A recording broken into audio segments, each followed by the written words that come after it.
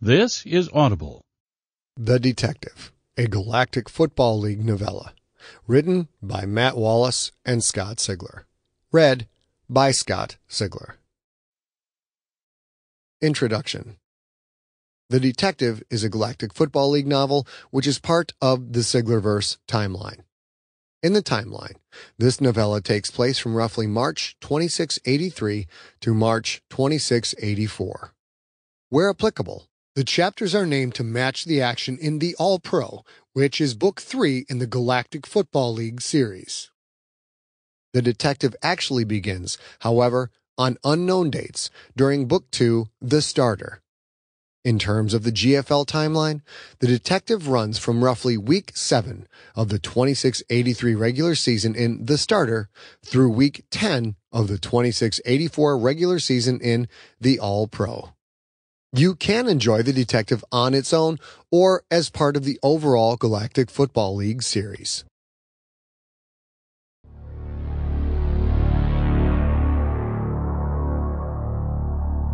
Book 1 the Mines of Micovi Chapter 1 Caleb. Caleb Cole had come to realize there was music in the minds of Micovi if you had the right ears with which to hear it. Music made with a melody of emotion, often dark, often hopeless, punctuated by the percussion of sharp steel points colliding with stone, over and over again, hundreds of thousands of times a day. Micovi music was not the syncopated song of a well rehearsed band. You would find no easy meter, no constant rhythm, no metallic chorus of pickaxes falling in perfect time with one another. The sound of each tool was as individual as the man who held it, and if a unified beat ever spontaneously arose, that beat vanished in reverb generated by the endless catacombs. Tens of thousands of pickaxes chewed at the rock, the ancient accretion of that planet destroyed by the steady swing of men, just as a colony of termites slowly erode the tallest of trees. Among those countless swings, the loudest concussions came from the young and the strong, each of their blows landing like the wrath of some vengeful god. The young ones hated the mines the most. The young ones always seemed to be waiting, waiting for someone to scream for rebellion so they could bury the chipped ends of their picks into the foreman's skull. The young ones, you see, had not yet been fully beaten down. They had that great curse of life on Micovi, the curse of believing that they were special, that they could change things, that someday they could escape. The older miners didn't swing with as much vengeance. They relied on wisdom on experience, carefully choosing the target of each swing for maximum effect with minimum effort. Their axes fell in the slow, slouching toward Bethlehem rhythm of the beaten down and the broken. Though their bodies were still strong for the most part, they had come to accept that either their short lives would forever be spent here and had willingly given their fighting spirit to the mines, or that the mines had slowly strangled their souls a slow death that they never saw coming until the battle was already over. Finally, and nothing but a faded note in all of that, there were pickaxes dropped so weakly they barely registered, like the clink of glasses from an insincere toast. These were the swings of the old and decrepit, those soon to give their last breath to the minds that had eaten their youth, their manhood, their lives. Caleb heard all these distinct notes. He recognized each sound for what it was and what it said about the man behind it. He couldn't help that. He couldn't turn his powers of observation off any more than he could stop breathing. Fortunately, the other dirty, sweating men didn't seem to hear the music within the noise, didn't hear the orchestra of stone and steel.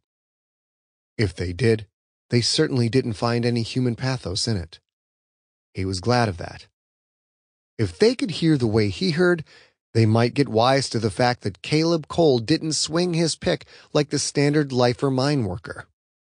His swing was steady and dependable, measured, but performed with obvious power. It was the swing of a man doing a dead on impression of a Micovi miner, wholly convincing to anyone watching him work, but there was nothing of the wretched place in his blood. Caleb Cole knew that, probably, he would not die here. The miners took water once an hour. Hunchbacked old women and the occasional homely young maid came through the stone rows with buckets of questionable hydration. In an age when many races traveled between the stars faster than the very light from those stars, on Micovi they were still brought tepid water in leaky buckets made of wood. As the men in Caleb's section paused in their labor to gratefully drink, he turned to the burly miner next to him and leaned tiredly on the haft of his pickaxe. From humble beginnings, eh? Caleb said to the man. The worker's face wrinkled. What do you mean? Caleb gestured to the chipped stone tunnel around them. Didn't that star quarterback start out just like this, breaking rocks and mines? Caleb paused, as if trying to remember a name, then snapped his fingers in an affected triumph. Quentin Barnes, that's the guy. The miner stared at him blankly. How would I know? Huh, Caleb said. I thought everyone here was a Raiders fan. The worker shrugged as he took a water ladle from a hunchback woman with one good eye. I like the Raiders well enough, he said, then took a sip. But all I know of Barnes are the stories people tell, and most of those are lies. He's orphan scum like me. Heard he was a houseboy for some restaurant owner. Got to eat all he wanted. Those last words said with bitterness, envy. Miner seemed far more jealous of Barnes's past as a well-fed kid than his current status as a rich, intergalactic sports star. Lucky guy, Caleb said. You ever meet him? Barnes? No, wouldn't wanna. Football's for pretty boys and that demon trash. He punctuated the statement by spitting his final mouthful of water onto the rocks at their feet. Caleb didn't press the man further. He never pressed any of them too hard on the subject. Word would start to get around that he seemed overly interested in digging into rising superstar quarterback Quentin Barnes's humble beginnings. But he did keep asking the question, floating that name to every man swinging an axe throughout the hollowed pits in which he'd been busting rocks for the last two weeks. Most didn't know Barnes. Many claimed to, but Caleb saw through their grandiose tales of drinking and womanizing, of bar fights and best friend boasts. Sometimes, however, he met a lifer who told the truth. And sometimes he met a miner who knew more than just the legend.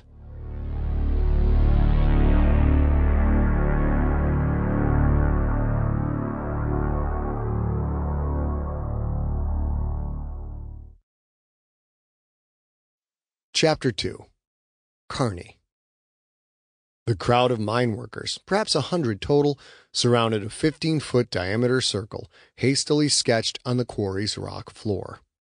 Their cheers, drunken and ecstatic and lusting for blood, slid up the hundred foot granite walls that cragged in every direction. When those cheers reached the top, where anyone with a badge or a plasma rifle, or both, might hear, the sound was no more than the babbling of running water. The workers passed around liters of a homebrew concoction they called stinger juice. It tasted dirty and toxic and vaguely of fermented fruit. They swilled it from bags and stained coffee tins.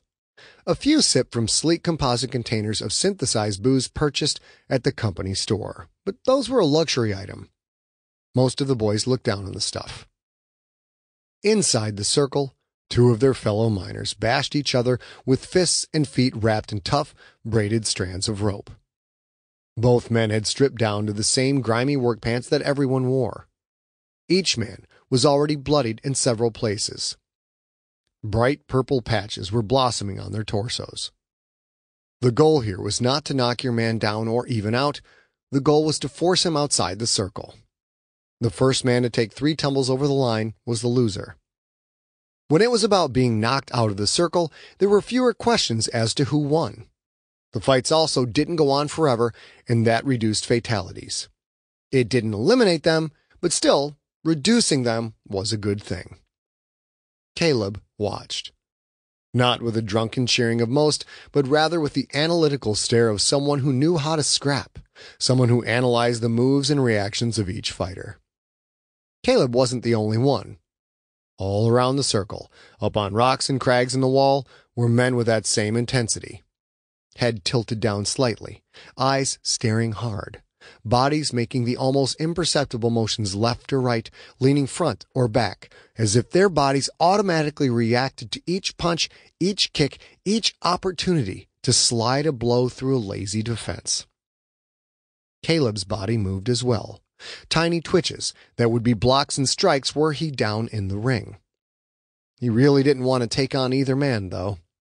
One was a bull shouldered beast with skin the color of charcoal.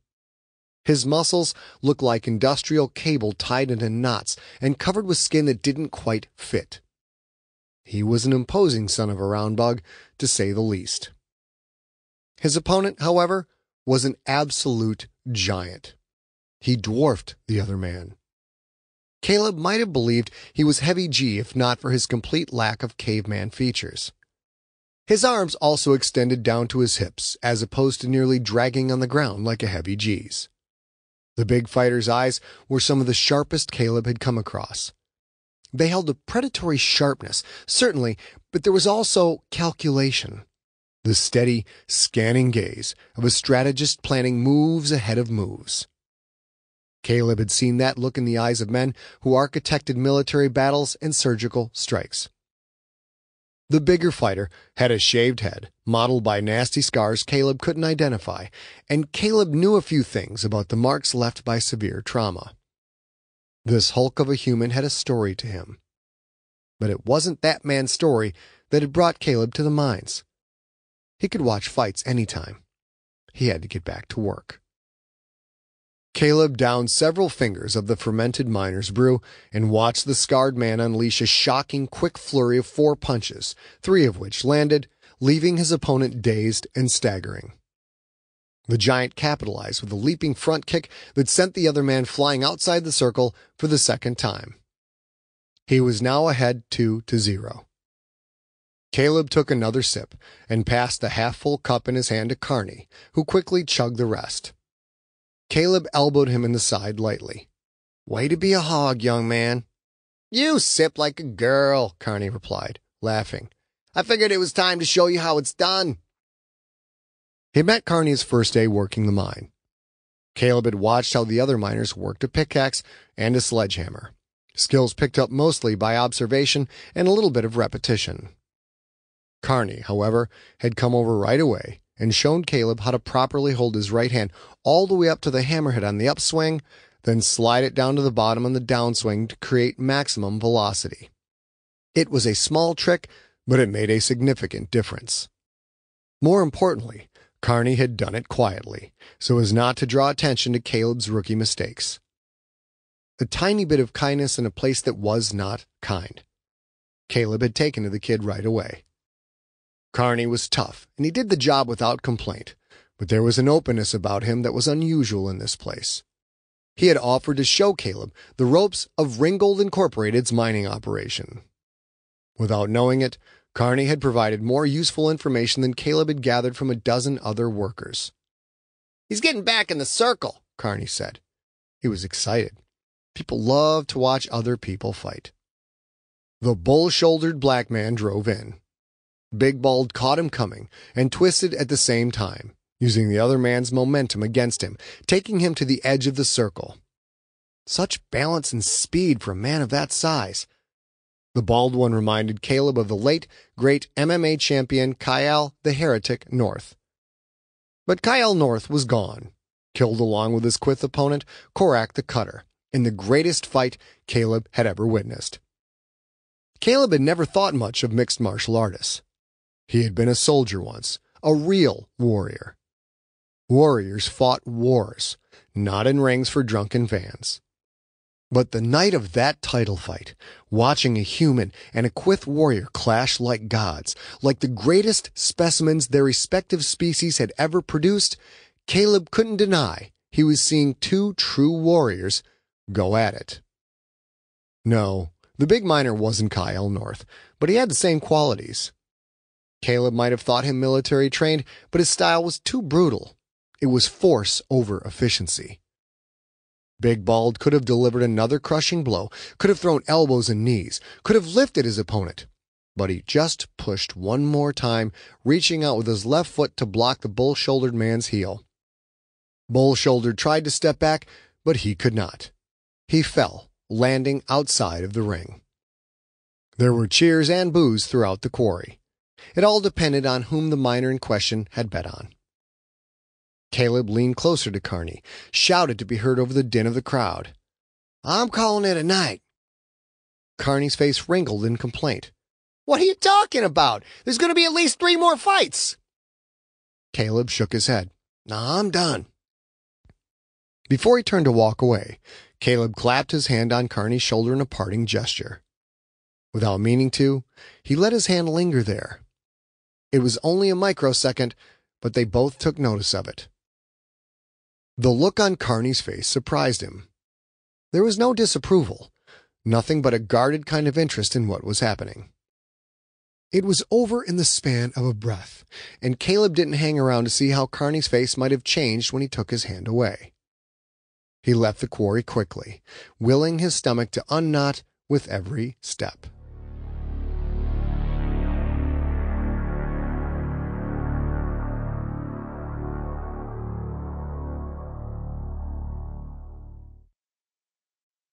Chapter 3 Frederico A mile above the jungle canopy, the Archangel is spinning out in a corkscrew of black smoke that's being stretched farther and farther downward like a spiral staircase to hell.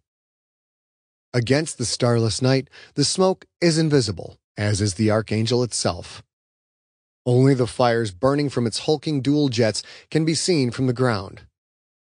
A moment later, Frederico Esteban Giuseppe Gonzaga has a murderous stranglehold on a flight stick as he tries to wrestle the bird under some kind of control. His right hand is engulfed in flame, but he doesn't feel the burn, doesn't register the skin bubbling and blackening and peeling. He doesn't feel it because that part isn't real. One eye watches the burning hand that holds the flight stick, while the other spies the manic dance of his instrument gauges. The stick is locked in mechanical rigor mortis. He pulls until the sinew in his arms almost snaps, but the dying ship won't respond. It creeps closer to terminal velocity. The crew chief is screaming at him from the rear of the copter. Spittle flies from a dark depression in the older man's graying beard, but Frederico can't hear him. He can't hear anything except the warning claxons, the hot snap of flames crackling all around, and the sound of pure, flesh-stripping G-force thundering around his bird. Frederico can't hear the words, but he doesn't need to. The crew chief is a man as hard as the steel plates beneath their feet. He can strip a copter down to its rivets and then put it back together again blindfolded and without the hand-rolled cigarette falling from his lips. Nothing that happens on a copter can faze him. The way he's screaming can only mean one thing. They're going down, and there's nothing that anyone, including and especially Rico, can do about it. All he can do is try and pick the spot where. He aims for the trees, you should let it go, the Loa tells him, as it always does.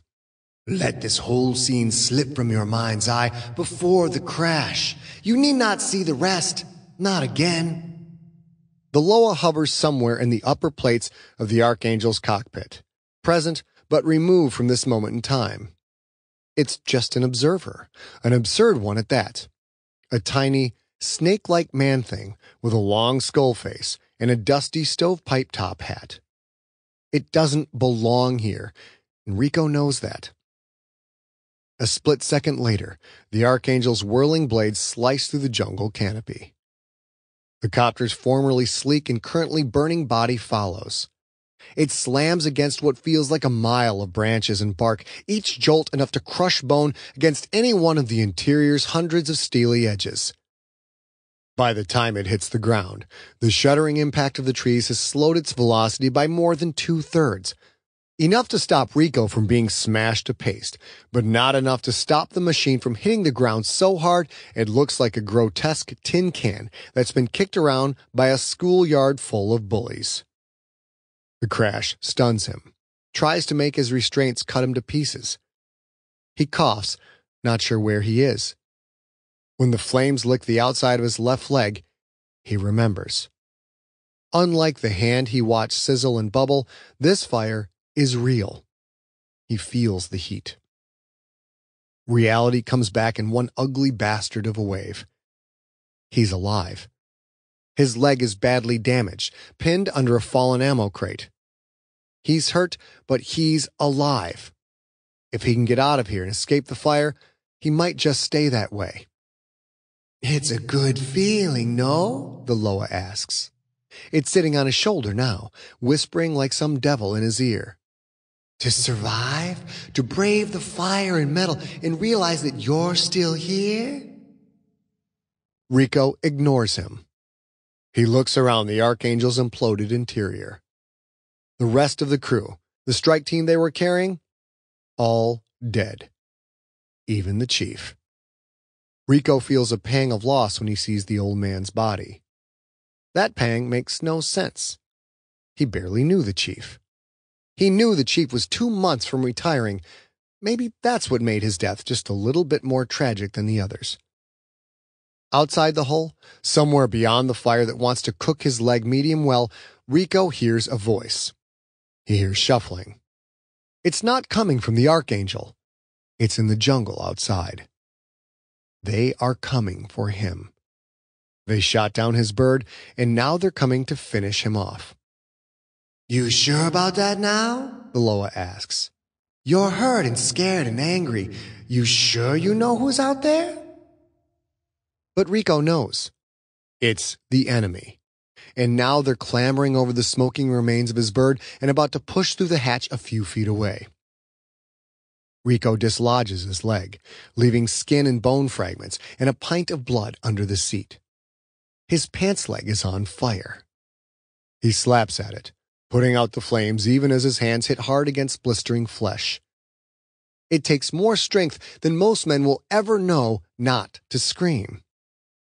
He pulls his damaged leg along with the rest of his body toward the hatch. The enemy soldier on the other side is trying to jimmy it open. Rico reaches for the nearest carbine, but sees the barrel is bent. The thing is useless. He unsheaths his knife. The steel and the fabric of the scabbard create a whisper in the dark. The hatch is opening.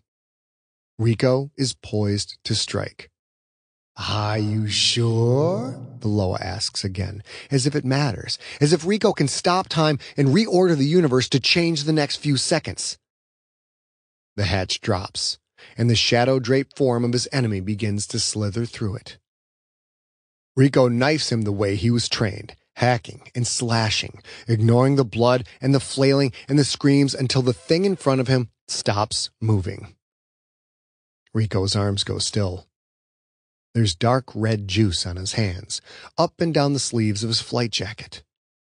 He's breathing like a sprinter, and if anyone could see his eyes, they'd be as crazed and as wild as anything that stalks the jungle. Get ready, son, the Loa warns him. Here it comes. Again.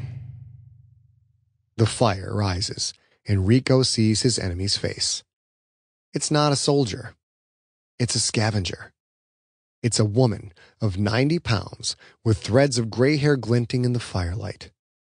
Just some villager who saw the crash and came to pillage the wreck. Or worse.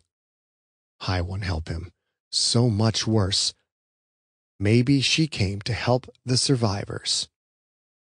She's dead. She looks surprised. So surprised. I told you to let it go, the Loa taunts him.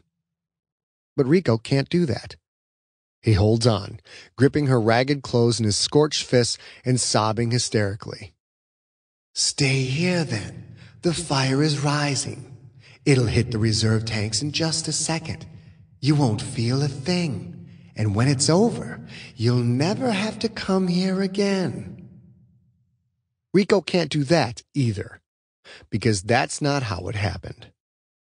So, for the thousandth time, he tears his fists from the woman's limp body, taking wads of bloody cloth with them. He crawls from the wreckage and slithers into the darkness beyond the firelight. When the Archangel explodes, it bathes the jungle in orange and red. It looks like an oil painting of exquisite beauty. Then he hears the enemy. The real enemy. They're coming, the Loa says. The knife is still clenched in Rico's fist. He'll stay low to the ground. He'll slash Achilles' tendons and pick them off one by one. They don't understand the monster that's just been made there in the flames. But they will. Moments before they all die, they will.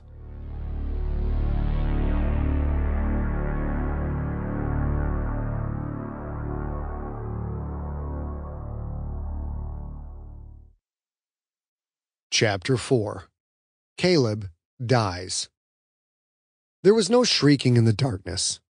There was no bolting upright in his bed, drenched in sweat. There was no twisting anguish on his face or running from the devil racing of his heart. Caleb simply woke up. His eyelids opened in one smooth, sudden motion. He was awake and alert, and he remembered everything about the dream, the incident that gave birth to the dream, and where he was now. The Loa was gone as he knew it would be, always knows it will be. But somehow, when the dream comes, Caleb never fails to check the dark corners and shadowy rafters of whatever room in which he finds himself. He imagined the Loa. No one is more aware than him that it's not real. But it lives in the places Caleb visits more than any other. Caleb spends more time with the Loa than with anyone else, and that makes it hard to sequester it from reality. It's about control. He created the Loa to help control the dreams, to keep himself lucid during each replay, each memory reconvened. He learned about the Loa from a squadmate, Red Bizik. Red hid his voodoo upbringing the way Caleb hid his own desires. They sensed that extra layer in each other, sensed that there was a secret that must be hidden, and because of the desperate human need to share, magnified by a long night of drinking, they had told each other their true nature. Those truths could have gotten them killed. If anyone in the unit ever found out, word could have spread. Some were sympathetic, some didn't care, but most in the service would have persecuted them until someone stacked wood for a fire. In effect, the need to be true to at least someone meant they had entrusted their lives to one another. The act of confession had bonded Caleb and Red, a bond deeper than that of family, than that of lovers, than that of comrades. Secrets drown you. Telling someone, taking the chance that they won't tell anyone else, that is like sliding your head above the surface to take a breath to stay alive. Voodoo. Red would have burned for that, no question. Caleb had kept the secret. And for that trust, when the dreams threatened to drive Caleb to madness, Red had taught him how to conjure the Loa. It was all superstitious nonsense, but Caleb had been so desperate for a way out that he'd tried it. He still didn't believe in the supernatural, but there had to be some science to dream control because the Loa worked. The Loa became Caleb's dream guide. The ugly little man tied Caleb to the present, reminded him the dreams were nothing more than memory, memory molded by guilt and shame until it formed a nightmare. Caleb stared at the ceiling. He'd sacked out in a two room shack it was connected to dozens upon dozens of others like it. Powerful magnets making a roof lock to a floor, a floor lock to a roof, the shack stacked together like a child set of wooden blocks. Each identical shack had a narrow walkway at the base and a ladder leading up to the face. Caleb had to climb four ladders to reach his walkway, which was so wobbly it felt like it might collapse at any moment. This is how Ringgold Incorporated, and every other mining outfit, provided housing to its workers. The walls were sheet metal, and the roof couldn't protect its tenants from a thimble of rain, let alone an actual downpour. Still, the company etches its logo, twin green crescents, on every shack, perhaps just to give the workers a nightly reminder of who puts that roof over their heads. Caleb climbed out of his shabby cot. In the other room, which was little more than a closet, there was a makeshift grooming station. Each shack had pipes that were supposed to connect to a central pump, but enough of the pipes were broken that Ringgold just gave up and had two liters of water delivered to each shed each day. How the miners used that water was up to them. At least the plumbing worked in the communal showers. Those facilities were three ladders down, four walkways to the right. He poured half a liter of water into the sink basin, then splashed his face several times. Above the basin, Someone before him had nailed a broken piece of mirror to the wall. Caleb stared at his dripping face, at his torso. He still had the scars. Dozens of them. A topographic map of his adventures and the wounds that came with them. An entire world of pain that was his and his alone. For a moment, he put away Caleb Cole and let the man who had earned all of those scars come flooding back to his mind and body. My name is Frederico Esteban Giuseppe Gonzaga, he said to his reflection. I am a private investigator. I live in Ionath City on planet Ionath in the Quyth Concordia. He repeated it. Then he repeated it again. By the third time he said it, the name and occupation started to feel real again, instead of just another shade, another mask, another subterfuge Fred used in his work. A knock that threatened to rattle the shack's tin sheet door off its single hinge drew his gaze from the broken mirror. Fred instantly blinked away his true self, and Caleb Cole rushed in to fill the void. He moved out of the wash closet and opened the door. Carney stood there. They just stared at each other for a moment, then Carney spoke. You're not coming back to the mine tomorrow, are you? Caleb wasn't. His work here was almost done, but he hadn't sent a word to anyone, not even Carney. How'd you figure that? You didn't pick up your store tokens for the week, Carney said. If you're not planning to eat at the company store, then you must be bolting. Caleb died with those words. There was no point in keeping him alive. He'd served his purpose, and Carney had seen through him. Fred grinned a little, despite himself. You're too smart to spend the rest of your life swinging a pick, Carn. What choice I got? Always a choice. Carney shrugged. I suppose. I'm right then? About you bolting? Fred nodded. Carney almost didn't ask, but Fred knew the question was coming. Take away the possibility of tomorrow, and most men will take their last chance on tonight. The kid smiled. Can I come in for a while? There was no real debate. Fred knew he would turn Carney away, but still, he hesitated. It would have been nice. Finally, he said, Look, man, I know why you're here. I understand, but it's not going to happen. Oh, Carney didn't look dejected, just confused. Was I wrong? I mean, you're not wrong. You just got the wrong time. When's the right time then? If I knew, I'd tell you, but it ain't now. Carney only nodded, sadly. They didn't say goodbye, and Fred didn't wait till morning to leave the mines. He was gone less than an hour later.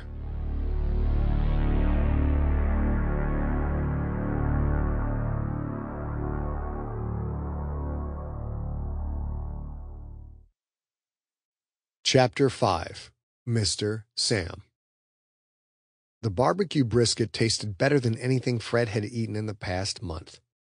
He knew two things as soon as he took his first bite. The first was that he was coming back to this dive in Micovi to eat again, and the second was that he would never ask where the meat came from. Fred had seen the local wildlife, and it wasn't anything he'd choose to hunt, kill, and cook if he wasn't starving to death. There were cows on Micovi, but a recent bug had killed off about 80% of them. Until the local herders figured out how to stop the infection, beef was only for church elders and the super rich. Fred was just finishing when an older man with a bulging chin and a filthy apron came by his table. The man pointed to Fred's empty plate. Even most of the sauce was gone, swept up with a kind of cornbread until only abstract orange brushstrokes remained on a field of porcelain white. Looks like you hated my cooking, the man said. Worst sauce I ever had. You the chef? And the owner. Call me Mr. Sam. Fred. They shook hands. Fred's curiosity got the better of him. Sam, I have to ask, do I want to know what that meat was? Sam smiled. You got the accent down cold, but you're clearly not from here. Every local knows the taste of round bug. Fred stared. You're telling me I just ate round bug? Delicious, nutritious round bug. Aren't they poisonous? Delicious, nutritious, poisonous if you don't know how to prep them, round bug. Fred nodded. I see. Well, if I die, I can promise you I won't recommend this place to my friends. The dingy restaurant was almost empty. There were only two other patrons, both of whom were busy stuffing their sauce smeared faces and dropping bits of meat onto tan tablecloths made of coarse paper. I didn't come for the food, truth be told, Fred said. I heard that Quentin Barnes grew up here. Mr. Sam smiled. Football fan? In a manner of speaking. A lot of people come to my place because of Barnes, Sam said. But he didn't grow up here. I met him when he was 11. He lived here on and off until he was 15 and signed with the Raiders. He's a great kid, I'll tell you that. Another two patrons entered. Sam started toward them, but Fred gently held his arm. Mr. Sam, I'm working for Quentin. Could I have just a moment of your time? Sam paused, his expression hopeful and also doubtful. He uh, send you to talk to me? Easy to read the meaning of those words. Sam missed Quentin. Afraid not, Sam said. I'm here to see if I can find his family. Sam glanced at the new customers who had seated themselves. I guess he's forgotten all about me. I mean, I only took him in and kept him alive. You'd think that'd be worth a call now and then. Uh, he's extremely busy, Fred said, the words coming out before he realized how lame they sounded. Sam sighed, then sat. I only have a minute, but I'm happy to help. You're the second person in here today asking about his family. Someone else came to talk to you? Mr. Sam nodded. Yep. You ever heard of Yolanda Davenport? Fred leaned back. Yolanda Davenport, reporter for Galaxy Sports Magazine. I have. I've seen her holocast. Mr. Sam smiled. She's even better looking in person.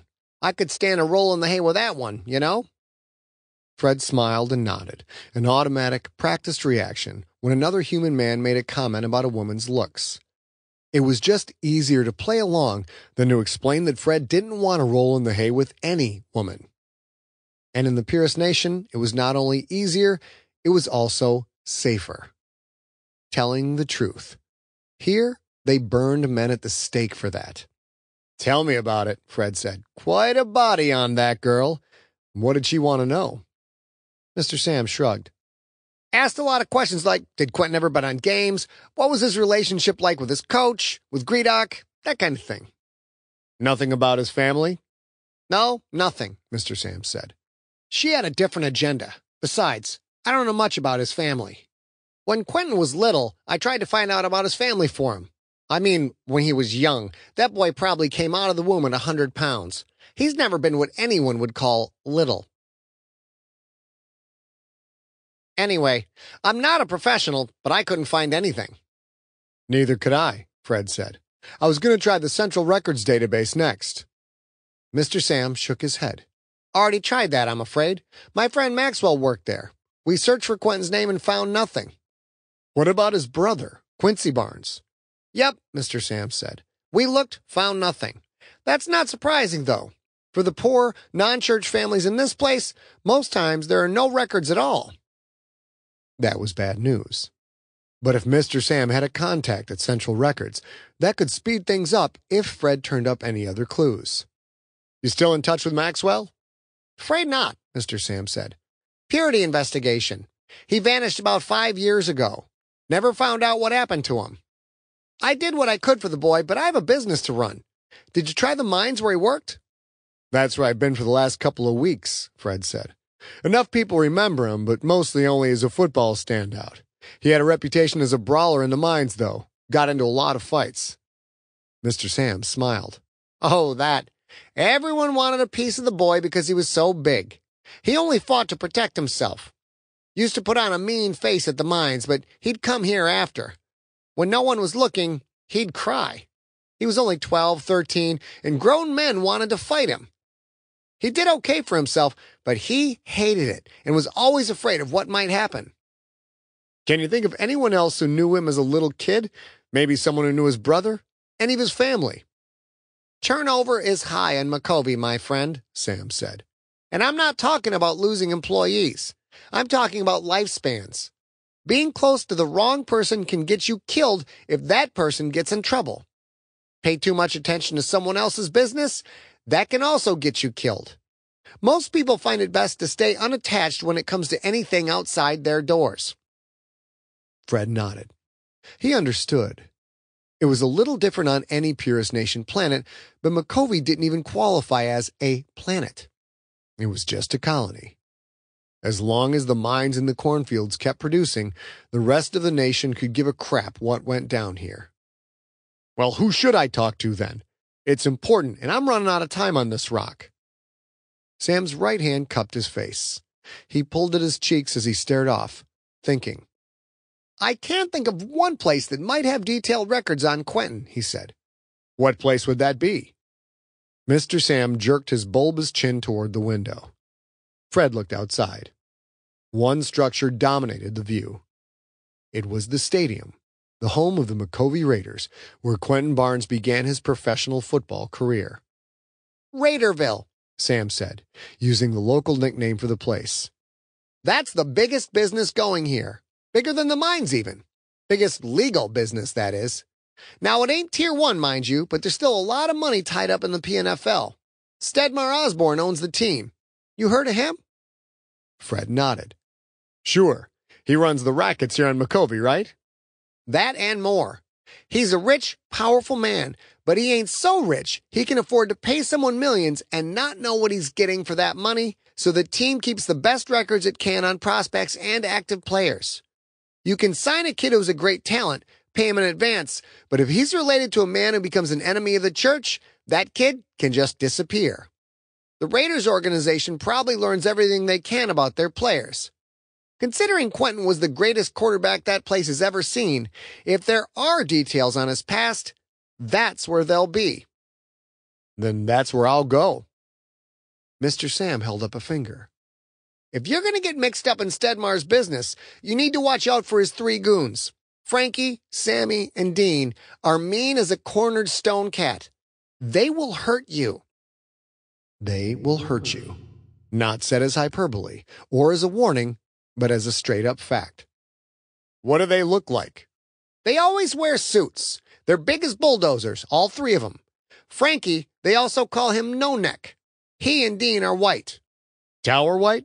No, no, the pinkish kind, like from Earthstock. And Sammy, he's as black as black gets. His right eye is steel. Hard to miss. You see those three, just get the hell away. You hear me? Fred nodded. That kind of information was not to be taken lightly. Sam tapped a finger on the table. Flattery ain't getting you out of the check, son. And next time you see Quentin, can you tell him I'd love to hear from him? Fred nodded. Of course I will. An easy lie. He wasn't here to help Quentin manage his personal life. Fred paid his bill, leaving a large tip.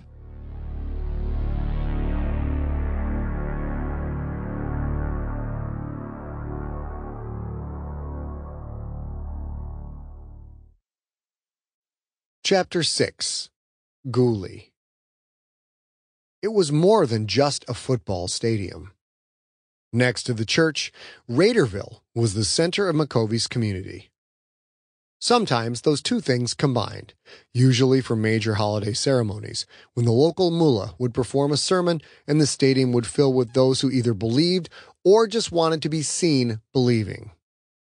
The stadium also supported concerts, religious theater, even community gatherings, when stalls and tents were erected right on the field proper. The stadium also served as the center of public executions. They had burn pits behind either end zone, because who would want to clean the ash off the 50 yard line? The pits were usually covered with a metal disc, painted in whatever bright logo the current advertiser wanted. Yes, from work to play to worship, the stadium reflected the community it served. It did all these things, sure, but on most off-season days, the place was empty. Frederico timed his visit for a day of high worship, when the believers packed into Micovi's countless churches. That not only ensured the stadium would be closed, but also that most of the staff would be attending services. That left only a skeleton crew manning the floors to which he needed access. He didn't anticipate much trouble. It wasn't much of a disguise, but he didn't need much. He came ready to hack the service entrance lock, only to find it was broken and only looked locked. Come the preseason for Tier 3, someone would discover that and fix it. For now, it seemed, it made it easier for the service staff to enter, and they hadn't bothered to tell anyone. Fred had slipped in and found the janitor's office.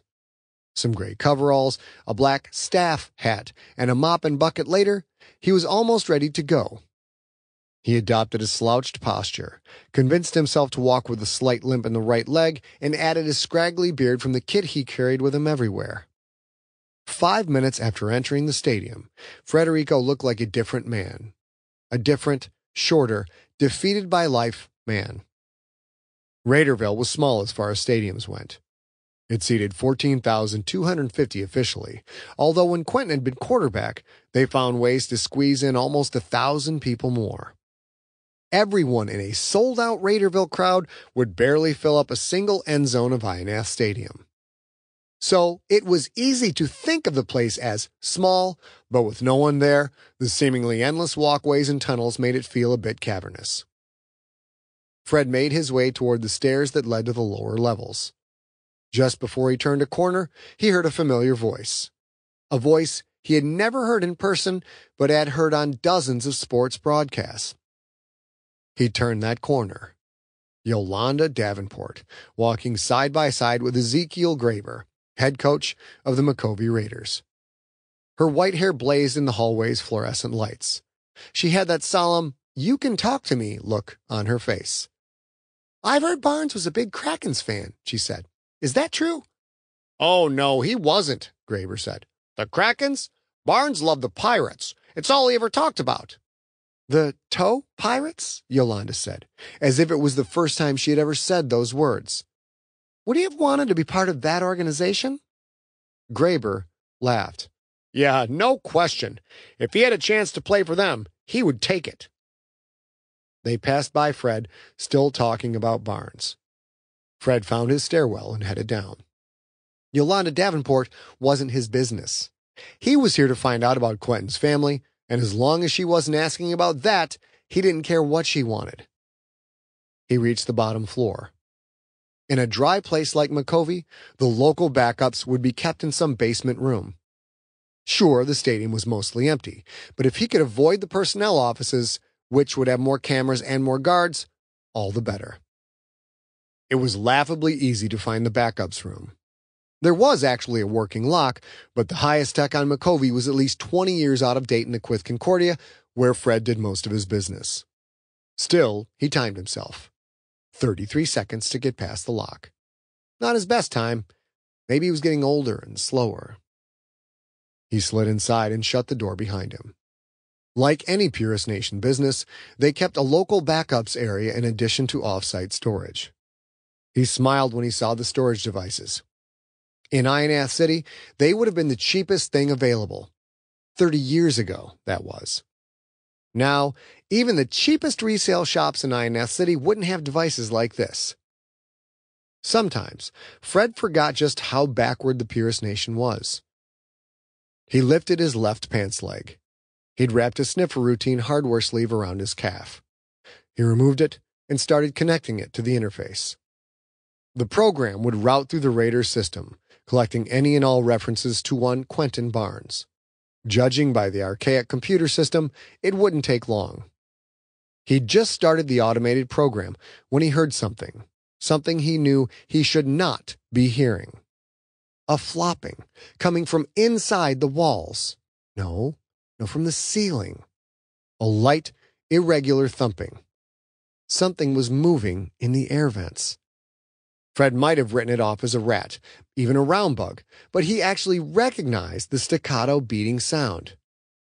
Ghoulie, what are you doing on Micovi? That sound. It was coming closer. It was coming from the air vent up near the ceiling. Fred looked around the room. He found a chair. He lifted it, then set it ever so quietly on the floor below the vent. One foot at a time, he stepped onto the chair put his hands up below the vent, and waited. Moments later, the fluttering came closer, then stopped. Still, Fred waited, hands raised above him like a spider waiting for the right moment to pounce. He heard the sound of a power screwdriver. The vent grate came away from the wall, then slid inside without a sound. Right about now. Fred timed it perfectly, grabbing hard as soon as he saw motion above him his hands locked onto the firm body of a small Harrah. The alien immediately tried to fight, but Fred quickly adjusted his grip so that his fingertips pressed into the soft spot on its left flank, behind which lay the creature's stomach. As a kid in school, they had taught Fred how to kill every species in the galaxy. They'd also taught him how to torture them. Puncture the stomach of a Harrah, for which a straight finger punched in hard would do just fine, and the amount of pain would leave the Harrah screaming, ready to answer any question you might have. As soon as Fred's finger pressed down on that spot, the Harrah struggles instantly ceased. Rico, you it, said Ghoulie, the backpack strapped to his top emitting the words. You're not a killer. You're right, Fred said. Good thing for me, puncturing your stomach will only put you in the hospital for a couple of weeks. Ghoulie said words that came not from his backpack, but from his wide mouth. These words were more of a hiss than a tone. Fred didn't have to speak Harrah to recognize cursing. Knock it off, Ghoulie. What are you doing batting your way through ducks in a football stadium on this backwater rock? Fred kept his grip tight. Ghoulie might be small, but he was no defenseless creature. The Harrah was a well known greaseman who worked the Concordia, the Planetary Union, and now, apparently, the Purist Nation. Ghoulie was a greaseman most of the time. Occasionally, though, he would take the big money and perform a hit. Fred held a tiny killer, and he knew better than to give the winged creature so much as an inch of wiggle room. Well, answer me, Ghoulie. Just seeing the sights, Ghoulie said. What's it to you? Fred pressed the tip of his finger in a little deeper. I'm on a job, same as you, that's all. Same as me? Same trade or same job? How do I know? You know how it is, Rico. I just find pieces for whoever has a scratch. I don't put puzzles together. That's you. Don't call me Rico, Fred said. But that's what people call you. When they want a real hitter, they call for Rico, right? I don't do that work anymore, Fred said. So call me Rico one more time and you'll have a brand new hole in your body. You got it? Yeah, I understand. So last time I ask, what are you doing here? Ghoulie didn't answer. Instead, he tried to wriggle away again. Fred tightened his grip and began patting him down, feeling Ghoulie's custom bodysuit, looking for anything that might reveal the Harrah's goal. But then again, did Fred really need to find anything? Fred was here looking for information on a certain quarterback. What were the odds that a Harrah grease man was here looking for anything but information on that same quarterback? Barnes, Fred said. You're here for info on Barnes, aren't you? Ghoulie struggled more fiercely than before, and that was all the answer Fred needed. Who sent you, Ghoulie? Anna Villani? Gloria Ogawa? Gredok the Splithead? Fred heard steps outside the door heavy steps. It sounded like giants stomping through a playpen. Ghoulie had help. He'd triggered some kind of a call, probably embedded in his suit. That was why he'd struggled so much, even though he clearly couldn't get away. Fred yanked his wings hard enough to separate tendons. How many, Ghoulie? And who are they? Even though the Harrah was clearly in pain, the voice from his backpack sounded cool and clear. Answer to both questions is the same, he said. More than you can handle. Fred quickly looked around. He opened a desk drawer, stuffed Ghoulie inside, slammed it shut, then pinned a chair against it. There was a muffled shriek from inside and a furious flutter of wings beating against metal, but Ghoulie was trapped. Ghoulie wasn't the only one who didn't have a way out. There was only one door to the room. Fred searched, wondering if he could take the first thug through that door. If there were only two, that might even the odds. But he had no idea who was coming. They could be good church boys, or they could be human hitters from off system. Then Fred saw his only way out. First, he reached into a pocket for a minicam and set it on the desk. That would record the men who came through the door, sending the signal to the storage cube he had in his pocket. If he got out of this in one piece, he'd have a good look at the men who were working with Ghoulie. Then he detached the sniffer device. Hopefully, it had found some information. That done, Fred ran at the chair he'd set against the wall, jumped, put a foot on the seat, and launched himself up. He slid his arms into the air vent, then his head, worming his body into the too tight space. Behind him, he heard the door rattling as someone tried to get in. Fred's shoes kicked at the wall, trying to push himself deeper into the vent. He couldn't make it far, but that didn't matter. What mattered was not being in that room when the goons came in. The door rattled harder. Then came that pause he knew all too well. Someone big rearing back a meaty shoulder. Fred pushed himself all the way in. He could barely move. It was like a coffin. He moved forward a few feet, then pressed his back against the top of the vent and pushed down as hard as he could. The metal gave way almost immediately. He dropped through and landed hard on a desk. He was in another office, also vacant. Fighting back a groan, Fred rolled to his feet and limped to the door. From the other room, he heard the shuddering crack of a door giving way, and then he heard two voices. Two deep voices. No, that couldn't be. Not on Micovi. He didn't have time to stick around and find out. He quietly slipped out the door into the hall and moved quickly back toward the service entrance. In seconds, he turned the first corner and was gone long before the men rescued Ghoulie and came to look for him.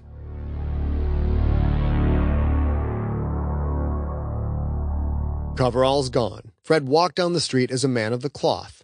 Blue cloth, the mark of the purist church, his robes covering him from neck to feet. He even had an infinity tattoo on his head. This time, he'd gone for blonde hair. He looked good as a blonde. As he walked, he looked at a few seconds of footage his remote camera had recorded before it was destroyed. He watched the footage and puzzled over the implications. The men who had broken into the room, they weren't men at all, at least not human men. They wore enviro suits, complete with ventilation masks, like the industrial cleaning men who decontaminated the stadium facilities on a regular basis. The suits, however, were huge and bulging in a way that no human would require. And if that wasn't enough of a tip off, holes had been cut in the masks to allow muscled pedipalps to protrude through. They were Quyth warriors. Fred had seen bigger, but not by much. This was heavy. Alien species weren't allowed to set foot on Purist Nation soil. It happened, of course, especially in the fringes of PN space, but it took a lot of juice to grease the wheels. Ghoulie could get in and work because 99% of the time, no one even saw that Ghoulie was there. That was why he was such a good grease man. But two bruising Quyth warriors? They couldn't exactly hide in the ventilation shafts. Sending Ghoulie here was a risk all by itself. Adding in two Quyth warriors? That meant bribes. That meant getting at least a few people to look the other way. Someone else wanted info on Quentin Barnes, someone with a lot of money, a lot of power. And by now, those warriors had reported back to their Shamakath, which meant, of course, that now Ghoulie and the warriors would not only be looking for info on Barnes, they would be looking for Fred. Fred had to stay on the job. That's what Quentin paid him for, but Fred knew that a dead man can't find a damn thing. He had to lie low. He couldn't afford to disappear, not with a job still to do, but there were other ways to stay out of sight. Frederico Esteban Giuseppe Gonzaga had to become invisible.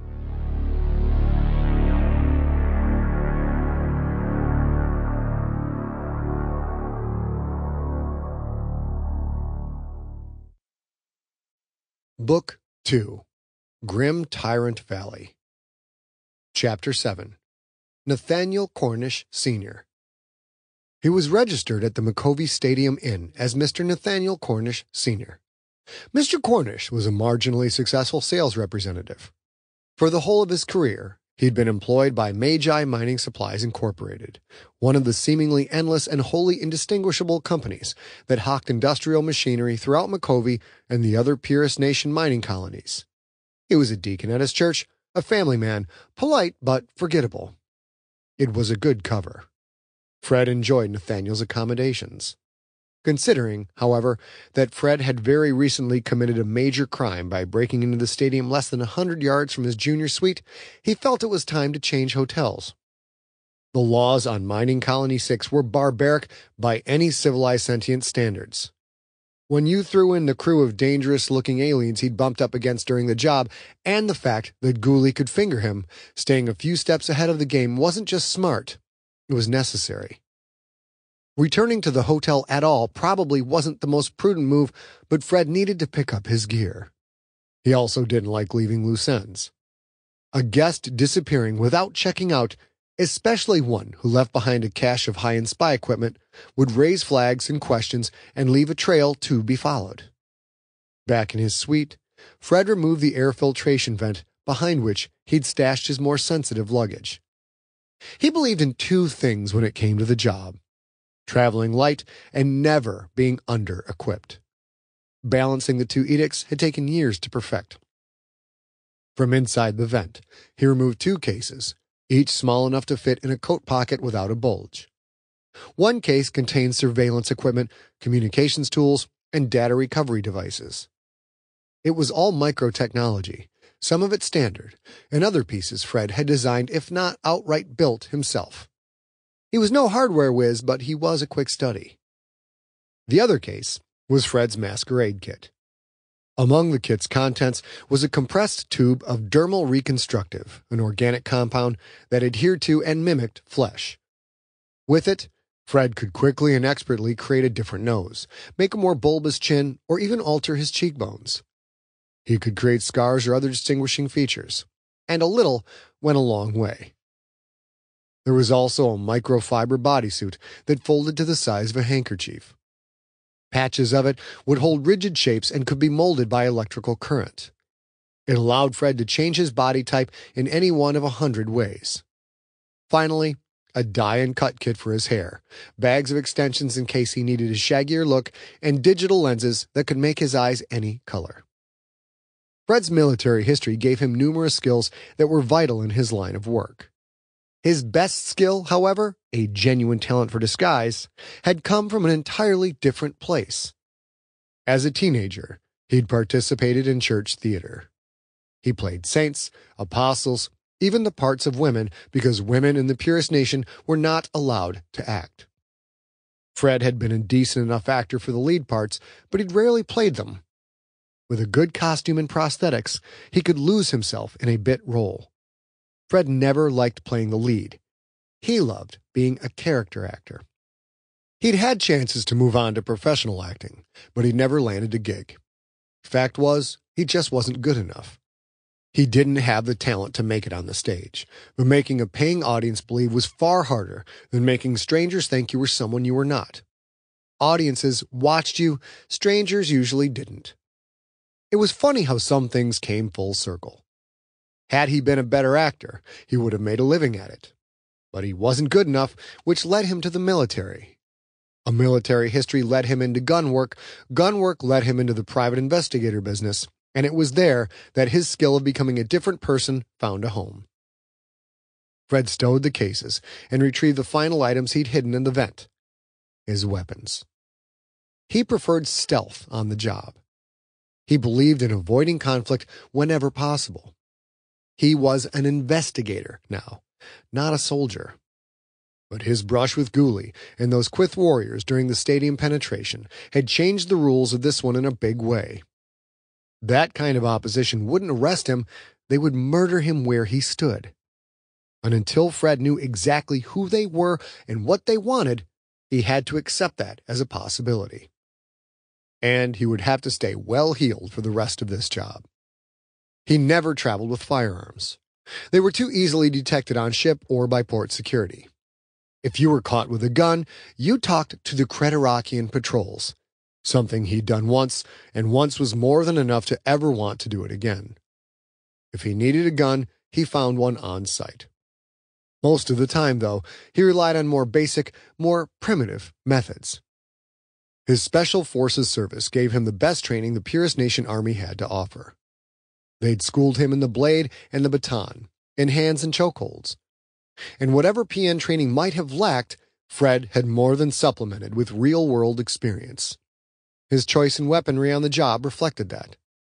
They were all custom implements. There was a blade maker back on Ionath, a human of Spanish descent, a master, and one of the few craftsmen of his race from whom the Quyth would buy weapons. His was a family trade, and he liked to brag that his lineage went all the way back to master bladesmiths of Toledo, Earth, millennia ago. Fred had saved the Spaniard's life once. It had been completely by accident, but Fred had never revealed that secret. If it made the man happy to make Fred's personal defense tools at no charge, well, making people happy was a virtue. High One said so. And that made it true, right? The Spaniard had built a unique shoulder holster exactly to Fred's specifications. A set of match blades ran up his flanks, the handle of each close to his armpits. The blades were forged from composite materials that would pass 99% of the body scans out there. Fred could reach for either or both, and it would seem like he was simply delving into his inside jacket pockets. He pulled out the shoulder rig and slipped it on with practiced familiarity. Where the straps of the shoulder rig crisscrossed his upper back, another blade was deftly concealed, this one shorter and curved like the talon of some giant predatory bird. It was an ancient earth design known as a karambit, perfect for slashing, hooking, and dragging your opponent down. Fred wholeheartedly believed in the old human adage that preached, never bring a knife to a gunfight. He also believed in shredding his enemies before they had a chance to draw said guns. He packed his gear inside his regular travel bags, donned one of Mr. Cornish's blazers, then left the junior suite. Fred checked out of Stadium Inn. He'd also planted a ghost ticket in the database of one of the mid-range commercial transport lines that ran shuttles to and from Micovi.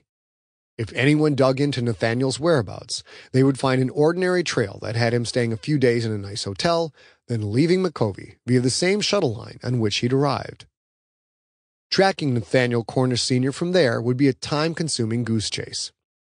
Fred downgraded to a prison cell sized room at a cheap flophouse on the outskirts of the city. He ditched his Mr. Cornish Sr. persona and made up a name at random. No one here was going to ask for papers to back it up.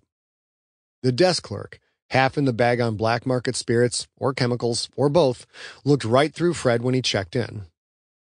Once in the room, Fred finally called up the information gathered by a sniffer program. Quentin's physical information and career stats were there, of course. Fred casually glanced at these, skipping over them except for one eye-popping set of numbers. At 16 years old, Quentin had been 6 foot 9, 365 pounds. Mr. Sam's business must have been good to feed a kid like that. Fred filtered out everything related to football. That left very little. Quentin's work record from the mines showed dozens of disciplinary incidents for fighting. A big kid like that had been a target for people wanting to make a reputation for themselves. No pit fights. Quentin had been smarter than that, it seemed. That didn't surprise Fred. No one seemed to understand just how smart Quentin was, including Quentin himself. Fred focused on criminal records. Quentin's brother, Quincy, had been hanged for theft. The brother had been a couple years older. He possibly had more information if Fred could find a DNA record of the boy. And then Fred struck pay dirt. Because of Quincy's crime, Quentin had to pay the criminal debt. This, quote, legal recourse, end quote, was designed to create wage slaves, people who owed so much they could never work it all off, but they had to work because they owed the money. The pay dirt? Fred found a reference to Quincy all right, but it wasn't Quincy Barnes. Quentin's brother's name was Quincy Carbonaro. Well, I'll be, Fred said to himself. They gave you a new name when you were little, so little you don't even remember it. No wonder I can't find anything on your family.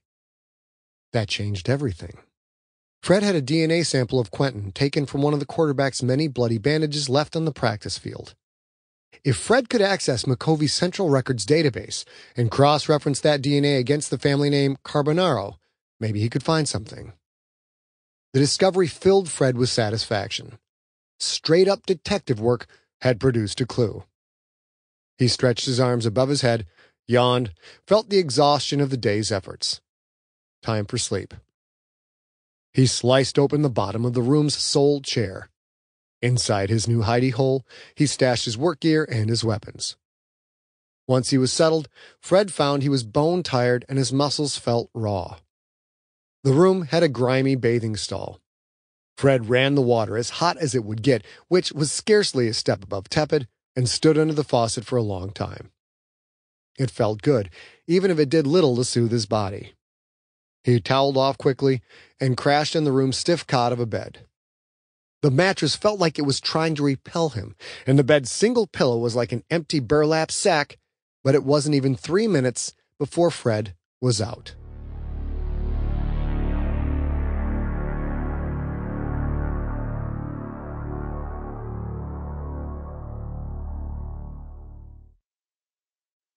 Chapter 8 The Mercenary Upstairs, the sounds of animal pleasure are a muffled, pig grunting chorus that can't be ignored. Rico sits at the bar in the parlor of the bordello, weary of trying not to hear it, weary of being in this place, weary of the charade. He's weary of his life, the one he's made since leaving the service, since becoming an ex commando, bumming around the least regulated rocks in the Purist nation and beyond. He has sat drinking with one of the working girls long after his fellows have all disappeared with their own escorts. When they were still downstairs huddled together around him, Rico laughed and shouted and catcalled in time with their drunken chorus. He's quiet now. The girl is still talking, maybe trying to seduce him, maybe just prattling on. He stopped listening.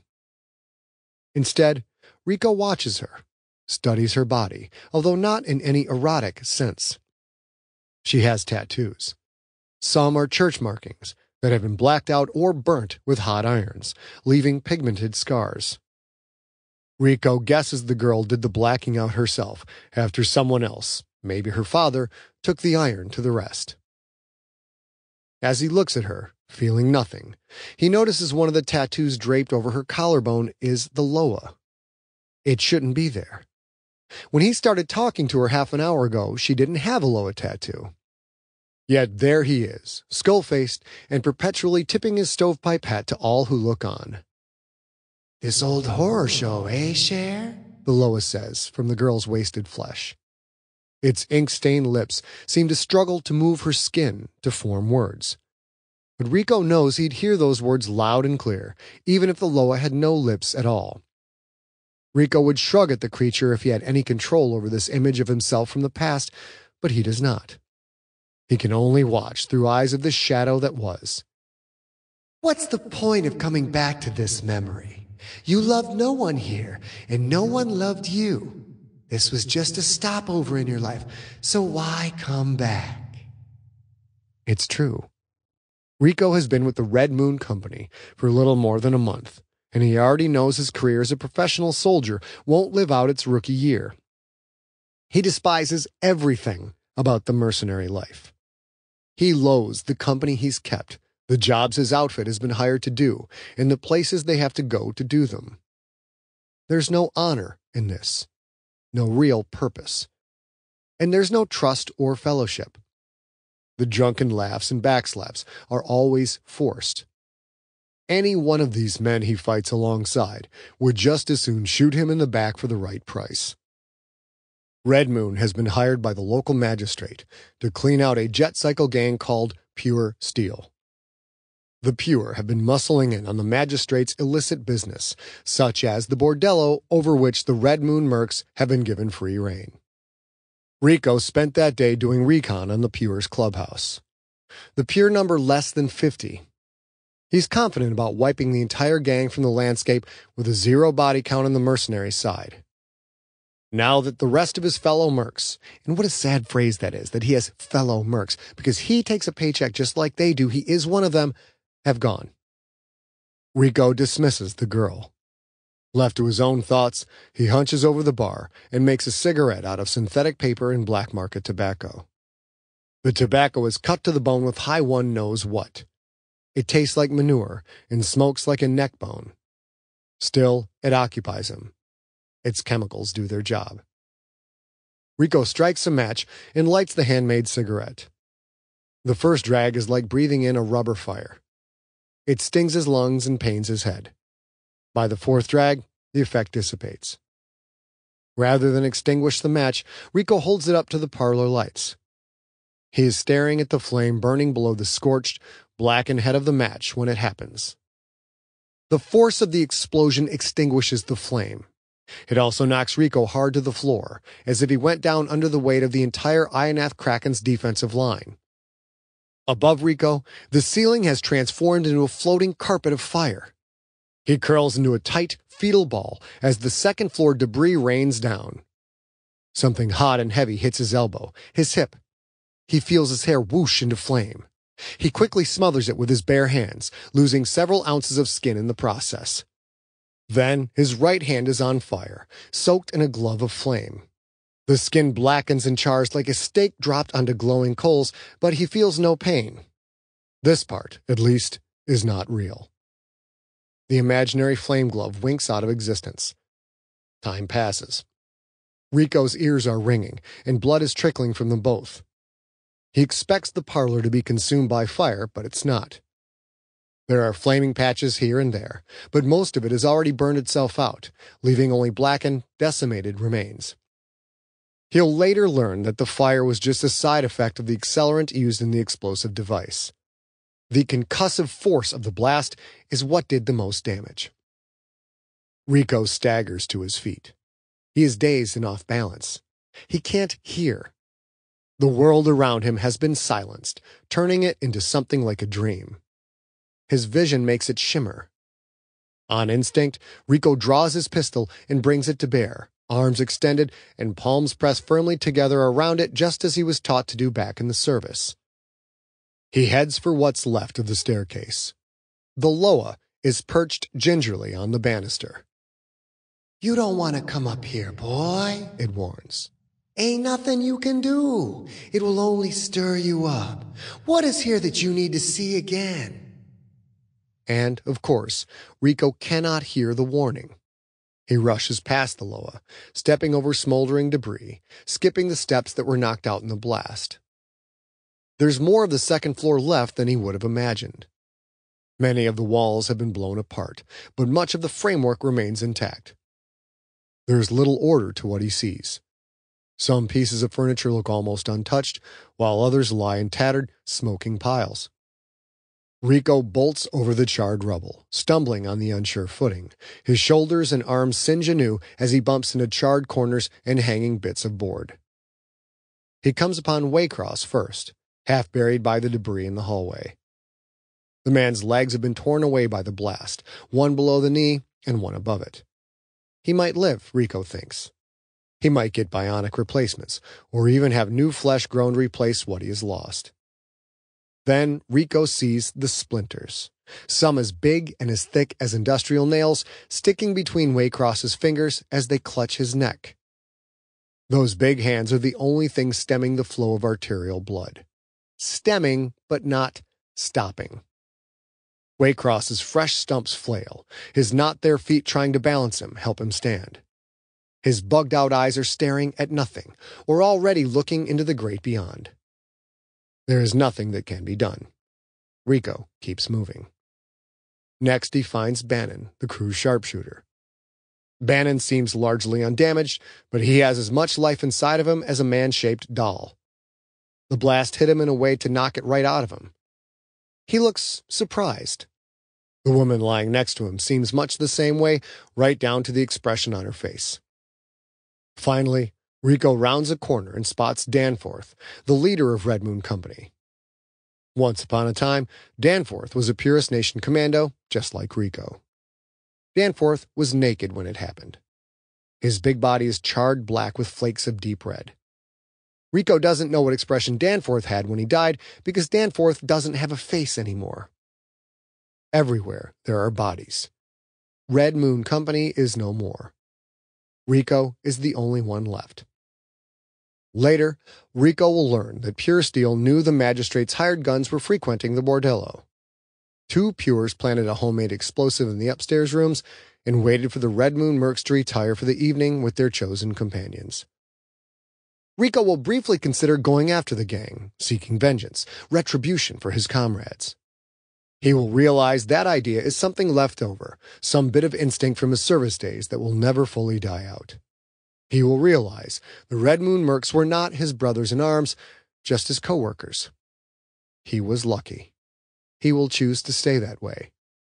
But all of that comes later. Right now, the smell of burnt flesh and scorched wood is the overwhelming sensory input of the moment. Rico still cannot hear. He can't really see. The glimmering cinders on the wall move and shift, reshaping into the form of a snake-like man wearing a top hat. How much more do you want to see here, Cher? Rico has to see all of it, just like he saw it when it happened in real life. The Red Moon Mercs, he gets that. Live by the gun, die by the gun.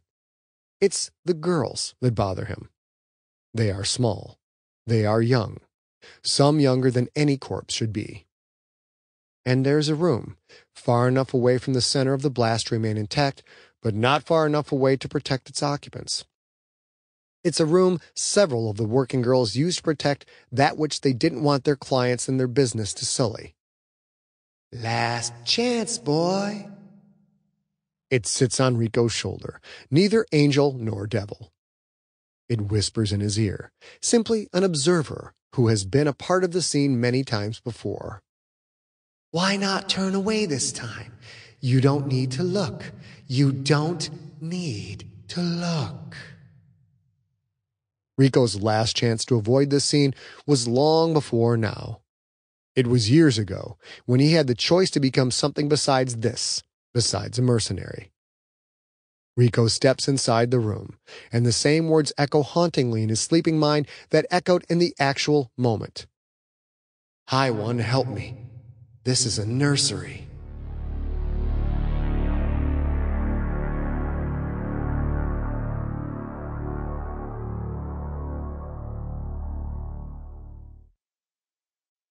Chapter 9 Fred When Fred woke, his pulse was normal. His breathing was calm, regular. Practice makes perfect, it seemed. Some of the dreams had come so often, they were like watching a familiar old movie. No surprises. This time, however, there were a few afterimages. That happens sometimes. He blinked them away, his eyelids shuddering between horrific still frames, until the past faded and the present reclaimed dominance, until all he saw was the flophouse room's dingy ceiling. Fred sat up. His skin was damp here and there, but he wasn't sweating, not really. Usually the memories that plagued his dreams were gone as soon as he opened his eyes. Sometimes, however, he couldn't help reminiscing on those events and the ones that followed. Those girls, that nursery, the little kids. He couldn't do anything for them then, and he couldn't do anything now. If he hadn't been part of Red Moon, those same people would still be dead. Fred folded his legs into the lotus position. He rested his hands on his knees. He breathed in slow, let it out slower, there was no Loa in the real world. Here, He was his own guide, and he could control his thoughts. He could make those memories go away. He finished his short meditation, then stood. The memories hadn't gone anywhere. Fred sighed. Some forms of meditation were better than others. He reached under the room's lone chair and retrieved his shoulder rig. The blade of a knife whispered to him as he freed it from its sheath. He liked that sound. Not in any perverse or sadistic way. He liked that he could rely on it and what it meant. He liked the control. In the dark room, Fred settled into a fighting stance. He worked his body through an old knife drill from his days as a raw recruit. He struck at the vulnerable points on an invisible opponent standing in front of him, slashing and puncturing each one in sequence over and over again. Sternum, abdominal aorta, perineum, femoral artery, brachial punch, then pierce the mandible.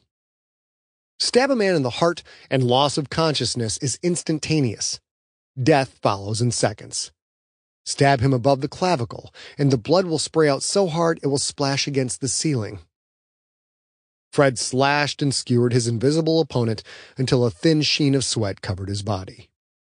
Now he was breathing hard, breathing hard in the good way of the here and now, not in the bad way of anguish and loss from which he would never be free.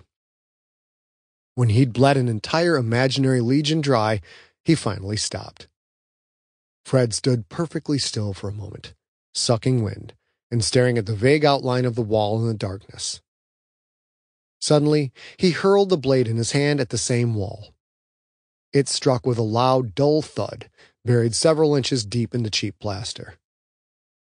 Fred thought he heard some muffled, sleepy complaint from the occupant of the next room, but he ignored it. He left the knife there. He dropped down to sit on the edge of his bed. He held his skull in his hands.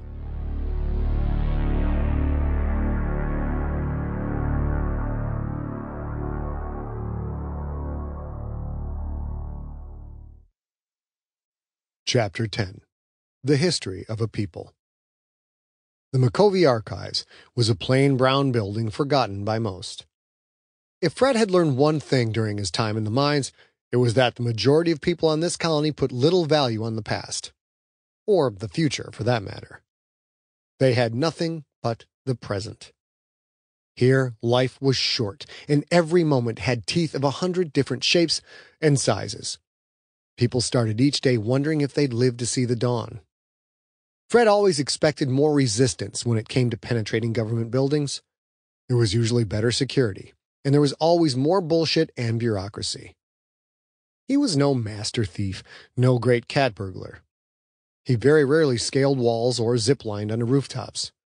His specialty was walking right through the front door and receiving a nod and a wave from every uniform he encountered.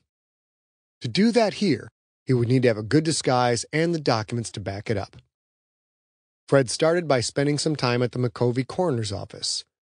It was a busy place.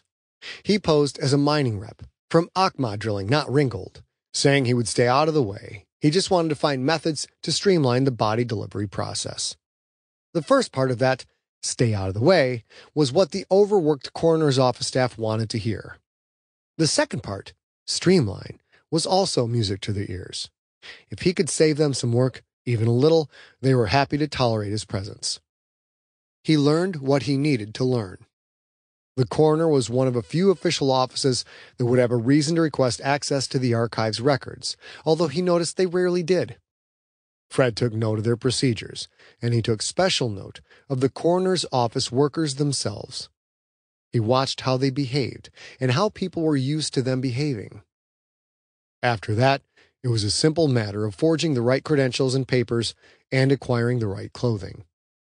A few touches from his masquerade kit did the rest.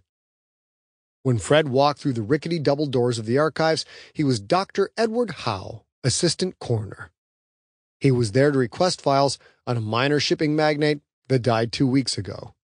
The magnate had been a wealthy man, and two different women both of whom had some pull with the shot caller and Micovi, were presenting as his wife and attempting to claim the body. Only the official family records could help the coroner's office clear things up.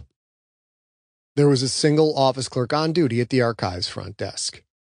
Fred had waited until the last shift to make his move, when staff was minimal. The rest of those on duty at this time were mostly janitorial staff. The clerk was a younger man, his attention fixed on a portable screen in his hands. From the sound, Fred thought he was watching a sporting event. Fred approached the desk. Hi there, Chief. I'm from the coroner's office, and dropping off or picking up. The clerk was less than interested. He didn't even take his eyes off the screen. Well, Fred began, a little thrown. I need to locate some records on records rooms down that hall, the clerk said, with a single jerk of his head to a large archway to the right. Fred looked at the entrance the kid had indicated. There wasn't even a door between them and the hallway beyond. The pragmatic part of him couldn't accept how easy this seemed, and maybe didn't want to accept that he had spent four days preparing his disguise and cover story for this. Do you need me to fill out a form or something? The clerk finally looked up. Look, man, if you can find whatever you need, you might as well just take it before it rots back there with the rest. Just don't expect me to know where to point you. I'm third shift. I've never even been in there. Thanks, Fred said and walked down the hall. Yep, four days wasted. That's what he got for not scouting the full mission before diving into preparation for a single part of it. The records room was suffering from terminal neglect. It was a tomb of scattered hard and soft copies that seemed to have almost no remaining order to any of it. A few moments of study made him realize the fact that looking for 20 year old files was actually going to work in his favor. The older records were in much better shape than the more recent filings. It seemed as if the Micovi Archives was a system progressively breaking down, and its condition had accelerated drastically in the last few years. Hacking their database proved to be the easy part. The technology was decades out of date, and there was little information here that anyone cared to protect. Most of the rich probably had their records kept elsewhere. Hell, they probably had their own system to handle deaths, even their own coroner. That was the way of things on Micovi. He tapped into the computer records. He attached a worm disk to the interface and set it to run, cross referencing Quentin's DNA with the names Quentin Barnes and Quincy Carbonaro. The program found a hit almost immediately Killian Carbonaro. As Fred looked at the data, he understood why. Killian had been in the Purist Nation military. The nation didn't keep closed records on non church citizens unless you were in the armed forces. Killian's DNA, just like Fred's, had been recorded as the main tracker for his military record. The common DNA sequences left no question. This was Quentin's father. Fred called up Killian's record, only to find that most of it was blank. His military record showed a date of induction, boot camp, and then nothing. Killian, my friend, what kind of work did they have you doing? Possibly something high level, something secret. No discipline record, no deployment record, no commendations, health exams, nothing. A soldier with no military history? Such a thing didn't exist. Fred found a link to Killian's family. He let out a slow breath as he clicked it. This information was also blank. He had hit a dead end. There wasn't much in the family record, but it wasn't blank. It read Killian Carbonaro, birth date 2638, no death date. Wife Constance Carbonaro, birth date 2637, no death date. Daughter Janine Carbonaro, Birth date 2654, no death date. Son, Quade Carbonaro, deceased. 2657 to 2657. Son, Quincy Carbonaro, deceased. 2659 to 2668. Son, Quentin Carbonaro, deceased. 2664 to 2669. No links, just names. No way to find out more about any of them, at least not from this record. Fred stared at the readout. It made him feel sad, but also hopeful. Sad because of so much loss. One boy who didn't make it past his first year, another dead at nine years old for stealing bread. Quentin was marked as dead, but that was probably a records error at the overburdened orphanage system. Maybe someone had done that as a kindness, to try and free him of his brother's debt. Whatever the reason, a five year old Quentin had been given a new name, and that new name had separated him from any connection with his real heritage. Hopeful because there was no death record for the father, the mother, and the sister. Why hadn't Quentin ever mentioned a sister? Fred finally had something to work with. The computer database had nothing else, but he was surrounded by several tons of paper hard copy records that had probably never been entered into the computer. Paper. Just amazing how backward this place was. Fortunately, Fred came prepared. He dug a small rectangular device with an adhesive back from his kit. It was a combination high intensity X ray scanner and data retrieval program. Once attached, it would read every page in a stack five feet deep and scan each one for pre programmed keywords and phrases. He entered the names into the scanner. That was the easy part. The real work that night turned out to be separating and stacking files so Fred could scan them. After 10 minutes, he felt more like a mover than a military trained private investigator. He was also working up a hell of a sweat. Maybe he should hire an assistant. In the movies, the investigator always had a young assistant who was willing to do the grunt work. He often entertained that thought, and just as often, he chased it away. He had a lonely job, but at least he didn't have to bury anyone else. You work with someone, you get close to them. You get close to someone, you lose them. Fred never wanted to get close to anyone ever again. After three hours, he was beginning to consider he might be at this all night with no results when the scanner lit up in a deep, affirmative green. That meant a hit. He lifted the scanner from a stack of folders and checked its readout. The small screen displayed an image of a faded document that included the name Carbonaro. It also told Fred how deep into the current stack the image was taken. What Fred pulled from the stack turned out to be an official death record, but one that hadn't been fully filled out. Why can't it ever just be easy? The form had a last name, Carbonaro and a sex designation female, but no first name. There was also a destination for the remains Grim Tyrant Valley. Which one was it? Constance or Janine? One of them was dead. Which would be worse news for Quentin, his mother or his sister? And what news did Fred have, really? Your mother or sister is dead for certain, but the other one is probably dead as well, even though I don't have a record of it. And come to think of it, your father is also probably gone because Micovi is the armpit of a system that is the armpit of the galaxy. No death record didn't mean a lot on Micovi. You were lucky if you got a grave, luckier if anyone documented your passing. Killian was probably just as dead as his wife, just as dead as his sons, just as dead as his daughter. No matter which one, sister or mother, Fred knew Quentin would be crushed. A starting tier one quarterback, the face of a franchise, watched by billions and worshiped by millions. Yet for all of that, he was just a 20 year old kid. Fred examined the piece of paper closer. There was a date field, but that corner had been torn off the form. There was one more field filled out remains received by Alistair Britton, Grim Tyrant Valley Sexton. Fred started to put the piece of paper back where it belonged when he heard the distinctive rush of air behind him. He only had a second to react, but it was more than enough. He picked up the biggest stack of files he could heft and swung it 180 degrees. It collided with the small, winged body that was attempting to dive bomb the base of Fred's skull and sent it careening into the wall of the records room. That body hit hard and fluttered disjointedly to the floor. Fred reached under his coat and unsheathed his concealed karambit. He walked over to the body, reached down, and grabbed the thing by its wing, lifting and pinning it to the wall. Ghoulie, we gotta stop meeting like this. You've damaged two of my sensory pits, you ground walking, milk fed gashat. The final word was a garble. There had to be a Harrah insult that a speaker box couldn't accurately translate.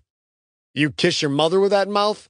That is, if I even have mothers. I got to read up on my interspecies biology. Something metallic caught Fred's eye. He glanced at the floor.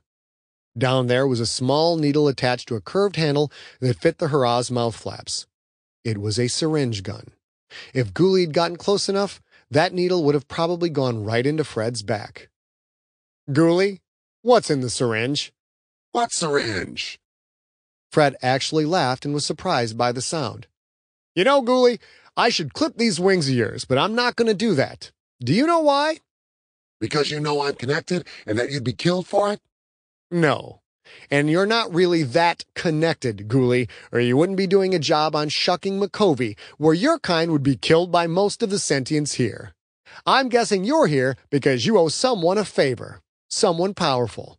Am I right? Then I don't know why you're not going to clip me, he said, avoiding the question about who had hired him. I'm not going to kill you out of professional courtesy, Fred said. Whatever else you might be, you're a specialist, like me, a very skilled one at that. And that's something I value even if you don't. For once, Ghoulie seemed speechless. Perhaps it was because he couldn't tell if Fred was being honest. Fred then slowly twisted Ghoulie's wing until the little Harrah hissed in pain. However, Fred said, professional courtesy extends only so far. I'm going to pretend that whatever is in that syringe wouldn't do me any harm because if I found out you were trying to kill me, let's just say that Sklorno are not the only species that likes the taste of Harrah. You keep putting yourself in front of me, and your second story days will be over. Fred pantomimed slicing the wings from Ghoulie's body to emphasize the point, then released him. Ghoulie's wings began undulating in counterclockwise circles.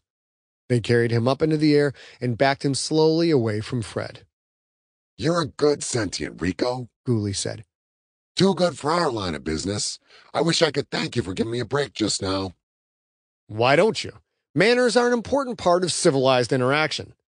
Because I don't think I'll get the chance, Ghoulie said. What's that supposed to mean? A shock stick lit up his hand, making him drop the karambit as a huge human arm slid in fast around his neck. The big body attached to that arm drove Fred face first into the records room wall. Fast, strong, experienced, Fred knew he was in trouble. He couldn't get to his blades. The man's weight pressed him into the wall, and the big left arm around his throat started to squeeze boa constrictor tight until both blood and oxygen were cut off. Fred felt the darkness coming on. If he didn't move fast, he would never move again. Stay calm and act. You have at least five seconds until you pass out. His hand slithered up, trembling but steady as they sought his attacker's left arm, the one securing his head. Fred closed his fists around the man's wrist. The grip in which he was caught was as solid as a statue's, but Fred dug his fingers into the nerves there, mining them with his fingernails until he heard the man hiss in surprised pain. The chokehold loosened. Fred pushed off the wall as hard as he could, simultaneously twisting to the right, toward the man, his cheek now on the man's chest. That released the pressure on his windpipe. He sucked in a big breath, felt the blood rush to his brain, but he was still in a steel strong headlock. Fred's hands shot inside his coat for his knives, but before he could pull them free, a giant right fist slammed into his mouth. A second blow broke his nose, made him see swirls of black. He felt the man rear back for a third blast. Desperate, Fred grabbed at the hand holding him in the headlock, isolated a finger, and yanked. The sound of a pinky snapping joined the man's deep scream of pain. The headlock finally released. Fred drove his elbow up and back. He expected the solid impact of bone on bone, but his elbow hissed through open air. The man had ducked, the move of a boxer bending at the knees. Fred never saw the man's face, but the feel of that move alone gave him a split second warning as to what was coming next. Enough time to know he was in trouble, not enough time to do anything about it. The uppercut caught him under the tip of the chin, snapping his head back, lifting him off his feet and throwing him into a stack of files. He flailed weakly as paper poured down on and around him. He moved like a drunken man swimming, trying to find some way to stand. The room spun. He couldn't see. My knives. His hands slid to his sheaths. Each came out holding a blade.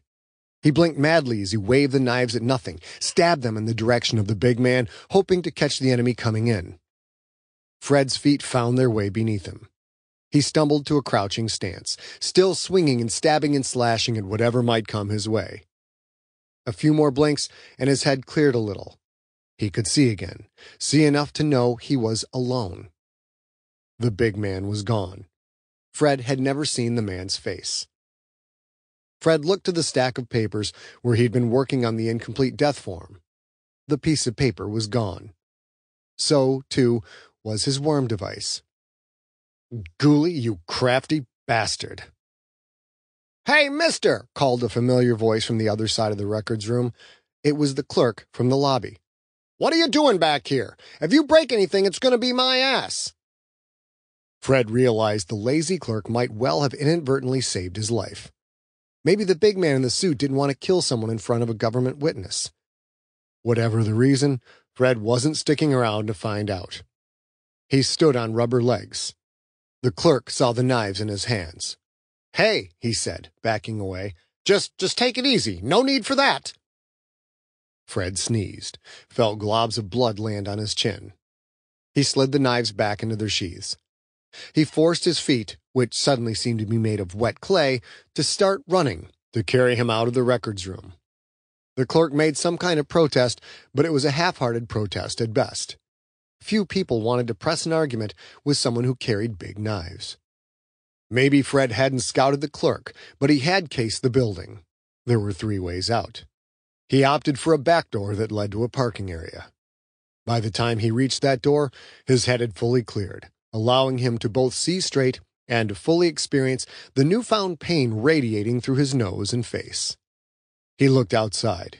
He didn't see the big man or Ghoulie, just the usual stream of robed Micovians and the endless parade of dirty, skinny orphans. The sun was on its way down. Only a few minutes of fading daylight remained. Fred ran across the parking lot, headed for the shadows, and a long zigzaggy route back to his flophouse. He needed to gather up his equipment. He had to find Alistair Britton, sexton of Grim Tyrant Valley, and he had to find him fast. Britton might be the only person who knew the whereabouts of Quentin's mother and or sister. Fred knew that, and now so did Ghoulie. That meant Ghoulie's employer knew it, too. But Fred also had names, had to ask around about Janine and Constance. Something told him asking about Killian was a bad idea. There was a reason that man had a blank military record. Fred couldn't be in two places at once.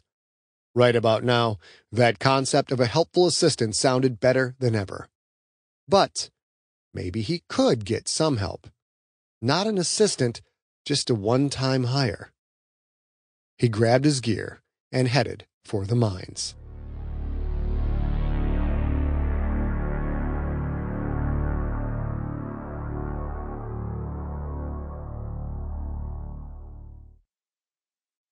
Chapter 11 Carney Enough people worked at the mines that slipping in among them was never a problem, and it never aroused suspicion. Even though Caleb had ceased to exist, no one gave Fred a second glance. Working as a one-man operation provided certain advantages. He didn't have to pay anyone else, he never needed to have meetings or corporate planning sessions, and he never needed to get anyone's approval to follow the best course of action. But it also had its drawbacks, the biggest of which was that he couldn't be in two places at once. Sometimes you just had to get help. Fred found Carney in the quarry, watching the evening pit fights, sipping stinger juice and cheering with the rest. Inside the circle, a burly, shockingly alabaster skinned miner was getting his lunch eaten by a slightly younger man who obviously knew a thing or two about the ancient earth art of Savate. Fred sidled up to Carney. Caleb, Carney said quietly, almost conspiratorially. What? Not here, Fred told the younger man. I need to talk to you for a minute. Carney nodded, following Fred through the crowd and a few yards up the sloping quarry wall. When Carney spoke next, he was a little out of breath. Fred didn't think it was from the slight climb. I figured you forgone, man. Not just from the mines, but maybe from the colony, too. That's next, Fred said. First, I need your help with something. Carney looked excited. Sure, man. Anything. I have a job for you. A job that will get you off of Micovi. Away from Micovi? Fred nodded. With. with you? The young man would have to ask that. No, not with me. The job pays enough for you to buy a ticket off this rock. Are you in? Carney didn't hesitate. I've been waiting all my life to get out of here. What do you need me to do? Is it dangerous? Fred nodded. Yeah, it is. I need you to ask around about two names Janine Carbonaro, 30 years old, and Constance Carbonaro, 45. Easy enough. I can talk to the guys around here, and. Not the guys, Fred said. The girls. Talk only to the girls. Carney seemed confused. What girls? Why? Wives, daughters. Janine might not be around anymore, but she would have grown up here. She had to have friends. Constance was her mother, and I think Constance died 15 years ago. That means someone might have taken Janine in. If you want out of here, you have to ask around and find out. Why would anyone talk to me? Listen, you're a good looking guy. Don't tell me the women around the mine aren't into you. Carney went from confused to embarrassed. Yeah, well. Just try for me, all right? All right. I'll hit the market and the replenishing stations. A lot of the miners' wives and daughters work there. Thanks, Fred said. I appreciate it. I need anything you can get as fast as you can get it. I have to go take care of some business. You familiar with Mr. Sam's barbecue? The place with the brisket? Yeah, I know it. Good. Look for me there tomorrow night, an hour after sunset. If I'm not there, just leave. Come back the next night and look for me again. If you don't see me that second night, don't bother, because I'm not around anymore. Carney's eyes widened. Not around? You mean dead? Fred laughed. I hope not. I mean, I just can't get to the restaurant and I'll track you down later, okay? Now, can you do this for me? Carney sighed. He looked relieved to know that Fred wouldn't be in danger. I can. He hesitated and then said, Who is she, Caleb? Why do you need to find her? I can't tell you. Can you trust me on this? Carney nodded solemnly. I do. I trust you. Those words gave Fred a gnawing feeling in his gut and a distinct pang in his chest. He felt like he was using the kid. In truth, he was. Fred did honestly like Carney, probably more than he should, but he was exploiting the kid's feelings to get information. It was part of the job, but that didn't mean Fred liked it.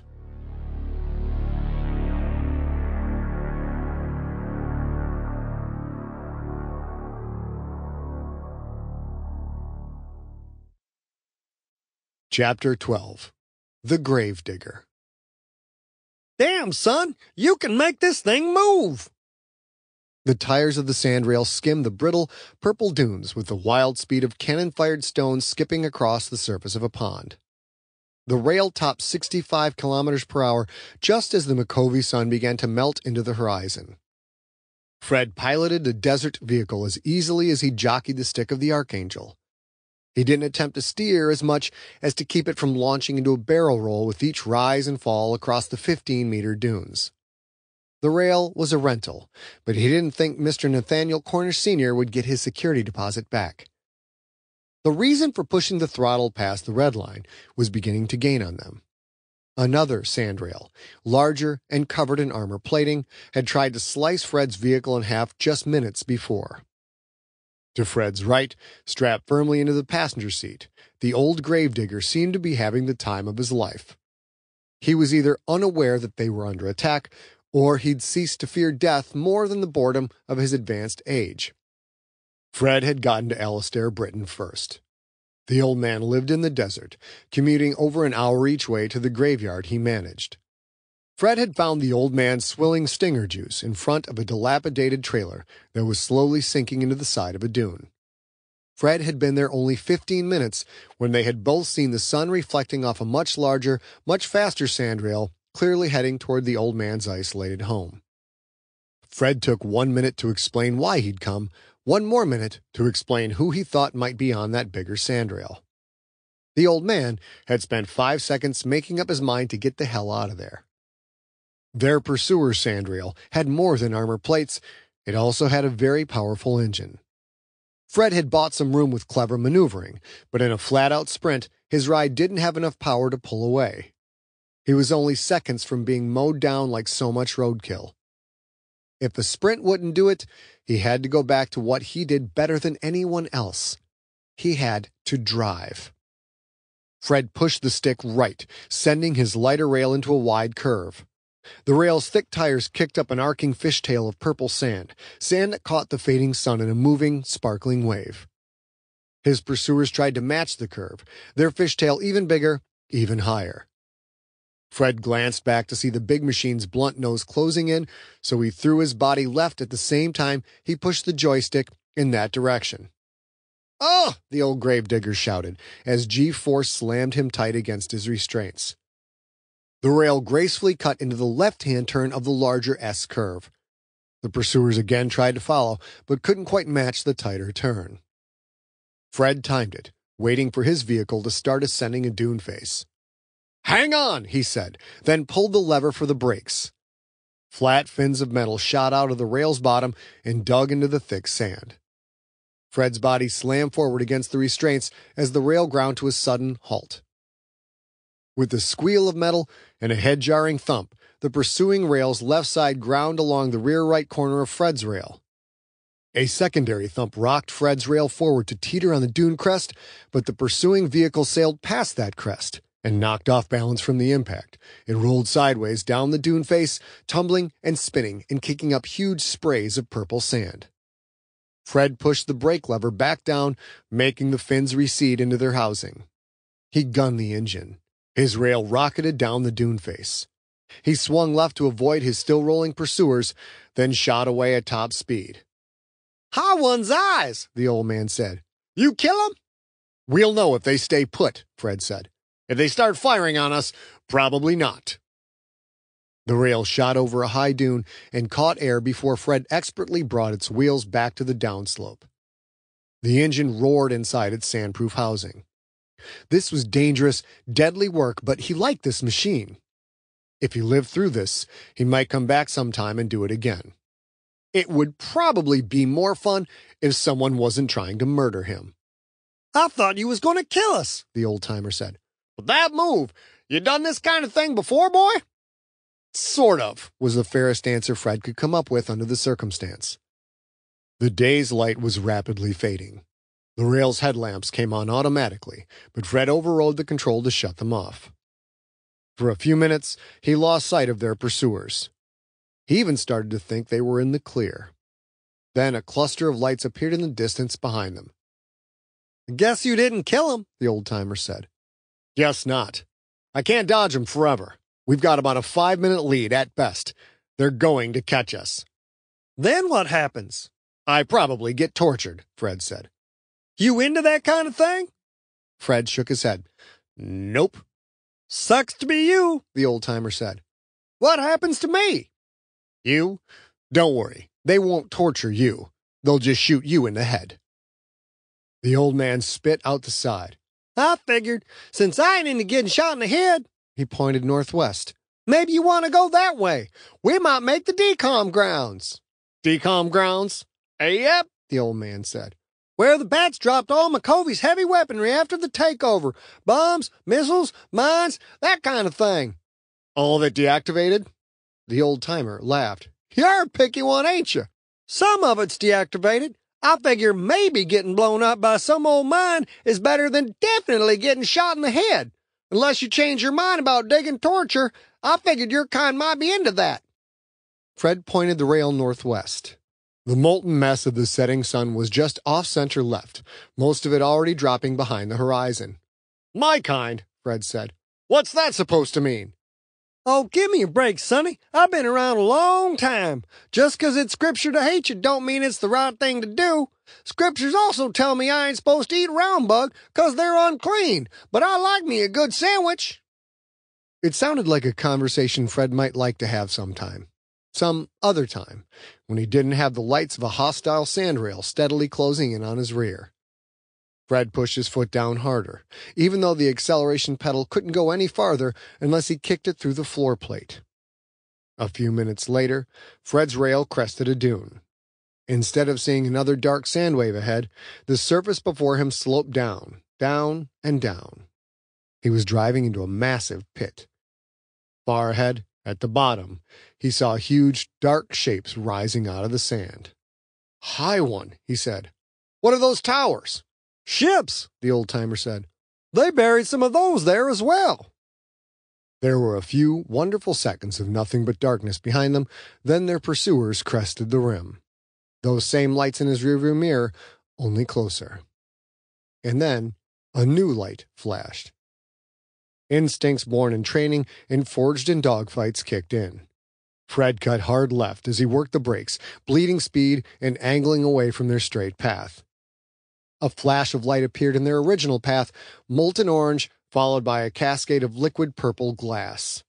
Hot damn, the old man said. They're shooting at us. Fred turned the rail right, again pointing to the towering buried ships. He demanded the machine give him all the speed it had. The pursuers had not only recovered, they were firing a shucking plasma cannon. He had to get off the dunes. The closer the pursuers got, the less time he'd have to dodge the fire, and one did not survive a direct hit from a weapon like that. Whoever wanted the information Fred was chasing down wanted it badly. Firing off an energy weapon like that on a colony that was armed solely with nail guns was going to raise hell, even draw the attention of the Creterakian overlords who really ran the place. Whoever his pursuers were, they were willing to risk drawing a patrol of bats and their entropic rifles to bring Fred down. The dead ships rose up high in front of them. He'd served in the Corps. He knew that these ships weren't all that big. Maybe a couple of corvettes, the big one in the middle a frigate at best. But small, up in orbit, in comparison to the destroyers and cruisers, was a completely different thing down on the ground. Not far now. The rail's headlights played off a distant, battered wall. The old timer pointed. There! Aim for that crack in the fence! Fred did. So close now, so close, if he could just dodge the next round. Another flash, bright against the early night sky far behind. Fred cut hard left and dropped speed, hoping the gunner was new enough to fall for the same trick twice. The gunner was not. A blast of energy erupted close behind and to the right. The sandrail's rear flipped high into the air. Up they went, flipping end over end, rising to the sky for a moment before gravity won that brief battle as it always did. The seat restraint slammed him into his chair, even as crash gel poured out of a dozen hidden nozzles, coating him in an already hardening goo. Beside him, the old gravedigger let out a loose cry of elation that was downright giddy. Time seemed to slow to a crawl for Fred. He certainly didn't feel giddy, but neither did he feel afraid or angry or even concerned. No, he simply experienced one of those moments in which you question how your choices have led you to wherever you found yourself. Somewhere beneath them, the DECOM ground's outer wall passed by. An eternal handful of seconds later, the spinning rail crashed into the DECOM grounds.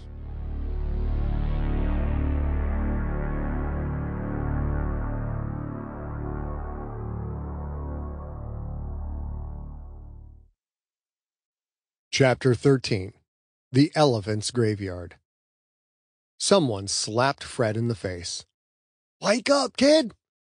The old timer's voice, but whispering, not the shrill screech it had been during the sandrail chase. Fred's eyes blinked open. He was upside down, half hanging from seat restraints, half held in place by the hardened crash fiber. The old man was pulling away chunks of the thick fiber, trying to free Fred enough to move. It was dark. Too dark to see much of anything. We're not dead, Fred said. Can't put that one past you, the old timer said. I'll give credit where credit is due, son. You're the best driver I ever saw, but we just got plain lucky. The old man hit the release button on Fred's restraints. Fred dropped in a heap on his head, then awkwardly rolled to his side. He looked up, looked around. The upside down rail had slammed nose first into some kind of container, punching through the thin metal and crunching to a stop. Fred saw the vehicle's entry hole and, beyond it, Micovi's three purple moons. I can hear them shuckers out there looking for us, the old man said. Hopefully things just kind of take care of themselves. And how would that happen? This is a dumping ground for illegal weapons. Sometimes things have a tendency to go boom. The digger made a mushroom cloud with his hands and the sound of a massive explosion with his mouth that ended up sounding more like a raspberry. Fred heard the sound of an engine echoing through the site. Their pursuers were close. He carefully got to his feet, his body throbbing complaint. The container was full of some kind of artillery shells. He had to step carefully to find purchase on the curved surfaces and hoped that these rounds, at least, had been fully diffused. He reached the edge of the hole made by the rail and looked out. Wrecks and husks stretched out at least a kilometer before him, a graveyard of the Purist Nation's once aggressive ways. Ill formed roads snaked between the machines of death, some mostly blocked by windswept dunes. So much hardware, and none of it had mattered when the millions of Creterakian soldiers swept across the deserts and plains like a plague of ten pound locusts, each carrying a deadly entropic rifle. But all of that was long before Fred's time. He felt no loss at the nation's former glory. Behind him, he heard the clang of a foot rolling off a shell. The old man caught up to him, looked out.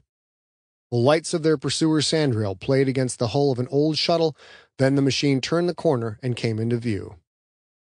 Fred saw the plasma cannon gunner, his pedipalp hands gripping the controls of the powerful weapon. The old timer elbowed Fred and whispered, Hey, that's a Quyth. Can't put one past you, Fred whispered back. That's an alien. Aliens aren't allowed on Micovi. You don't say. I don't know what you did, the old timer said, but you must have pissed off the wrong guy if someone sent a Quyth here. Fred nodded. He had pissed off the wrong guy. He just didn't know who that guy was. Then a bony hand wrapped tight around his mouth. He started to react, automatically bringing his elbow up to drive it into the old timer's throat, but stopped himself a split second before killing the man. Shh, the old timer hissed, so quiet it was almost inaudible. Don't move a muscle. Fred's body tensed. He wasn't used to letting anyone touch him, ever, but then he heard it. He heard the flapping and fluttering of wings. Bats. A stream of the horrific little creatures flew across Fred's field of vision, from left to right, heading for the crawler down below. They came so close, he felt the air from their wings.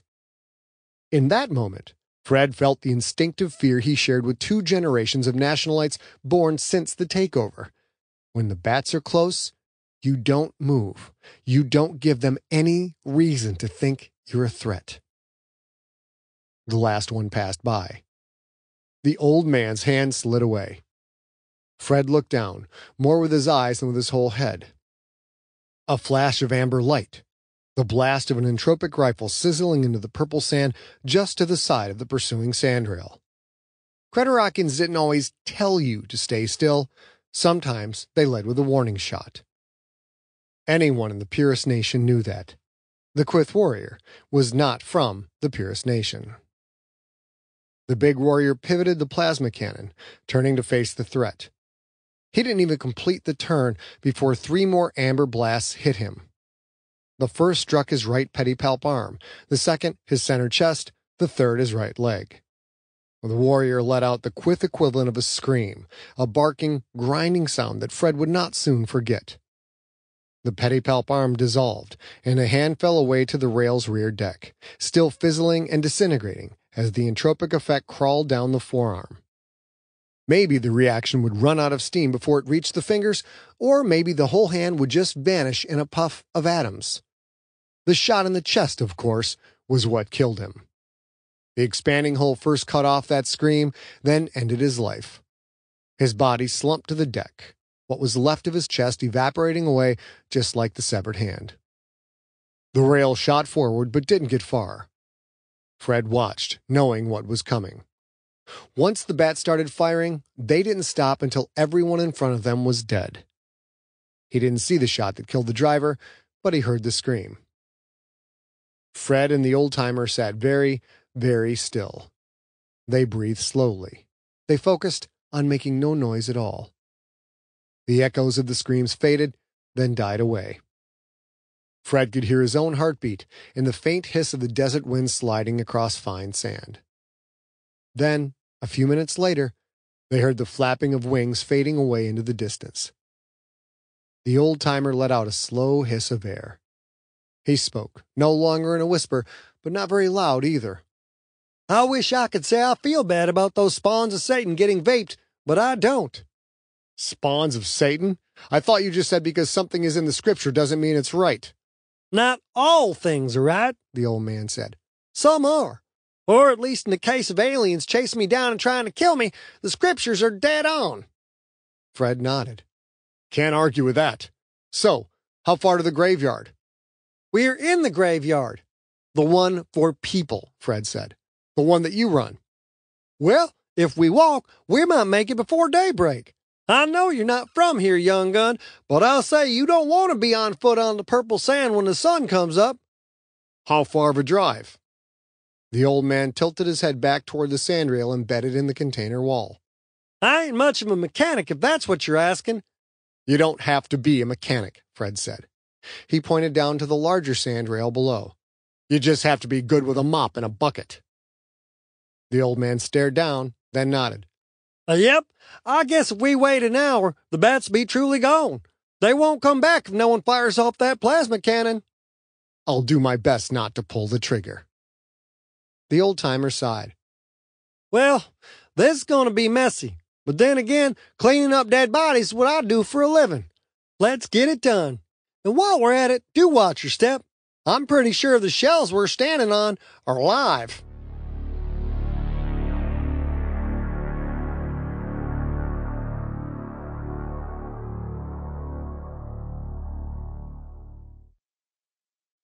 Chapter 14 Stacks, Skulls, and Stones.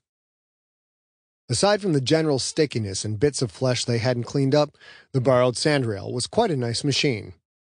Fred enjoyed the ride. He just tried not to think too much about why the seat was a little damp.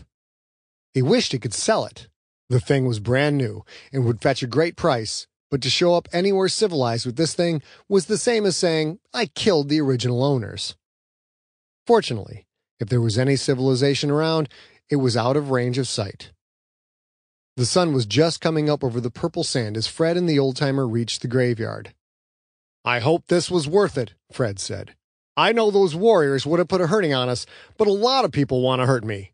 I get by just fine avoiding them as opposed to seeing sentients die. I can give you what you need, the digger assured him.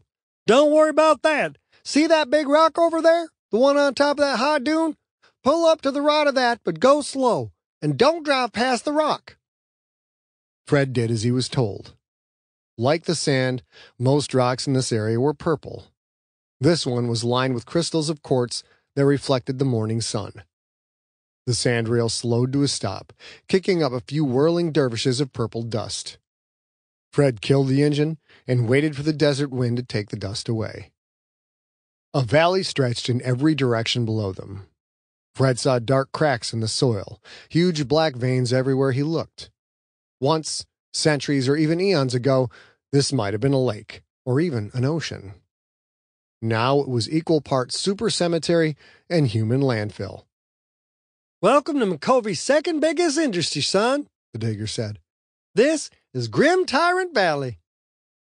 The graves numbered in the tens of thousands. Most were cheap wooden crosses slapped together with nails and glue. Those were broken up here and there by modest headstones, small crescents of hand carved rock made by the families of the deceased. Fred estimated they were outnumbered by the discount crosses 20 to 1. As many graves as might have been dug and marked down there, however, they were nothing compared to the number of bodies that were piled stories high at regular intervals across the valley. Fred couldn't smell them, Dampening filters erected on tall poles surrounded the perimeter of the valley, but he could see the deep levels of decomposition in most of them, as if they'd been lying there for a year or more. Then he spotted the piles. There were nothing but broken skeletons. He didn't have to say anything. The old man could read it plainly on his face. Budget cuts, the digger explained. About a decade ago, I had a staff of 23. Now I got a staff of five. The backlist of bodies is a mile long. We get to 'em as we're able. But I promise you, whatever state they're in, every single departed soul you see down there will get their day. I'll put 'em all on the ground eventually. At the far end of the valley, Fred saw a hover barge approaching. Rusted and well used, it was the kind of vehicle that hauled all sorts of things. On it, he saw two logos the twin green crescents of Ringgold Incorporated and a symbol that had been universally known across human space since even before the days of spaceflight the biohazard symbol. The barge closed in on the sprawling graveyard. Down on a concrete slab strewn with curls of purple sand, a man waved two handheld orange cones at the barge. The battered machine closed in and stopped above the slab. The man ran out of the way, then the barge's bottom doors opened. Bodies spilled out. Fred guessed there were 30, maybe 40, all landing in a pile of lifeless humanity. He felt numb. Mine workers? he asked, as if that mattered. Probably 80%, the digger confirmed. Maybe more. Fred was ghost pale and his voice came out in a rasp. He gestured to the whole valley, to the sprawl of crosses and monuments, to the piles of skeletons and rotted bodies, to the freshly dropped miners. How in the hell could you possibly find anyone in all of that? It's my life's work, boy, the old timer said. Now, you wanted this. Shall we get on with it or what? Fred realized the old man was right. This was his choice, and what could be the last piece of the puzzle might be down there somewhere. Which way? he asked the old timer. The man pointed out a path that led down the valley to the operation below. Fred put the rail in drive, and they started down.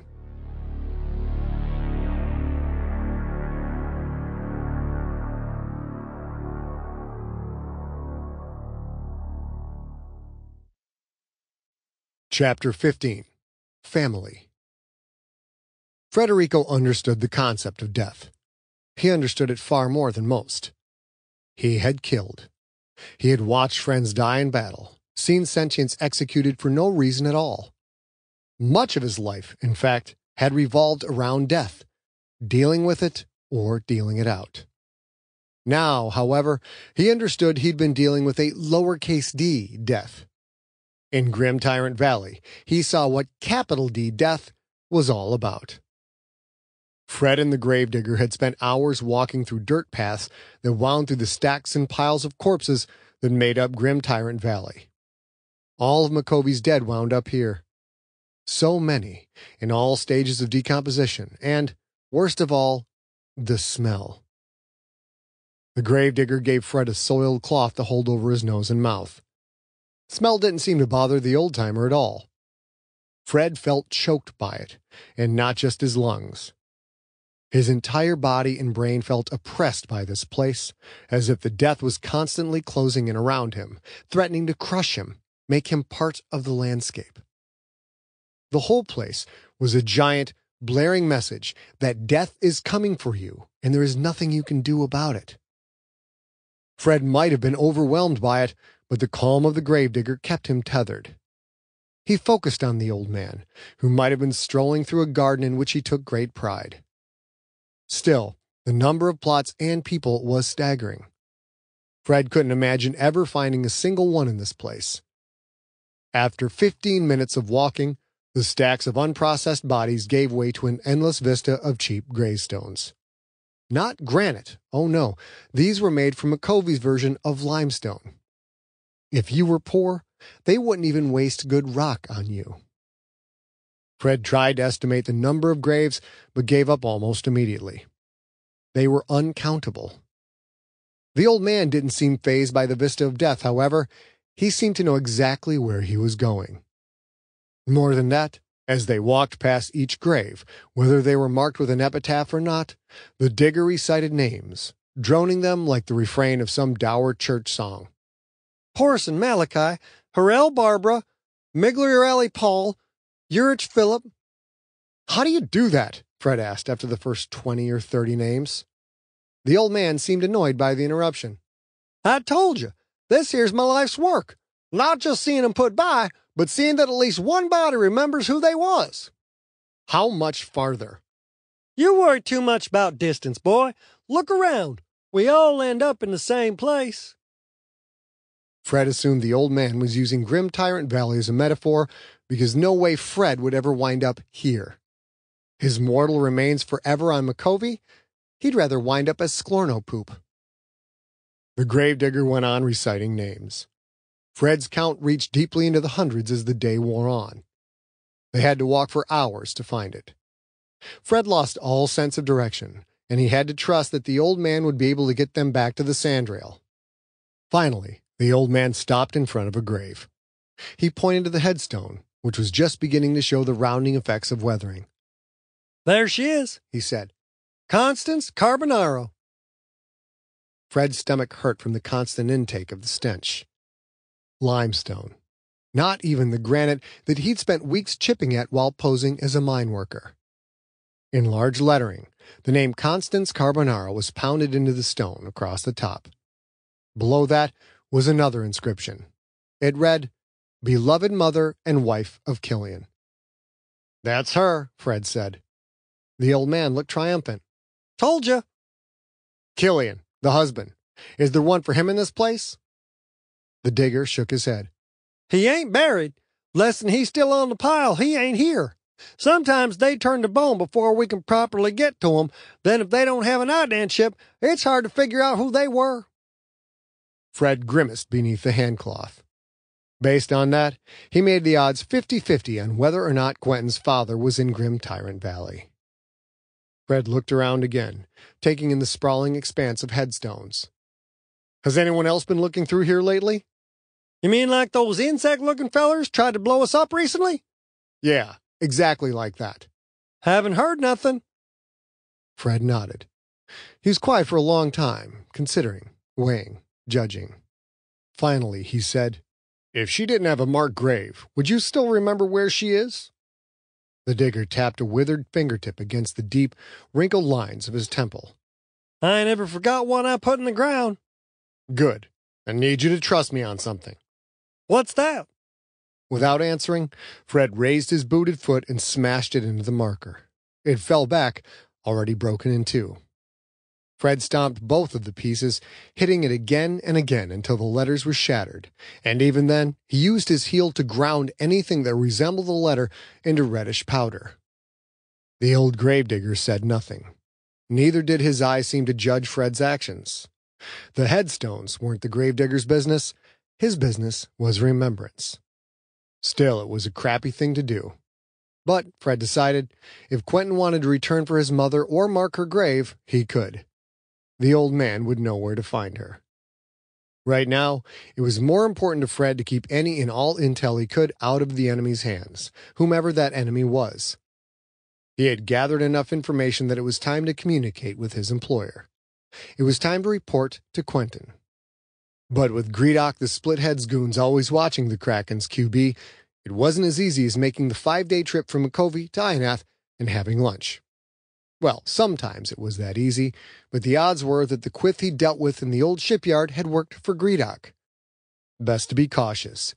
Get Quentin off Ionath altogether, and also probably best not to contact the kid directly. To make that happen, Fred had to call in a favor from one Rachel Gesford, Commissioner of Dinolition.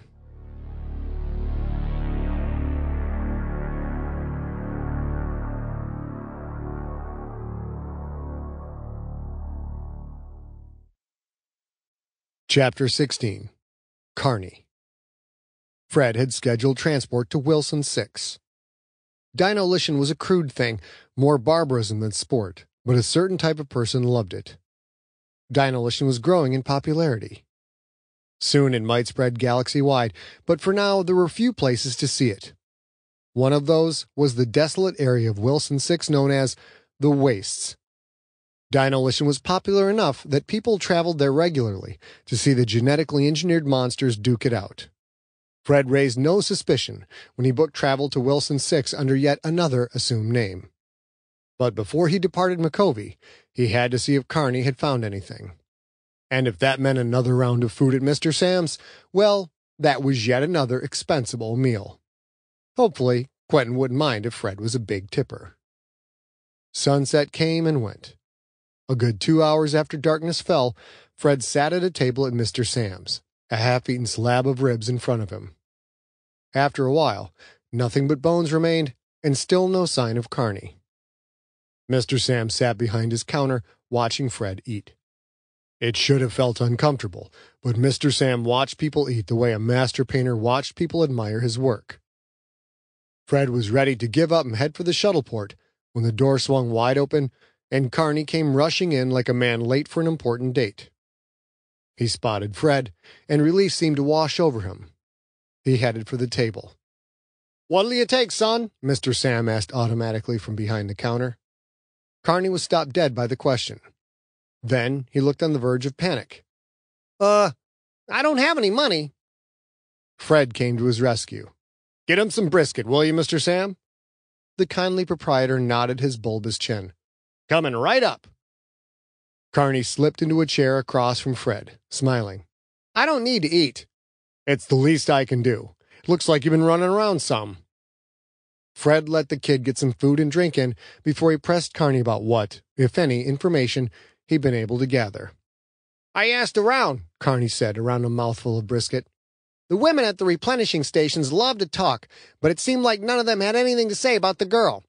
I spent all day asking around. I was ready to give it up. I wasn't even going to come here.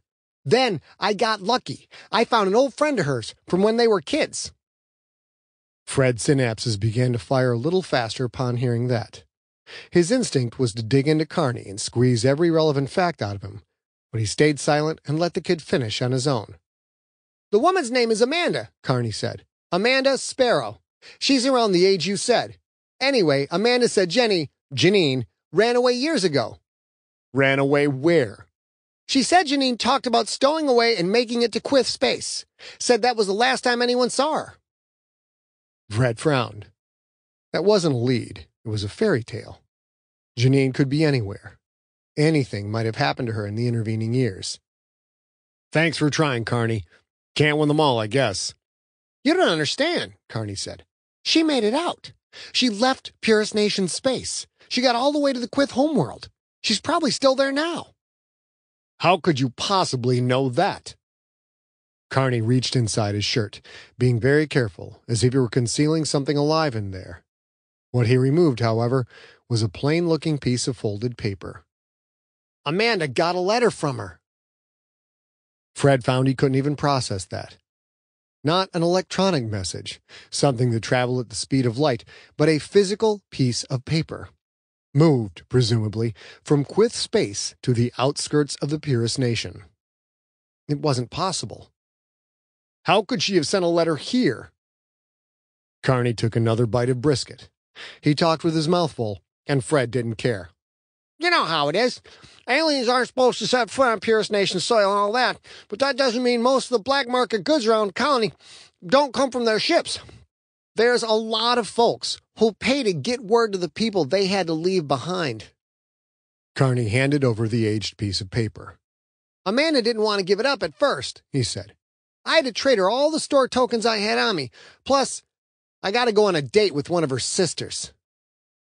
Any other time, Fred might have laughed at that last bit, but right then his focus was like a laser pointed at that letter. He unfolded it. The handwriting was young and feminine. He flashed on that right away. Turning it over carefully in his hands, he noted the wear seemed natural and authentic. There was no last name, but it was signed Janine. He read it. Janine spoke of bribing a freighter captain to smuggle her off Micovi into Red Storm City in the Jupiter Net colony. She didn't specify what she'd bribed him with or how. Fred didn't want to know that detail, and he was sure Quentin wouldn't either. Janine went on to write about finding a job as a waitress in a nightclub called Halftimers in Red Storm City's manufacturing district. And she spoke of a brother, one who'd been executed for stealing food. She wrote that she still thought about him at night. It was enough. More than enough, in fact. Carney, this is. Fred found he genuinely didn't have the words. Except for two. Thank you. No problem, man. I'm happy I could deliver. Fred took out a handful of credits. Let me pay you for your time and trouble. I don't want that, Carney said immediately. Fred placed the credits on the table in front of him. Take them, he insisted. You earned it. Carney didn't protest further. You sure you gotta go? You could crash at my place tonight. Fred was already tucking the letter away and gathering his gear. It's still not the right time, Carn. Carney nodded. I figured you'd say that. You've been a big help, Fred said, and he meant it. I won't forget that. Or you.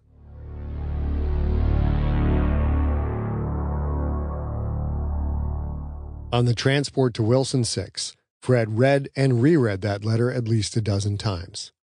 There was nothing concrete about this lead, but it seemed so convincing. Should he tell Quentin about it? No, not yet. It would be enough of a shock when Quentin heard about his mother.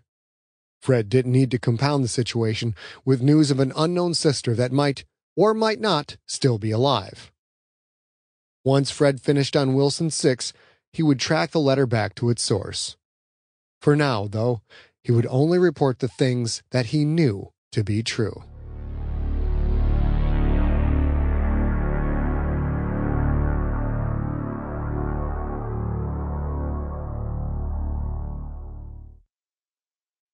Book 3 Wilson 4 Chapter 17 Quentin The roar of a stadium crowd filtered into the empty bathroom, played off the tile walls.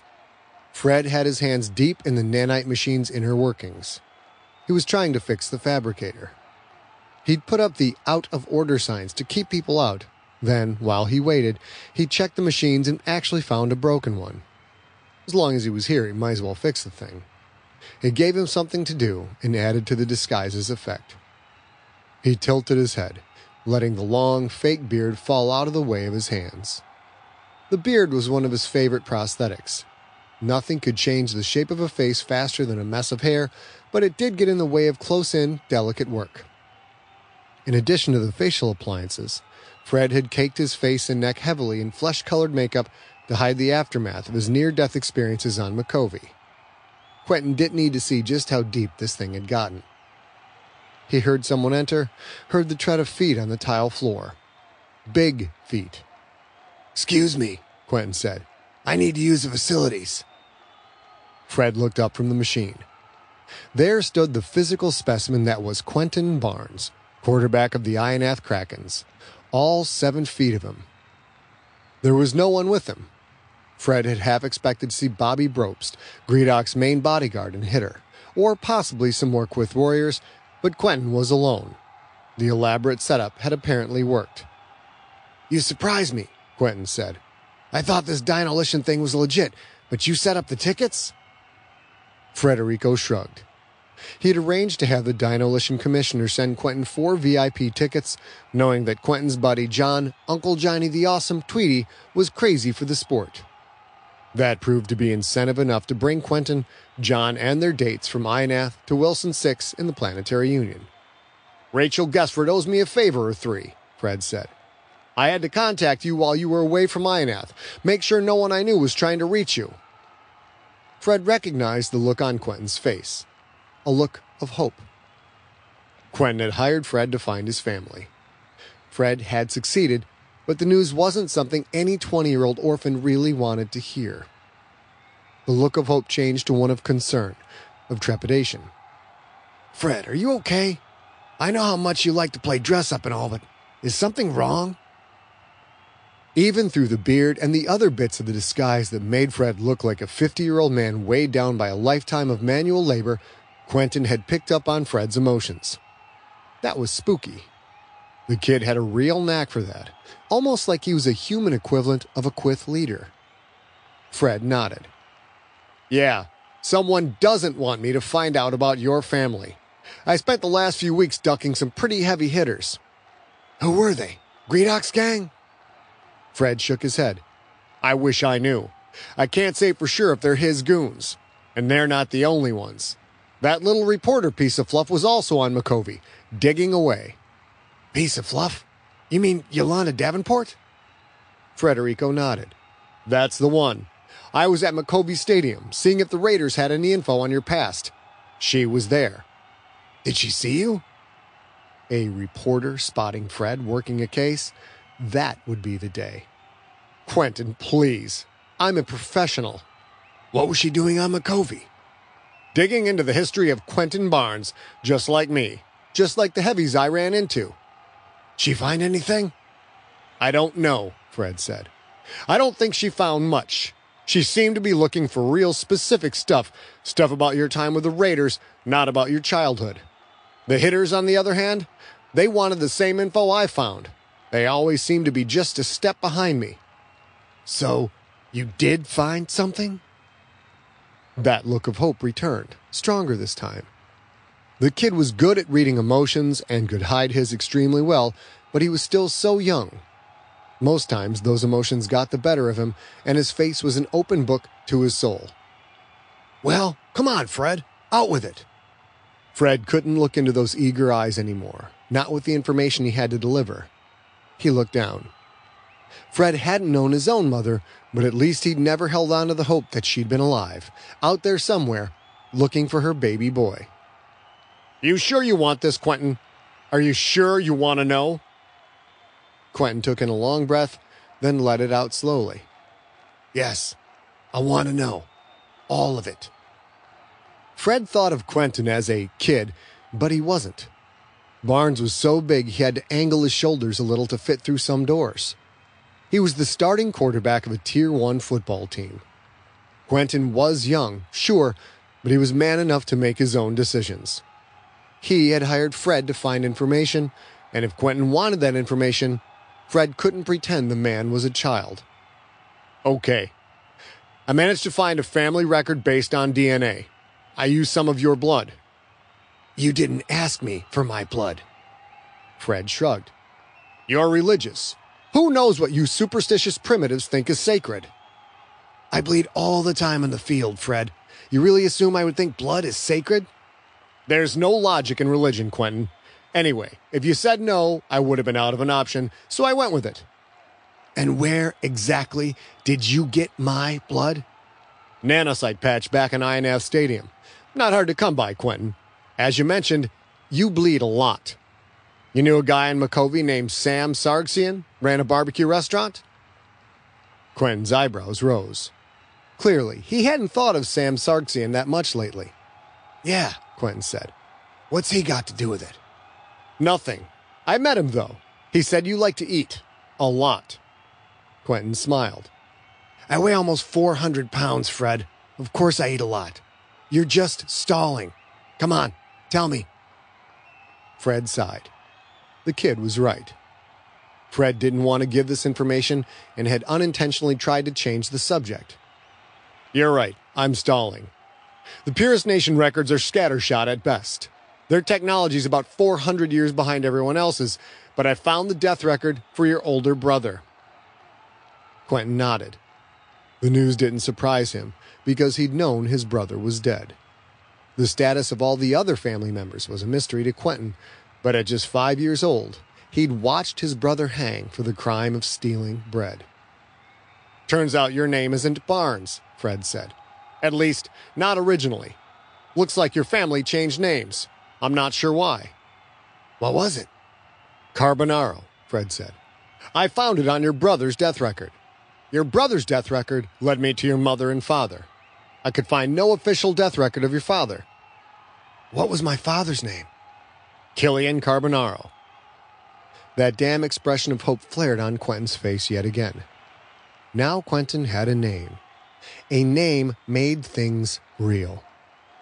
Even without a face to go along with it, a name probably made the poor kid think his father might be out there, somewhere, and not be just another rotted body in a sky high stack of unknown corpses in grim Tyrant Valley. That's a start, Quentin said. And my mother? Fred had actually hoped the kid wouldn't ask, but that had been wishful thinking. Her name was Constance Carbonaro. Quentin swallowed. He licked his lips. Fred knew what question was coming. And she's. The kid couldn't even say it. Maybe he knew, or at least he suspected it. Time to put those hopes in the ground. She's dead, Quentin. I found her record. It's accurate, no question. I'm sorry. The big man's shoulders sagged. He looked down. In the bathroom of second rate Smithwick's Arena in the wastes of Wilson 6, Quentin Barnes had finally learned that his mother was gone. There's more, Frederico said. You told me about your brother, but you said you didn't have any other siblings. Quentin nodded. He kept a straight face, trying to hide his emotions, but Fred didn't need to be a Quyth leader to see that the kid was devastated. Why did you tell me that? Why didn't you tell me you had a sister? Quentin's eyes snapped up. I. I don't have a sister. Fred felt a wash of excitement, a touch of happiness at bringing some hope back to Quentin's handsome face. There was something about that kid, something that made you want to help him. Well, if the records are accurate, you do. Janine Carbonaro. She's about 10 years older than you. She would have been 15 about the time your brother died. And my my sister's record? Did you find a death record on her? No, but I found one on your other brother that you probably never knew about. Should Fred tell him? No. Quentin could hide his emotions, but the kid didn't need to know about Quade Carbonaro just yet. Fred shook his head. Don't get too excited, okay? Just because I didn't find a death record doesn't mean doesn't mean that she's alive. I know, Quentin said. I get it, Frederico. You can stop repeating that, okay? Fred nodded. Right. Sorry. It's, it's just, well, you wouldn't be much of a poker player, Quentin. I can see the hope in your face. Quentin's face went instantly blank, like someone had flipped a switch and shut off his emotions. Spooky. With a bit more practice, Quentin would be able to hide any emotion. Damn spooky. We're not playing poker, he said. It's the eyes. A dead giveaway every time. You're not going to start talking about how pretty my eyes are again, are you? Fred smiled and shook his head. No, not at all.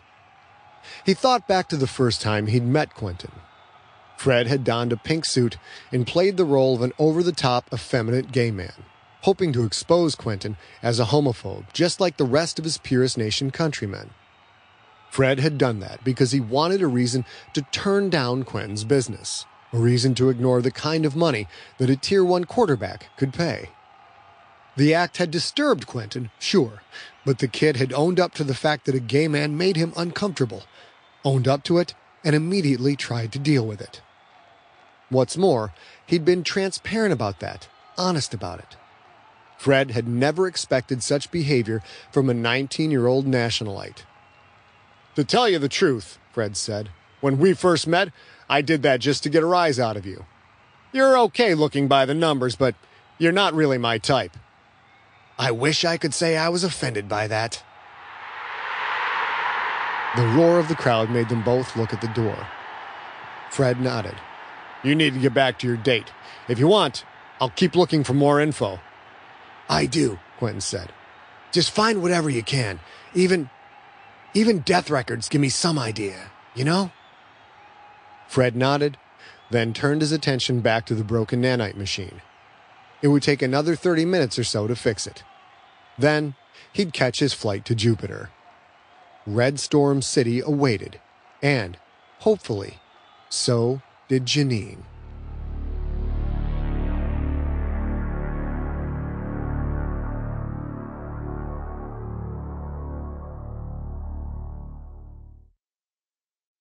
Book 4 Jupiter. Chapter 18 Rico. Sometimes Fred wore the disguises. Sometimes the disguises seemed to wear him, to consume him, to push his actual self down so far that it was a little hard to remember what was real. That had happened with the Caleb persona. It had happened with a few other disguises as well, but there was one disguise that took him over so completely he didn't want to come out of it. He didn't want to come out of it because it wasn't really a disguise at all. It was a younger version of himself. Rico walked down the streets of Red Storm City. He'd docked several hours ago, when he'd been Fred, not Rico, but something was nagging at the back of Fred's thoughts. That note. Actual paper. Aged paper. It had seemed so convincing. A little detail, something that made things seem real. No, not convincing. It seemed romantic. Not in the kissing sense, the relationship sense, but the bigger sense of the word. Romanticism, a grand, sweeping story that seemed larger than life. At first, the paper had sold him, but the trip from Micovi to Jupiter gave Fred time to think. The paper. It was too romantic. It made Fred wonder if Carney was the aw shucks miner he seemed to be. Maybe someone had got to him. Maybe this trip to Jupiter was a setup. Maybe someone wanted to kill Fred, and this trip would be his last. That's why Fred stepped onto the transport at Micovi, but Rico walked through the streets of Red Storm City. His first stop had been to a human clothing store. What he found wasn't an actual flight jacket, but it was close enough. The smell of leather. That helped him slide further into his past, as did the goatee and the sunglasses. When he looked at himself in the mirror, he realized that Fred was the disguise. This was the real person. The things Rico had lived through. Well, that was because Rico couldn't be killed. Rico's second stop took more time. He let his instincts take him to the right area, almost like he could smell the thing he needed. He tried a convenience store, then a gambling parlor, then a brothel before he found what he needed in the offices of an unlicensed doctor. He paid four times what it was worth, not that it mattered. It wasn't his money, after all. When he put the spun steel composite revolver in his pocket, Rico felt better.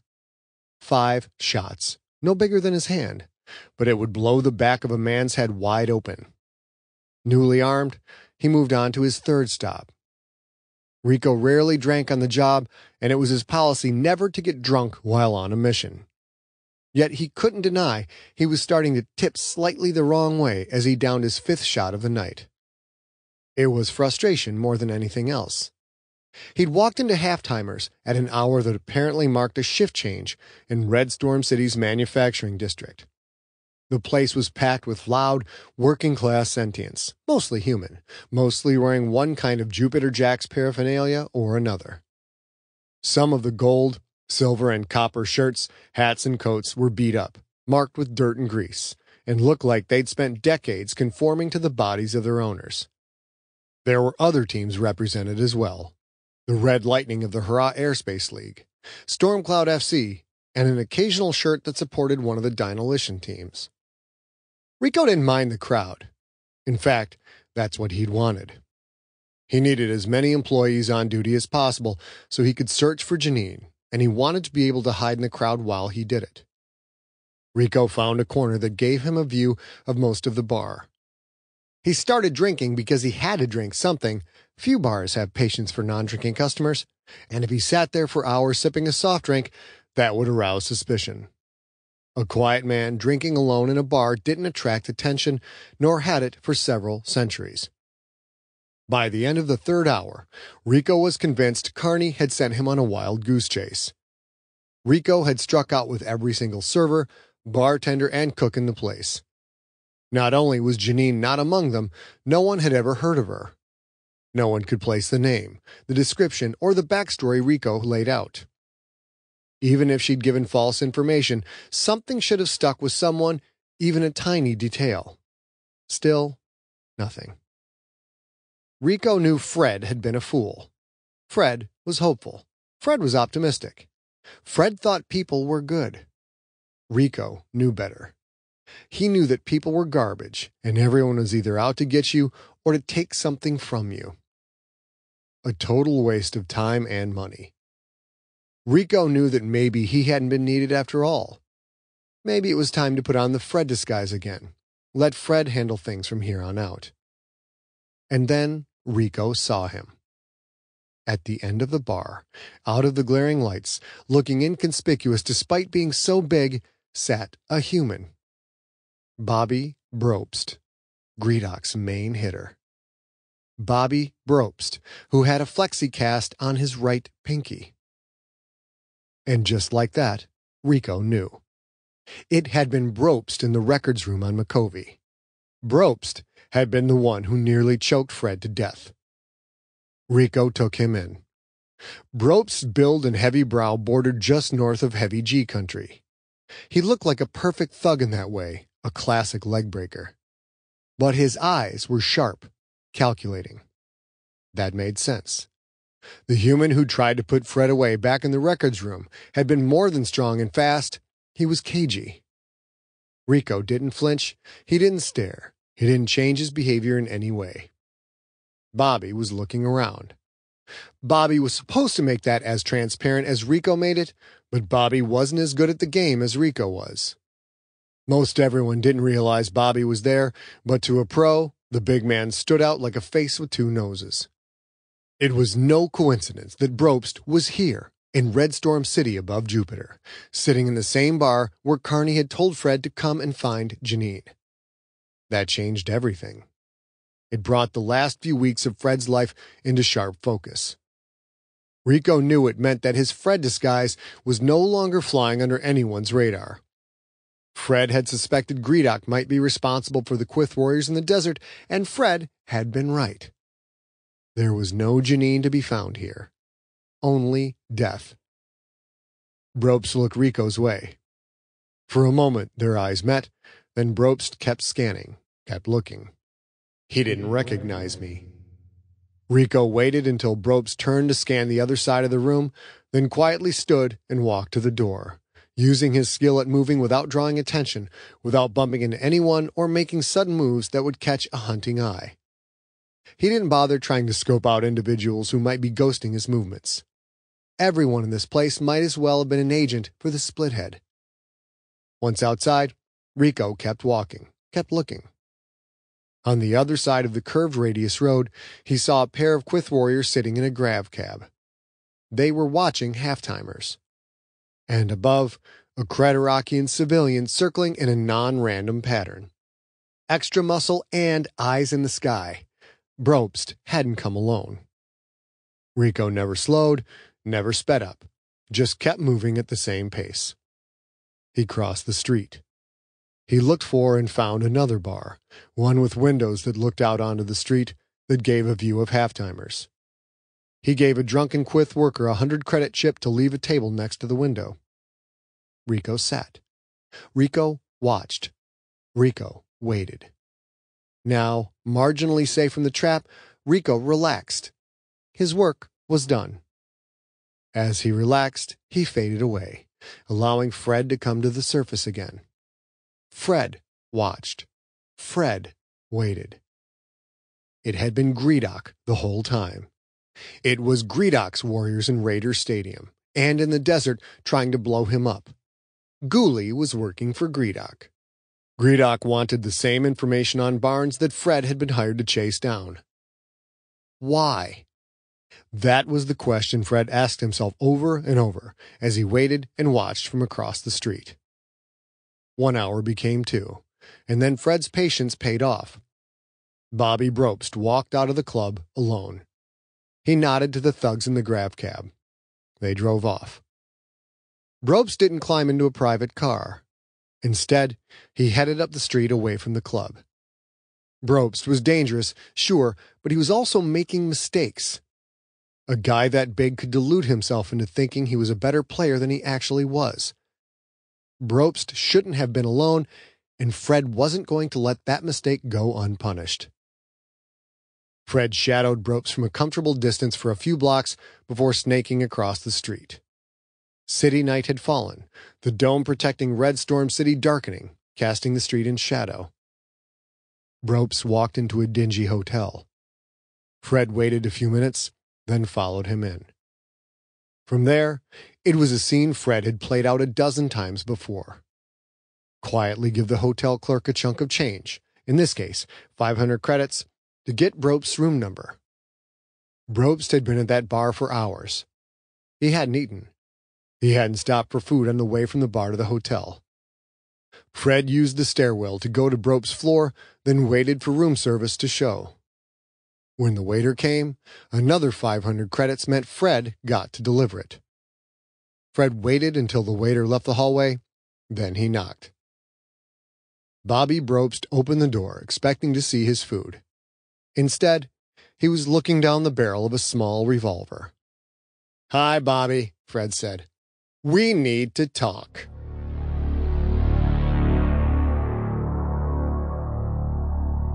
Fred poured two glasses of vodka. The first one he rose in a silent toast to his new friend, then knocked it back. The second glass he held to the lips of Bobby Brobst.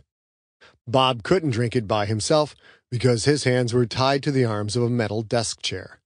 So were his ankles. So was his waist. Hey, he was a big guy, and Fred didn't want to give him any room to maneuver. Bobby was no dummy. He knew this might be his last taste ever, so he drank. Thanks, he said. My pleasure. My ass is getting tired from sitting here, Bobby said. You got me all tied up, so it's your show, but can we get this over with? What if I'm going to kill you? Do you still want to get it over with? Bobby swallowed. He licked his lips. Like I said, my ass is getting tired. So whatever you're going to do, do it. Fred sat on the bed. He casually pointed his gun at Bobby's chest. Sure, Fred said. Let's do it. What does Gredok want with Quentin Barnes's family history? Bobby just shook his head. Fred stood. He pressed the muzzle of the pistol against Brobst's temple. Bobby still didn't look scared, but it was clear he didn't like having that kind of tech so close to his face. I don't think you'll do it, Bobby said. Killing me doesn't gain you anything. I've been studying you, Gonzaga. You're in it for the money. You're smart enough to know that if you kill me, more people are coming after you. People even besides Gredok. Maybe even my brother. Do you have a brother? Do you really want to find out? Fred smiled. That's good. You're smarter than you look, Bobby. But what if I don't kill you? What if I just beat the hell out of you until I get what I want? Bobby licked his lips again. He sighed. I'm no fan of pain, but I'm trained to manage it. I don't think you've got what it takes to go far enough to get anything out of me. Fred's eyes became as hard as the metal chair. Are you sure about all of that, Bobby? There might have been a sliver of doubt in Bobby's eyes, but he didn't break. He just sat there in silence, staring back. Fred took one more shot. How did he rig the phony letter from Quentin's sister? Brobst still didn't answer, but for just a split second there was a twitch in his brow, as if his eyes were about to narrow. It was gone just as quickly, but Fred recognized the micro-expression. He realized it was confusion. Brobst didn't know about the letter. He hadn't been involved in that part of it. You were here to kill me, Fred said. Gredok told you where I'd be, and you were to take me out, right? Bobby looked at the floor, he knew his next words might spell his end, but he nodded. Yeah, he said. That's right. Fred took the muzzle away from the skull. It was a hard reminder that had things gone slightly different, had Fred come as himself instead of letting Rico take over, Fred could be the one in that chair or already be dead. How long you been waiting for me? Six days, Bobby said. I was cleared to wait another four. Carney. They had used Carney to get Fred to Jupiter. They just hadn't known exactly when Fred would arrive. You're right, Bobby. I'm not a murderer, strictly speaking, and torture isn't my bag. But none of that is going to be necessary. You've been a big help. Brobst frowned. Even if you don't kill me, this is damn embarrassing. You owe me, Fred said. You know I could waste you right now. I'm not going to do that. So you owe me. Bobby looked up. You're assuming that even if I agree, my word is worth something. Fred shrugged. Hope springs eternal. Only time will tell. Throw in another platitude if you like, but maybe we'll never find out. Oh, and you're not getting away completely scot-free, big fella. Fred whipped the pistol in a sideways arc, slamming the butt into Bobby's temple. Bobby's head rocked back. He stiffened, then sagged, unconscious. Fred taped Bobby's mouth shut. He left the man strapped to the chair, grabbed his bag, thumbed the do not disturb icon, and pulled the door shut. Bobby would be there a day, two at the most, before someone came in to clean the room for the next guest. By then, Fred would be on his way to Micovi. Fred would have the rest of the day, and maybe the next, before any message from Bobby could reach Micovi. Hopefully, that was all the time Fred needed to find Carney, get some answers, then get the hell off that piece of crap mining colony before Gredok sent more trouble.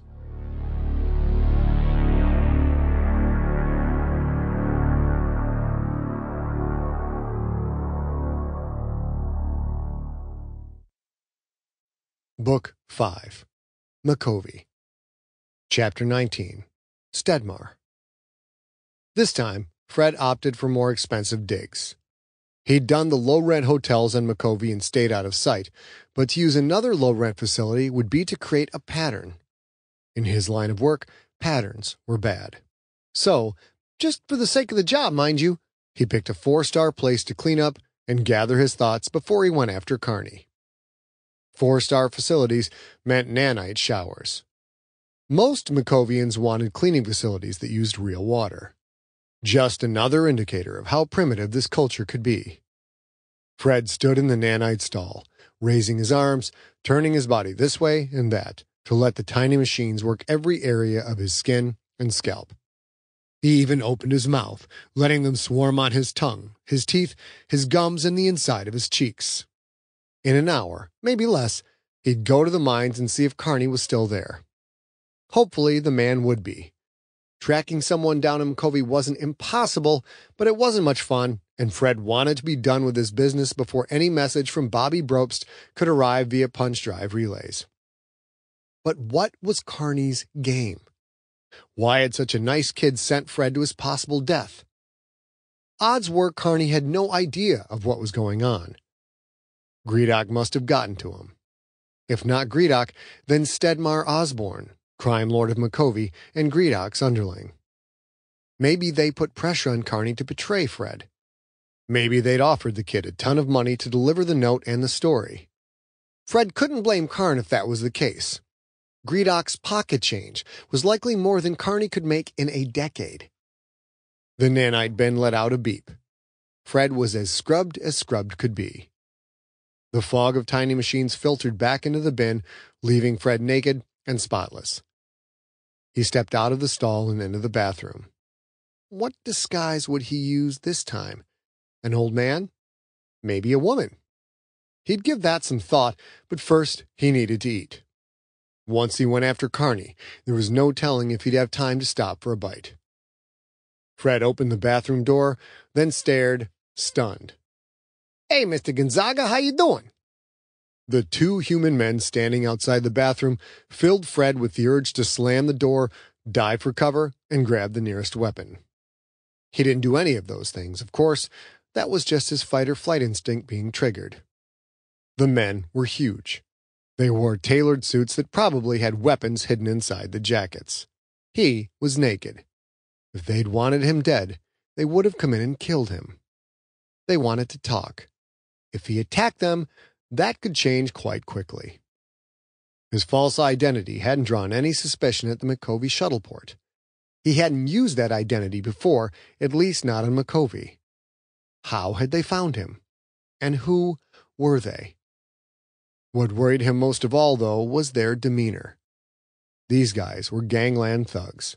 They knew how to fight. Two on one, unarmed, Fred didn't stand a chance. Hi, Fred said. If you guys are waiting to take a dump, I'm all done in there. The one on the right smiled. He had white pink skin, black hair, and a neck that was as thick as Fred's waist. The one on the left didn't smile. He had black skin, deep black, with tight, curly black hair that looked coated with oil. His right eye was a sheen of wet steel. My name is Frankie, said the man on the right. He nodded at the other one. This is Sammy. The names made Fred realize just how much trouble he was in. Frankie and Sammy, Fred said. Where's Dean? Busy, Frankie said. Very busy. Mr. Osborne would like a word with you. Frankie, Sammy, and Dean, the three primary bodyguards slash hitters slash knuckle breakers of one Stedmar Osborne. No Neck Frankie was obviously the talker of the two. Sammy's one good eye looked out with the blank stare of a sociopath. You should get dressed, Frankie said. You guys gonna watch? Usually people like to see me take it all off, not put it all on. Frankie smiled. I've heard that you always got something funny to say. And here I am, so well known for my ability to listen to other people's jokes. Somehow, Fred doubted that. Sammy crossed his huge arms over his chest. If you don't want to get dressed, I can bring you in just like that. Fred held up a hand. No, that, that's okay. I'll just throw on a little something. Frankie gestured to the bedroom where Fred's clothes were. Quicker is better than slower. Fred walked into the bedroom and started to get dressed. Both men stood in the doorway, watching. That didn't mean they were perverts, it meant they were professionals. If they'd left Fred alone, he could have found a way out or found a stashed weapon. If just one watched him, there was a chance Fred could try his luck, hoping to take that one out and even the odds. But both of them together, it kept things calm and predictable. Fred held up a black t-shirt. Should I wear black? If I'm not coming back from this meeting, I might as well look the part. Frankie shrugged. That's not up to me. But you seem like you've been around, Mr. Gonzaga. If Mr. Osborne wanted you in the ground, you'd already be there. Sammy nodded. Fred dressed. How had they found him? Had Gredok somehow got word to his lieutenant? If Bobby had gotten out quick, his message would still be routing through the various punch space relays. Whatever the reason, whatever the plan, Frankie and Sammy had him now. All Fred could do was play it out.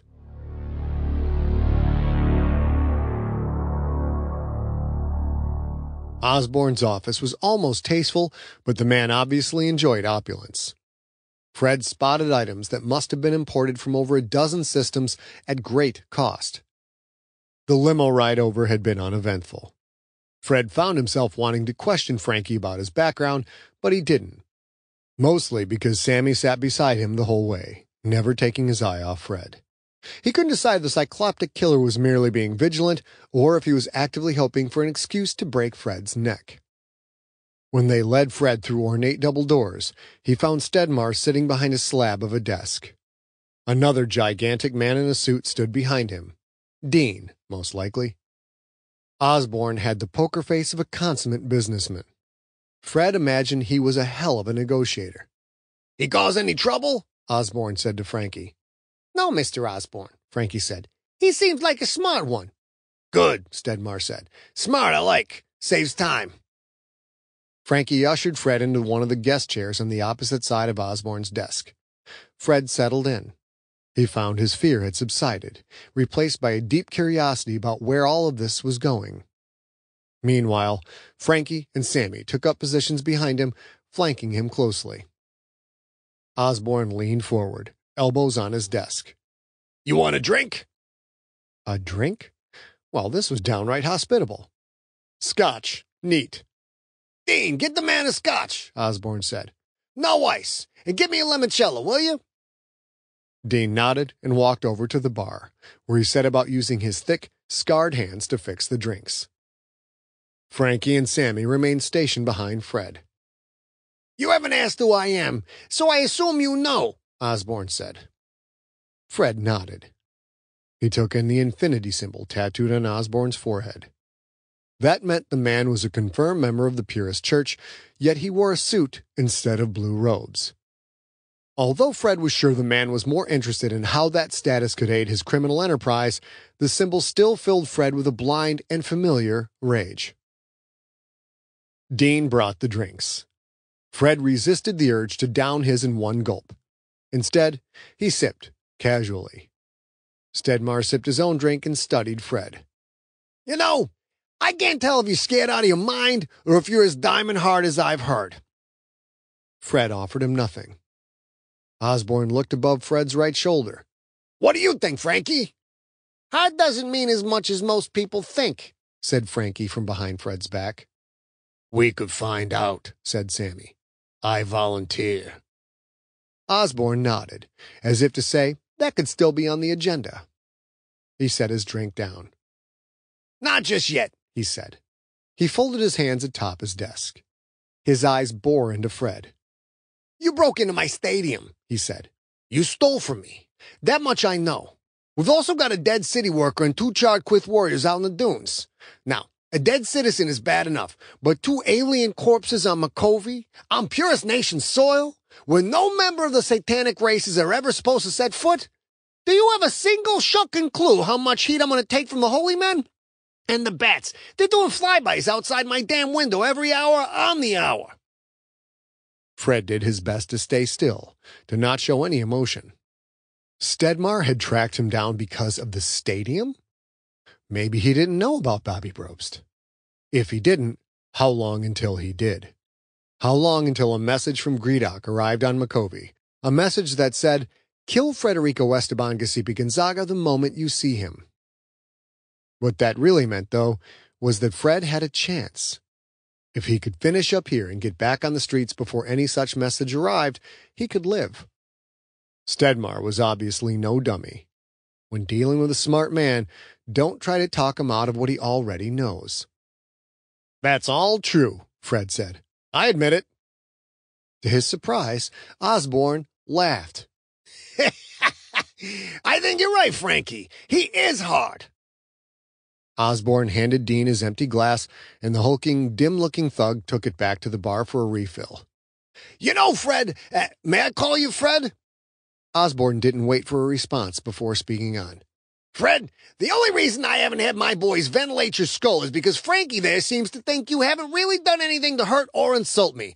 Uh, nothing that you can't buy your way out of, I mean, and that you might have information that's of use to me. Those Quyth you torched in the old shipyard? Not mine. That means someone else is working my territory, and I want to know who it is.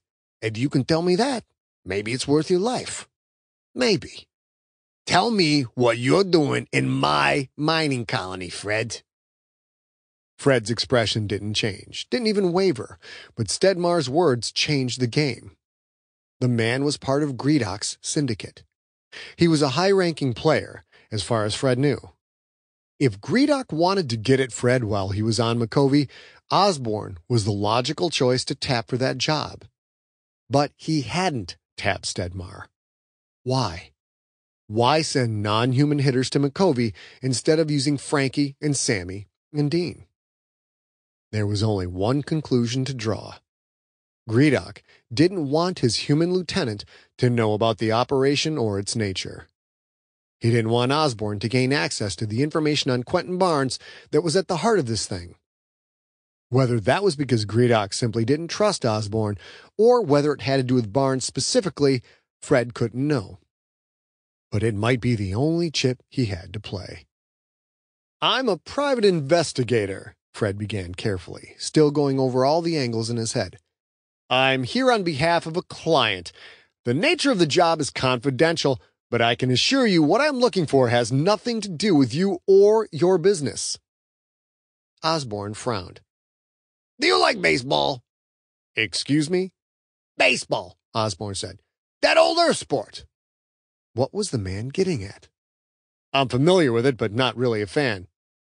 So you know how the game works? Fred nodded. Good, Osborne said, because that's strike one. I asked you a question, you didn't answer. If it goes down to Micovi, it involves my business. You crapped all over my house. No one dies on Micovi without my permission. Fred thought of mentioning the stacks of corpses in Grim Tyrant Valley, but that probably wasn't a good idea. I'm sorry about that, Mr. Osborne. Piss on your sorry. Strike one. You do not want to reach strike three. But those bodies aren't on me, Fred said. They were trying to kill me. I just defended myself. Osborne held up two fingers. And there's your second strike. For the last time, Fred, if those bodies aren't on you, who do I put them on? Osborne was forcing the issue. Fred had to take his shot. One way or another, Fred's next words were the checkmate. If the apparent rift between Osborne and Gredok wasn't what he hoped, then Fred was about to give Osborne all the reason he needed to cut Fred's head off and mail it special delivery to the owner of the bootleg arms. It was Fred's turn to lean forward and dead-eye Stedmar Osborne as he said, Gredok, the splithead. Osborne thought on that for a long time. Those were Gredok's guys out in the dunes?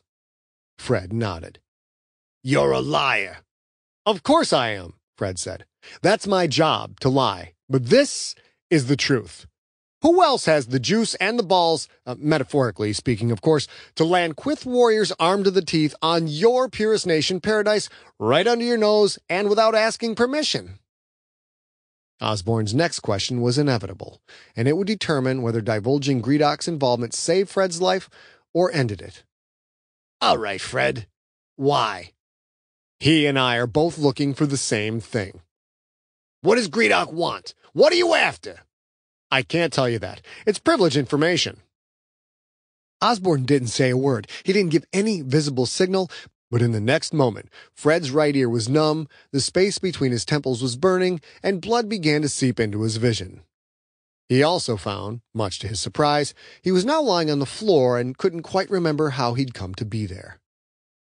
Then he looked up and saw Sammy standing above him. He was holding a pistol in his hand, the butt of which contained Fred's blood and several strands of his hair. Fred hadn't been aware of Sammy drawing the weapon, nor had he sensed the blow coming. Through the pain and disorientation, Fred was glad he hadn't taken on Frankie and Sammy back at the hotel. I want to know what Gredok wants with your client, Osborne demanded from somewhere that seemed very far away. Fred tried to get to his hands and knees, but found that task required more coordination than he currently possessed. He let himself sag back down. It's my client's business, he said with as much finality as he could project while bleeding on someone's floor. It isn't yours or that furry butcher's. That's all I can tell you. Two sets of hands lifted Fred up like he was no more than a toddler, then set him hard back in the chair. Osborne looked at Frankie. He seemed to be asking the man a question without speaking. Frankie stared down at Fred. Again, that thoughtful shrug. Sammy could probably get it out of him, but by the time we broke him down enough to spill it, his brain would be jelly. Counterproductive. Diamond hard? Osborne asked Frankie. Diamond hard, Frankie confirmed. Osborne leaned back in his chair. He reached into a desk drawer and pulled out a white handkerchief, which he tossed to Fred. Fred wondered how many handkerchiefs Osborne had in that drawer. Fred pressed the fabric to his wounded scalp. Osborne scratched his nose. He stared.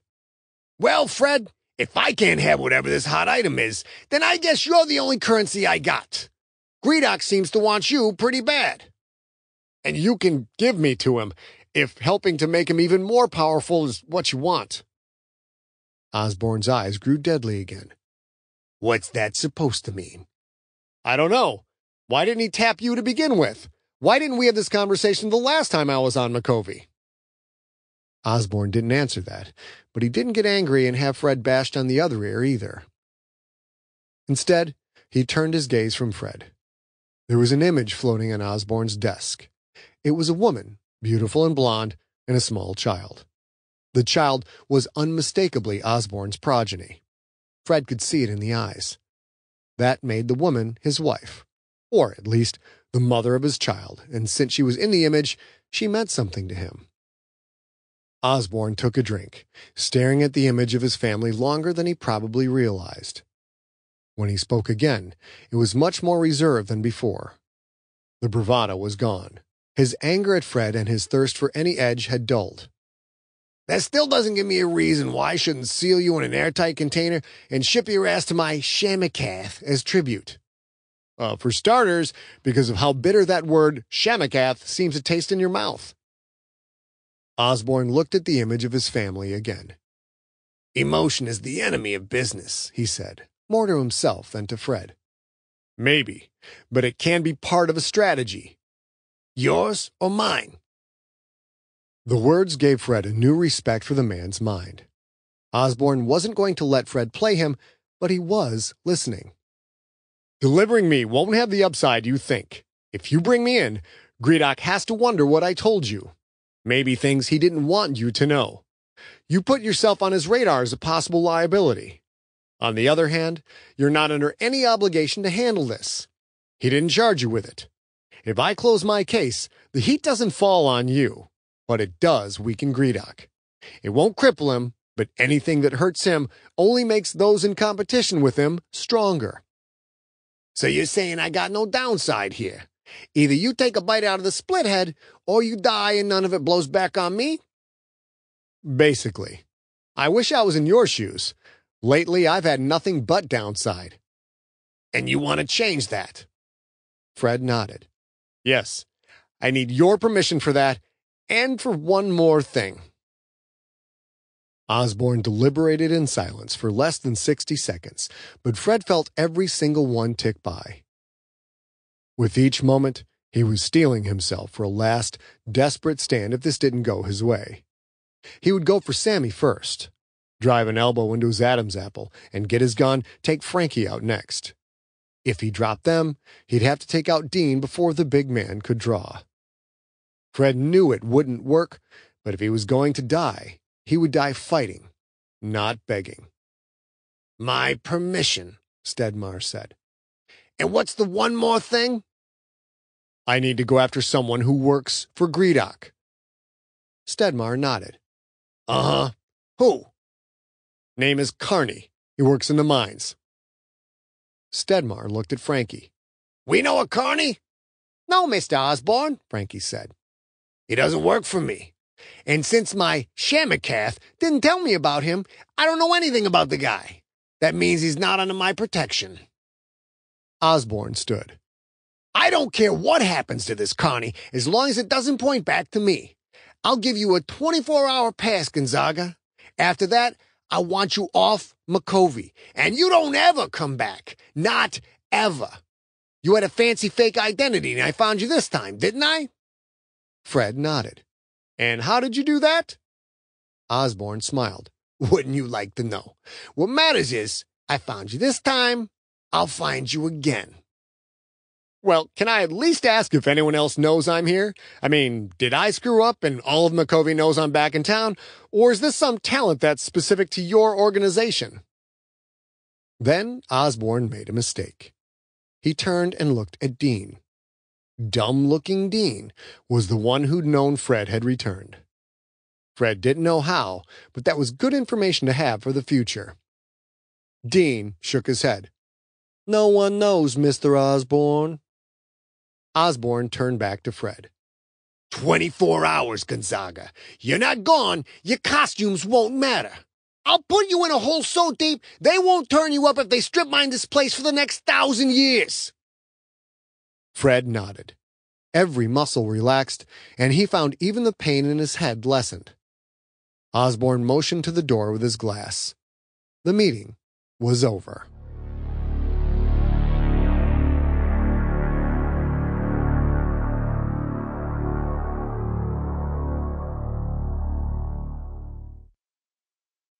Chapter 20 Raphael The axe handle tastes briefly of oak and dirt, and something that might be rotten.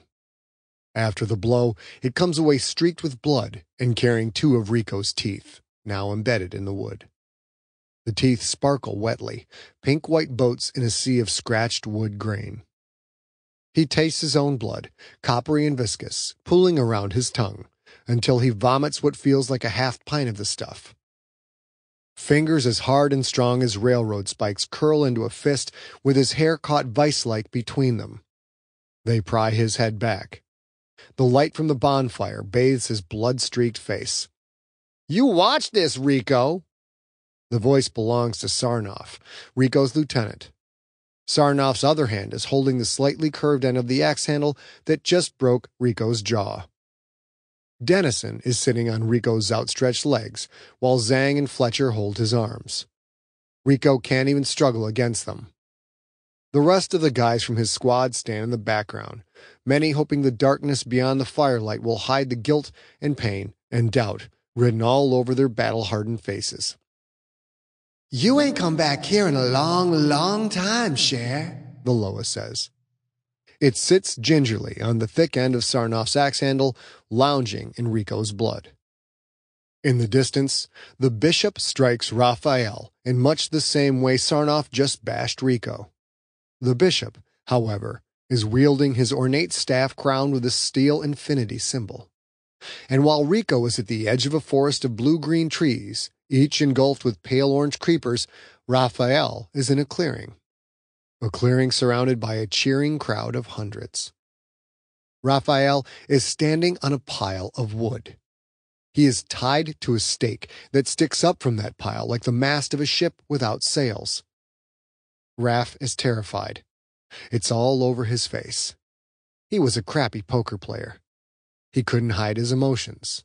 His expressive face was one of the first things that Rico noticed. The staff strikes home again. The infinity symbol cuts Raph's forehead, opening up a geyser of red above his right eye. Absurdly, insanely, Rico hopes they haven't damaged Raph's hands. Raph's emotions run deep. Things that most people don't notice affect him in a spiritual way. You wouldn't think a kind soul like that belonged in a fighter's body, but Raph has crazy coordination and fast hands. He was the division champ at his weight, a real prospect to go pro in the octagon. But Rico knows that will never happen. Raph will never fight again. Raph will never make it off of that pile of dry wood. Look at him, Sarnoff says. You'd be down there with him if you weren't one of us, boy. You don't cure this disease of yours, and next time it will be you down there. We saved you, but this happens again, and we'll watch you burn. He don't know, does he? The Loa asks. It reaches out and pulls one of Fred's teeth from the axe handle, examining it like a curio from ancient Victorian times. He don't know the only thing you want in all the world across all them stars is to be down there and burn right alongside Raphael. You don't want to be saved, do you, Cher? Rico didn't. He watches as women wearing blue robes light torches. They walk around the pile of wood, sticking the torches in among the tinder, waiting only long enough to see the orange flames spring to life before moving on to the next spot. Rico knows Raph is going to die. Rico wants to die with him. But you didn't die, the Loa reminds him. I think after all this time, you'd learn to be glad for that, at least. Glowing patches spread and expand until they join, until the entire pile crackles with the low one's touch, and at the center of it all, Raphael, the firelight reflecting off the blood that sheets his face. Why you want to see this now, boy? The Loa sounds more frustrated than anything. This is the one where it all started. The flames reach Raph. Fred watches his face contort in a scream, but the sound is drowned out by the righteous cheers of the onlookers. Rico begins to struggle anew. It's futile, even pathetic. But it doesn't stop Sarnoff from jabbing him brutally with the end of the axe handle to still him. Ain't nothing good about to come from this here, boy. I thought we was past this. A part of Rico will never really leave this moment. If he should live to be an old man and die in his bed surrounded by 50 children and grandchildren, a million light years from where this happened, the real Frederico Esteban Giuseppe Gonzaga, the man that Rico was born to be before this hated religion took everything away, that Rico will still be trapped in this moment. The moment when his real self died alongside the love of his life. The accelerant they doused Raph's body with turns him into a human fireball. His perfect olive skin blisters bright red, then turns black. His scream becomes a silent, grotesque mask burned into his face. Something breaks, or burns, or cracks, and Raph's hand, his right hand, comes free. Skin replaced by flickering flame, the hand reaches out, clutching, grasping. The hand reaches toward Rico. In that moment, Rico knows it's a reactive thing. Raphael doesn't know he's there, but in Rico's heart, a different truth hits hard and lodges forever. The truth that Raph is reaching out to him, reaching out and thinking, why didn't you save me? You said you loved me, that we would always protect each other. Why did you let them kill me?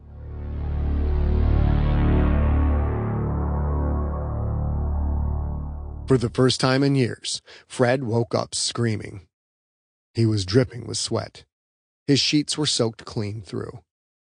In a moment of sheer, disoriented panic, he snatched up the entropic pistol from his nightstand and brought it to bear on every dark corner and crevice of his bedroom. He aimed it everywhere, over and over again, making sure that the holy men, the Loa, Sarnoff, even the flaming Raph hadn't come back with him to invade this lonely reality. The mania subsided, faded away like a splash of water soaking into dry silicon. Fred climbed out of bed. He wandered through his apartment in a half daze, holding the pistol loosely at his side. Eventually, he came to stand at his living room window. It was night, but the street below was still choked with activity. It was good to think a lot of those sentients couldn't sleep either. In an absurd way, it made Fred feel more normal. It made the nightmare, uncontrollable and inescapable as it was, seem to matter a little less. Still, he never went back to sleep that night. He didn't even try.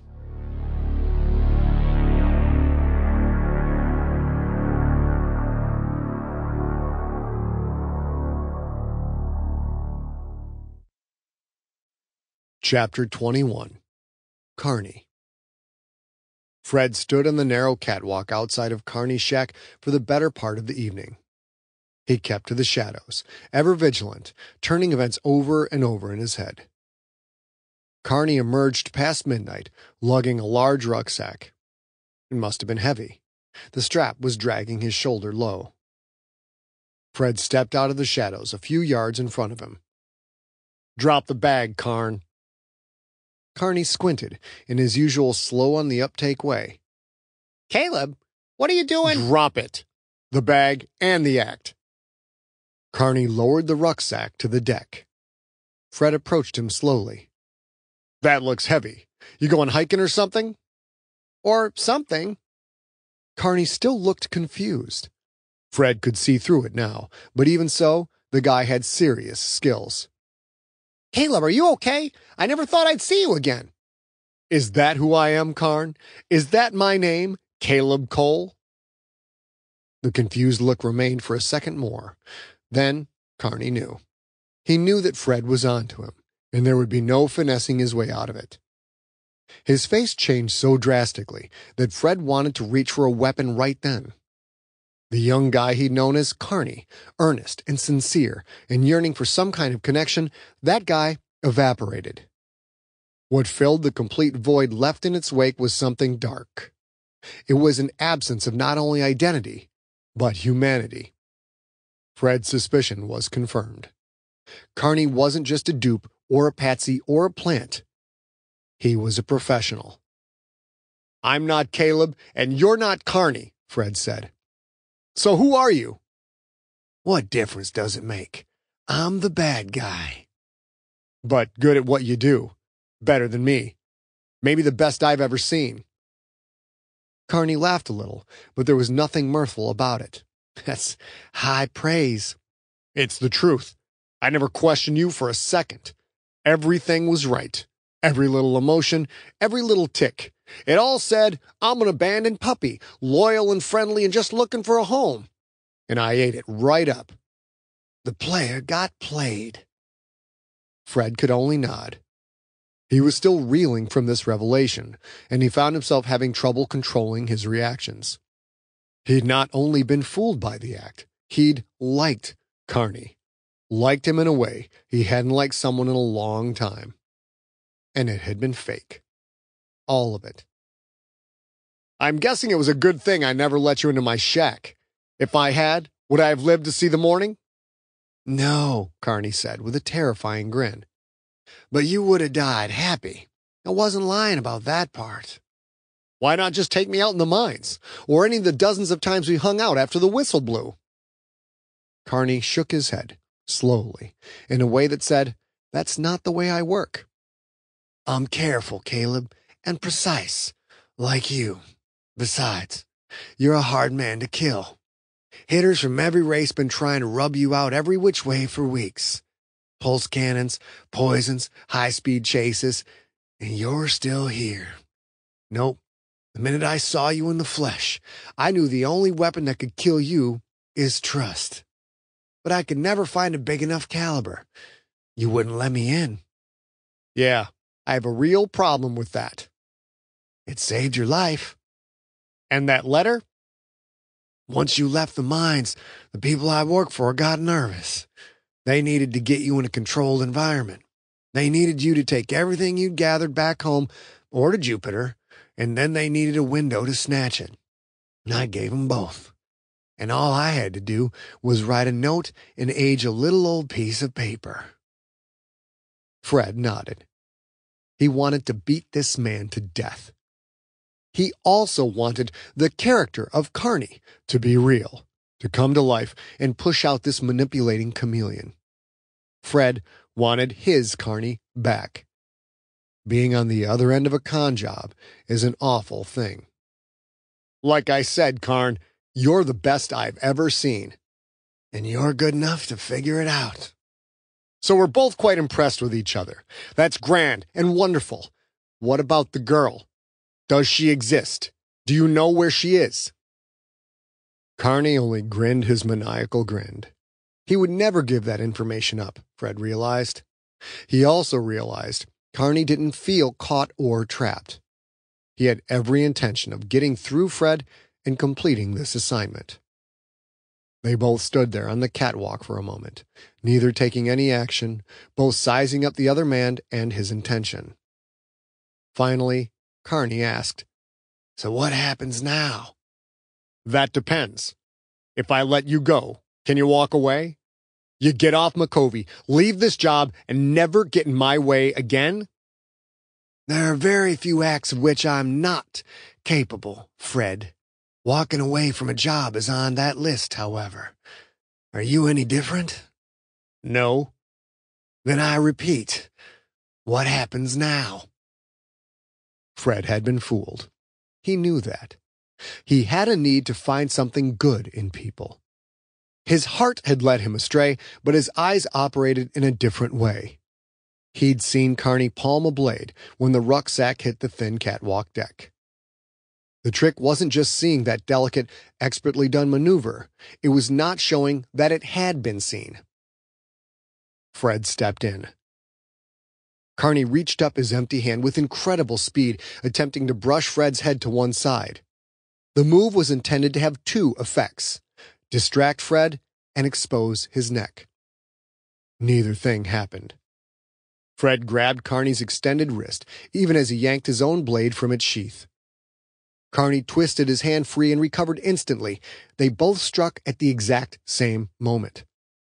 Carney went high, while Fred went low, Carney's blade came for Fred's neck, aiming for where Fred's neck would have been if Fred had pulled away, but Fred instead leaned forward as fast and as hard as he could.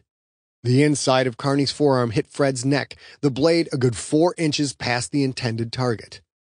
The momentum brought them face to face, close enough to kiss. Fred's knife plunged into Carney's abdominal aorta, the second largest blood vessel in the body. Carney's eyes went wide. He knew. He could have used his last moments to try another slash, but Fred saw something in the soon to be dead man's eyes respect. Carney had been beat, and he knew it. Carney let his knife fall free. It clattered on the thin deck. When Fred pulled his own blade free of the man's body, all of the blood in Carney's abdominal cavity rushed to flood the breach. Carney quickly jammed most of three fingers into the wound, his opponent forgotten. He dropped to his knees, his eyes floating and beginning to glaze over as all the color left his face. He was as good as Fred thought. Carney's quick thinking and quicker acting were the only reasons he was still alive. It wouldn't save him, however. it would only slow the process a few moments. I thought you'd flinch away, Carney said. I, I was sure of it. Fred crouched down low to speak in Carney's ear. He planned to make the most of the short time his opponent had left. Carney, tell me about the girl. Tell me about Janine. There's no reason not to. Carney didn't answer. He slumped to his side, blood covering his hand and already pooling on the rusty deck. Fred knelt with him, held the man's face. Carney, the girl! Tell me about the girl! Carney's eyes already had that distant cast to them, like they were looking into the next world. He focused on Fred for a moment, managed to smile. I was gonna get her. Was gonna get her for myself. Make a little extra. She's alive. Carney lost consciousness. He died a few seconds later. Fred let go of him. He cleaned the blood from his blade on Carney's shabby mine worker's clothes and sheathed it. He cast his gaze around the shanty town. No one rushed out. There hadn't been any noise. If anyone had seen the altercation from a distance, it would have looked like a fistfight that lasted less than three seconds. Fred walked over to where Carney had dropped his rucksack. He felt a stinging in his eyes, but refused to acknowledge the tears. Kneeling, he began to rummage through the bag. On top, he found a pair of IDs. Elder Rodrigo Goldblatt, Lady Mariella Goldblatt, both confirmed. Rodrigo's face? That was Carney, or whoever he had been. His name might have actually been Rodrigo, for all Fred knew. Lady Mariella's face, her prints, her DNA code, all blank. Below the IDs, blue robes of the confirmed, one male, one female. Below that, a few personal effects, a tattered old sweater, a holocube, other things that had been the mementos of Carney's life. And below all of that, at the bottom of the rucksack, a uniform. It was the uniform of a Mining Colony 6 Detention Center guard. Chapter 22 Janine The prisoner barracks were little more than a dungeon with barely functional plumbing. They didn't keep long term prisoners on Micovi. Virtually everyone arrested in the colony was sent to the mines as an honor worker, which was another word for slave. Anyone too dangerous to put to work was shipped off to the maximum security facility on Mining Colony 1. The rest were just drunks and bar brawlers, thrown in cells to cool down or sleep it off before they returned to their grind. Didn't think we were shipping this one out till morning, the morbidly obese block boss said to Fred as he escorted him past several cells. Fred, wearing Carney's stolen uniform and carrying a decades out of date message board with the Mining Colony 6 seal on the back, shrugged noncommittally. Yeah, well, there's a few open spots on the transport tonight, and I got tickets to check out the Raiders spring training camp tomorrow. The fat man snorted derisively. Raiders. They ain't been shit since they lost Barnes. Fred felt an insane rush of laughter at the irony of the guard's comment, but squashed the impulse and stayed in character. I've heard that, was all he said. The block boss, who was already out of breath, pointed five cells down. It's that, let me give you the key. As Fred waited for him to dig it out, he asked, Why aren't they sending her back to the mines? Never heard of us having a labor surplus around here. The guard shook what must have been three chins. She keeps causing problems, rabble rousing, trying to organize the workers. Finally graduated to sabotage this last go around. Between you and me, the boss has sold her into a batch of girls headed to Solomon next week. Probably be in some holy man's whorehouse by month's end. Ain't she a little old for that? Holy men like 'em young. The many chin guard nodded. Yeah, but when you see her, you'll understand why. Wish I could keep her for myself, but she'd sooner break my jaw than give it up. Holy men want her? they can have her. He handed Fred the key and clapped him on the shoulder. Drop that by on your way out. I need to sit a spell. He waddled away. Fred walked up the block to the cell the guard had indicated. He peered through the bars. There was a slender woman curled up on a ratty bunk. Her head was a mess of dark hair. Fred couldn't see her face. He opened the cell door and stepped inside. Carbonaro, Janine, let's go. The girl didn't move. A rush of panic shattered his disaffected, Raiders loving prison guard persona. Had they gotten to her first? Did Gredok have another man in the mines? Was she sick, and if so, how bad was it? Fred walked to the bunk and reached down, grasping her shoulder gently. Janine moved with surprising speed. Her hand was cupped around a piece of stone chipped from the walls that she'd obviously sharpened against the ground. Its rough edge slid across his right cheekbone, slicing the skin there wide open. Damn it! Fred yelled, more out of frustration than pain.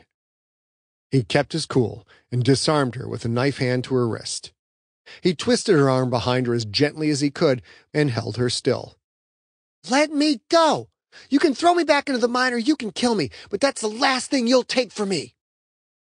She would have yelled more, but Fred clamped a hand over her mouth to silence her.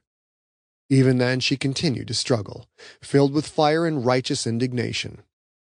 Fred had no doubt she was sincere in what she'd said, and he couldn't help respecting that. He turned her so they were face to face, keeping that dangerous arm of hers behind her back. Her eyes widened with fear. Fred felt like an idiot.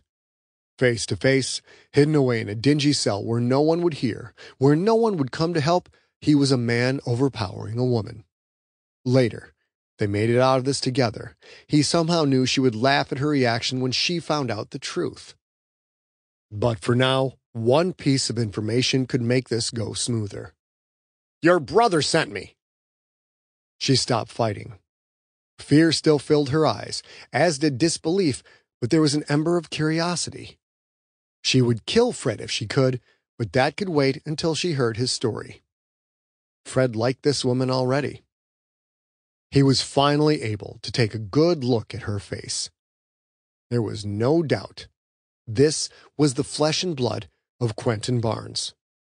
They had the same eyes, the same mouth. On Quentin, those features looked impossibly handsome. On Janine, they took on an almost artistic quality. The guard had been right. No matter what her age, this was the kind of woman that many men wanted to own. Her full lips moved. My brothers are dead. Fred smiled. Oh, share the stories that I have to tell you.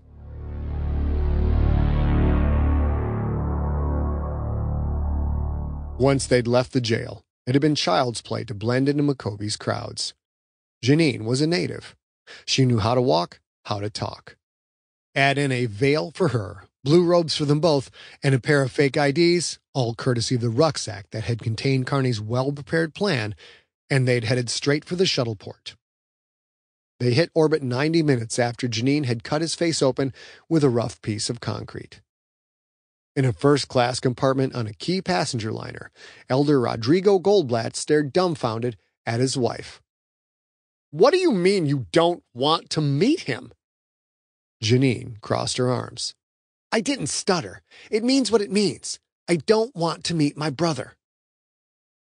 Fred rubbed his eyes, tried to put the pieces together. After all he'd been through to find this woman, and now she didn't want to meet Quentin? That doesn't make any sense. She rolled her eyes. The big, strong man comes to rescue me, and now I'm supposed to do what he says, right? Right, Fred said. I mean, well, Quentin hired me to find you, and I found you. Now I take you to him. You meet your brother. Everyone wins. I have to be playing the game to win, she said. I don't know Quentin. I haven't seen him since he was a baby. Maybe I need to learn a little bit about him before before I open myself up to something. Fred saw the look on her face, and he knew what she really meant. She'd been hurt before, many times, and maybe by family. He's a great guy, Fred said. Take my word for it. She smiled a humorless smile. Take the word of a man who lies for a living, who pretends to be other people for a living? The answer is no, Frederico. She insisted on using his full first name, refused to call him Fred. This is crazy. When we land on Ionath, I'll tell your brother about you, then you can go wherever the hell you want to go. She shook her head. No, you won't tell him about me. You don't have my permission to do that. Your permission? Lady, I get hired to do things. This time, I got hired to find you. I found you. Case closed. She tapped her chest with her forefinger. I'm a sentient being, Frederico. You don't get to just throw me around like a piece of meat. I've had enough of that for one life. Her voice broke a little on the last word. She was playing all hard, keeping her expression as blank as she could, but she wasn't as good as Quentin at that game. Fred had just rescued her from a prison, a prison where they hadn't treated her well, to say the least. Fred was born in the nation. So was Janine. He knew all too well how difficult life could be there. For a woman, it was even worse. Women had no right to vote, no right to own property, and most of the time they were property. Maybe he could understand why she didn't want to be passed around like a trophy. So what then? You want to go back home? She let out a huff of disgust. Not in this lifetime.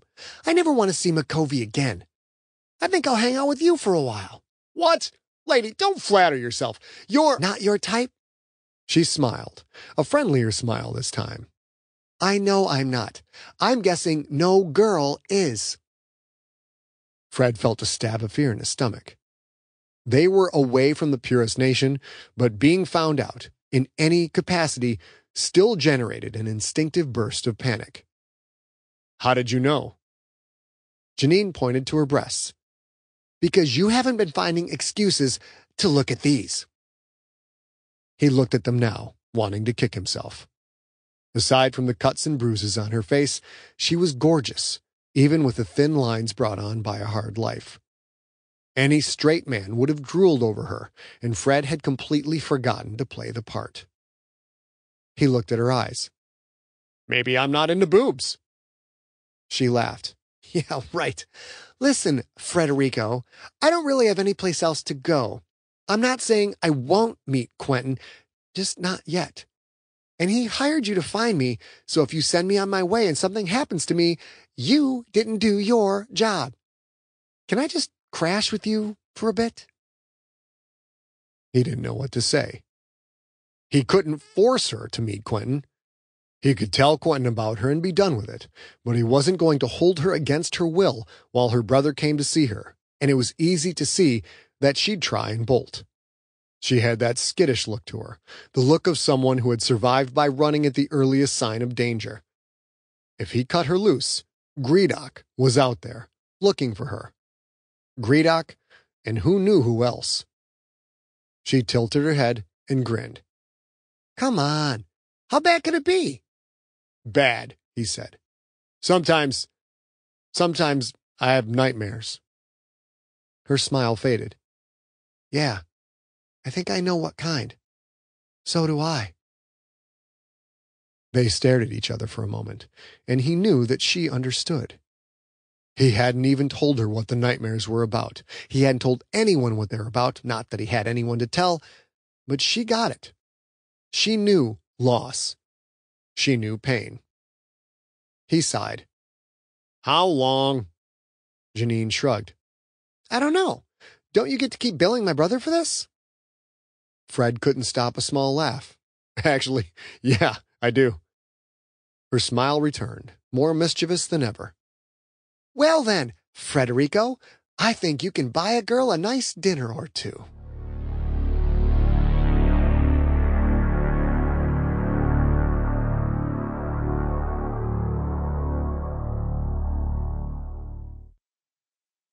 Book 6 Ionath Chapter 23 Garrison I thought Donald Pine was the answer to our problems, but now I know better, said the Quyth worker grav cab driver. From the first time I saw Elder Barnes throw a pass, I knew I was watching a future Hall of Fame quarterback. Uh-huh, Fred said. He said it to be polite. Why he was polite to chatty cab drivers, he had no idea, but it was an automatic reaction. He should have known it was coming. Fred had taken note of the Kraken's pendant, flying proudly from the cab's flashing multilingual on duty sign when it picked him and Janine up at the shuttleport. Janine sat quietly. If she had any thoughts on the cab driver's devotion to her brother, she didn't make any sign. Pine is a legend, the worker said. I do not deny it. But Elder Barnes, there is magic in his arm, and I don't even believe in the supernatural. Fred felt like he'd been traveling for months. From Micovi, on the outskirts of the Purist Nation, to New Wittock in the Wittock Kingdom, to Capizzi in the Planetary Union, then into the Quyth Concordia for a changeover at Free Station, then to OS1, and finally to Ionath. He could scarcely remember which identity he'd used to cross which border. He was exhausted. He was also still recovering from the beating. Correction, beatings, plural.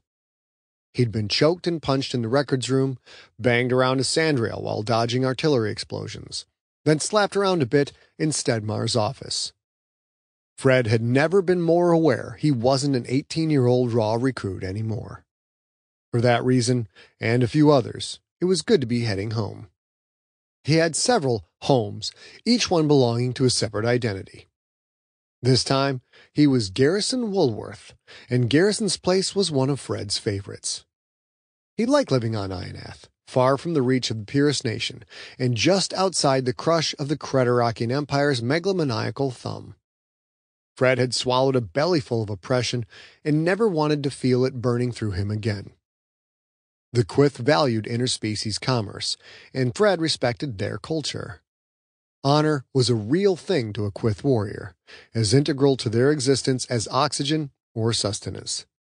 It wasn't just a pretense to which they paid lip service, like religion so often became in the Purist Nation.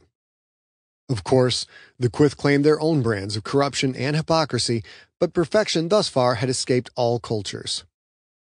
Ionath City's Human District, a six block span teeming with Homo sapien life of every color and configuration. Literally piled on top of each other, the humans of Ionath had no choice but to get along. That didn't mean you couldn't find violence and racism around every corner, but a balance had to be maintained for everyone to live and work and play. Garrison's apartment was above a watering hole called Tio Bert's. The proprietor, Roberto Parca, was the sole bartender and also the landlord. Bert's epic beard reached below his sternum. He loved history, beer, literature, and the Ionath Krakens. Many was the night between cases that Fred slash Garrison spent hunched over the bar top, talking books and famous military battles with the man, both of them tipping a little too much. There wasn't much room in Tio Bert's, nor was there much in the way of decoration, and a daily cleaning wasn't exactly at the top of Roberto's to-do list. These were just some of the reasons Fred loved the bar. If tourists knew about the place, they didn't come. Strangers wandered in from time to time, but for the most part, Fred knew the faces of the regulars, regulars who knew how to keep to themselves. There was an antique pool table. Roberto stocked top shelf spirits and the best selection of cigars in the Quyth Concordia. He also kept a quad barreled pulse rifle behind the bar and watched over his tenants' quarters when they were away. Fred had always felt that live eyes connected to a suspicious, easily offended, and well armed friend was better than any high tech security system. The grav cab followed the radius road's curve, just another vehicle in the city's endless circular traffic, before finally depositing Fred in front of his destination. He and Janine stepped out. Fred pointed up a set of metal stairs, then handed her a metal key. She took it, looked at it like the artifact it was. No biolock? He shook his head. Not unless you want Gredok's goons to detect your DNA, thumbprint, or both, and come running. No, thanks, she said. Metal keys work just fine. See you upstairs. She headed up the steps. She had no bag. She'd left with nothing and had nothing to carry. He would have to take her shopping soon, get her some clothes. Fred decided to stop by the bar briefly before heading upstairs. He knew he'd probably find Bert using the bar's big holotank to call up text to illustrate a point to one of his regulars. As it happened, when Fred walked in, a red faced Bert had one finger on the tank, tracing a line of text and shouting in the face of a half in the bag human customer. I told you, idiot, Bert said. It was 2285, and it was the gates of Absalom. The patron, a big-nosed, white-skinned tower native, Fred knew to play a mean trumpet, only nodded and asked for another drink. Fred walked up to the bar. Did I miss the entire lesson, Professor? Bert looked up. His thick tangle of face fur split into a wide smile. Garrison! He finished pouring the man's drink, then strode around the bar to embrace Fred. Welcome home, Mio, Bert said, clapping Fred's back several times, loudly, causing considerable pain that Fred didn't let the older man see. How are things, Tio? Bert waved a hand dismissively. The same. I don't change. Neither does my place. Fred nodded. I count on that. You look like you need a drink. I need a shower more, Fred said. I'll take a rain check, though. Listen, I wanted to tell you I've got company in my apartment. Bert smiled a smile that was more of a dirty sneer. Really? What's her name? Fred was happy his hetero posturing could fool at least someone. Angelique, and her husband is looking for her. I'll have to leave her up there from time to time. You'll keep an eye out? Let me know if anyone comes sniffing around? Bert winked. You know it, my friend. Your piece of tail is safe as long as she is under my roof. Thanks, Fred said. He shook the man's hand and headed upstairs. Piece of tail. If Fred wanted one of those, it wouldn't look like Janine Carbonaro. He climbed the stairs, taking a moment to look out on the circular streets of Ionath City. His trained eyes sought out anyone watching him, following him, but he saw nothing. He had done it. Now all he had to do was keep this woman safe until she decided to meet her brother. Fred walked into his apartment, locking the doors multiple locks behind him.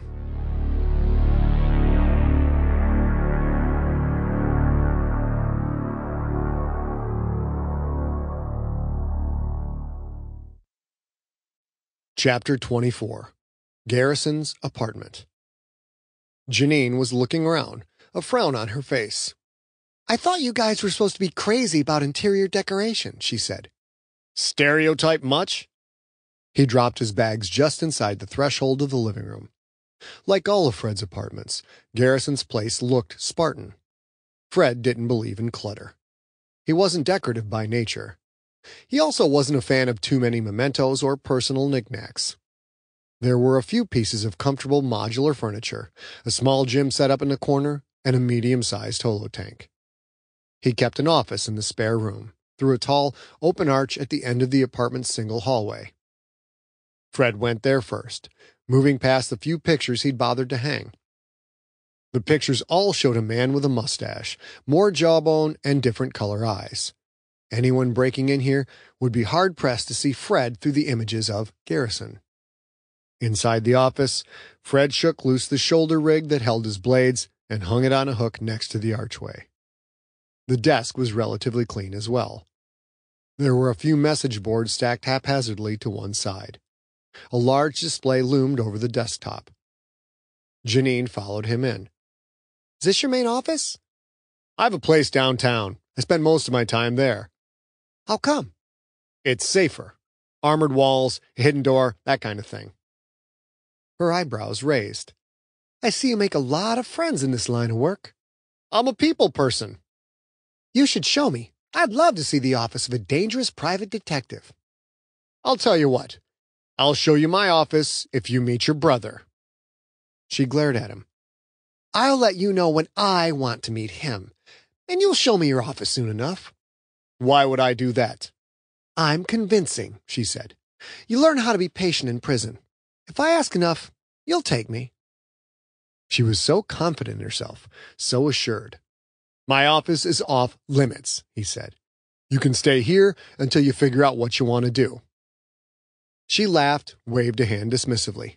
We'll see. Speaking of Quentin, isn't there a foosball season coming up or something? He stared. Foosball? Are you screwing with me? She blinked, then smiled and snapped her fingers. Oh, sorry. Football. Your brother is one of the most famous athletes in the galaxy, and you don't even know what sport he plays? She shrugged. My brother's name is Quentin Carbonaro. Until you came to get me, I'd never heard of Quentin Barnes. I've been in prison three years, Frederico. Prison and in other places. Her confident aura faded. Fred felt the need to talk, to fill the uncomfortable silence. You, uh, you really don't know anything about football? She shook her head. I'm afraid they didn't beam in Holocast to my cell. Maybe you can teach me. Fred shrugged. It's fun to watch, but I don't know all that much about it. We can learn together. It'll be a little bonding experience. Is there a game this week? Season doesn't even start for a couple of months. I know that the opening game is here in Ionath, though, uh, against the uh, the Isis Ice Storm. She clapped, a very girly gesture from a woman so hardened by life. Can we go to it? We can study up on the sport together before then. We'll be experts. He thought of Ionath Stadium, of over a hundred thousand sentients packed in tight. He thought of the cameras, the guards, the cops. Most of all, he thought of how the security personnel worked for Gredok. Fred shook his head. Not a good idea. Disguises are good in moderation, but Ionath Stadium has more biometric recognition hardware than any other place in the city. The stuff they use to scan for terrorists could turn up a hit on me or on you. He pointed to the holotank. If you're still around by opening week, we can watch it here. It's a date, Janine said. But I'm exhausted. Where's the bed? Fred pointed to the couch. That sleeps just fine. It's a one bedroom apartment, so. Janine walked to the living room's one closed door. Thanks, she said. I appreciate you taking the couch, Frederico. She opened the door to the bedroom, entered, and shut the door behind her. Fred sighed. There were many reasons he lived alone. This was one of them. He was also exhausted. He lay down on the couch and was asleep in minutes.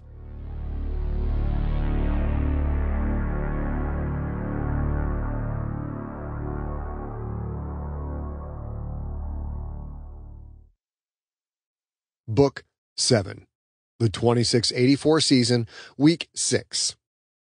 Chapter 25 The OS 1 Orbiting Death. She wore a Kraken's ball cap. He'd bought it for her back in week one of the regular season. She'd grabbed it and thrown it to the ground so many times in the past six weeks that the fabric had already started to fray. Maybe she picked up the habit from watching Hokor the Hook Chest's constant sideline tantrums. Come on, Krakens! She screamed at the holotank. OS1 sucks! Get a touchdown! He'd spent nearly six months with this woman. Their shared history of loss provided a common ground, an unspoken bond. She'd consistently avoided meeting Quentin. At first, her self invitation to move in had driven Fred crazy. After only a few weeks, however, he'd gladly accepted the fact that she was the best roommate he'd ever had. Is your brother playing well? Janine nodded. She'd become a student of the game, learning more in one half of a season than Fred had in several years. He still had little interest in the sport outside of its web of criminal connections and the high income players that wanted to hire him. He's having a great season, she said. The way he leads the team, I've just never seen anything like it. Not that I've ever watched much football, mind you. She looked at Fred, and she smiled. From a distance, he seems okay. I think it might be time. Fred forced a smile. That's great. When you're ready, I'll set it up. He felt a pang of regret. If he had booted her to the curb when they'd reached Ionath, like he should have, it probably would have been different. But having her here, under his roof, spending all this time with her day after day, he hadn't spent that much time with anyone, not since Raphael had been murdered. Having someone around, someone who cared, it had been nice. But now she was ready to meet Quentin. She would leave, but that was fine. He'd spent most of his life alone, and he knew he'd slide back into old routines almost immediately. Old, lonely routines. Janine jumped up from the couch, clapping. Come on, Rekka! Go, go, go! The camera followed an orange jerseyed Rebecca Montaigne as she crossed the goal line. Touchdown, Ionath! Came the voice from the holo tank. A 12 yard pass from Quentin Barnes to Rebecca Montaigne. What do you think of that play, chick? A play-action boot fooled most of the defense, Massara, said the co-commentator. Maybe that was the play-by-play guy. Fred didn't really know the difference. A much-needed score by the Krakens, but Barnes took quite a shot from Yalla the Biter at the end. Janine jumped and clapped. My baby brother throws for another six. The tank showed players gathering in the end zone. Then the image cut back to Quentin. He was facing a Quyth Warrior player dressed in the flat black uniforms of the OS1 team. Quentin looked rumpled, like he just stood up from a tackle. Blood poured down from a large gash on his chin. Fred saw the look in Quentin's eyes. Oh no, not now, Q. Not now. The warrior turned and walked away. Quentin took off his helmet, stepped forward, then whipped the helmet down on the back of the warrior's head. The warrior dropped face first onto the black turf. High one, Janine said. She sat heavily on the couch. In the tank, a snarling, wide eyed, blood smeared Quentin raised the helmet high to bring it down on the prone warrior. A Harrah flew in, and Quentin's helmet instead hit the black and white striped ref. Whistles blew. More refs swarmed in. Turn it off, Janine said. Now. Fred did so. The room fell quiet.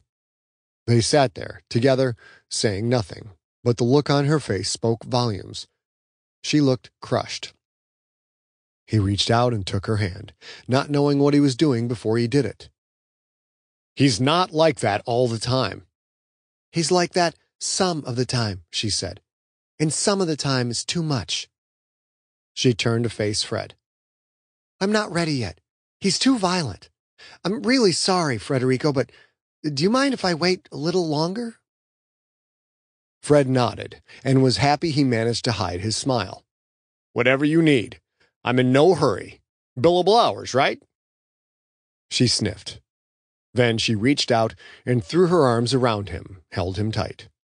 Her body shook a little, Fred felt tears on his neck. Janine had allowed herself to hope, and now that hope was gone. Fred held her, patted her back. It's okay. I'm here. He was there for her. It was his job to protect her, sure, but that wasn't the only thing. He was able to be there to support another sentient, to help someone through a hard time. He hadn't done that for so long, and it felt good.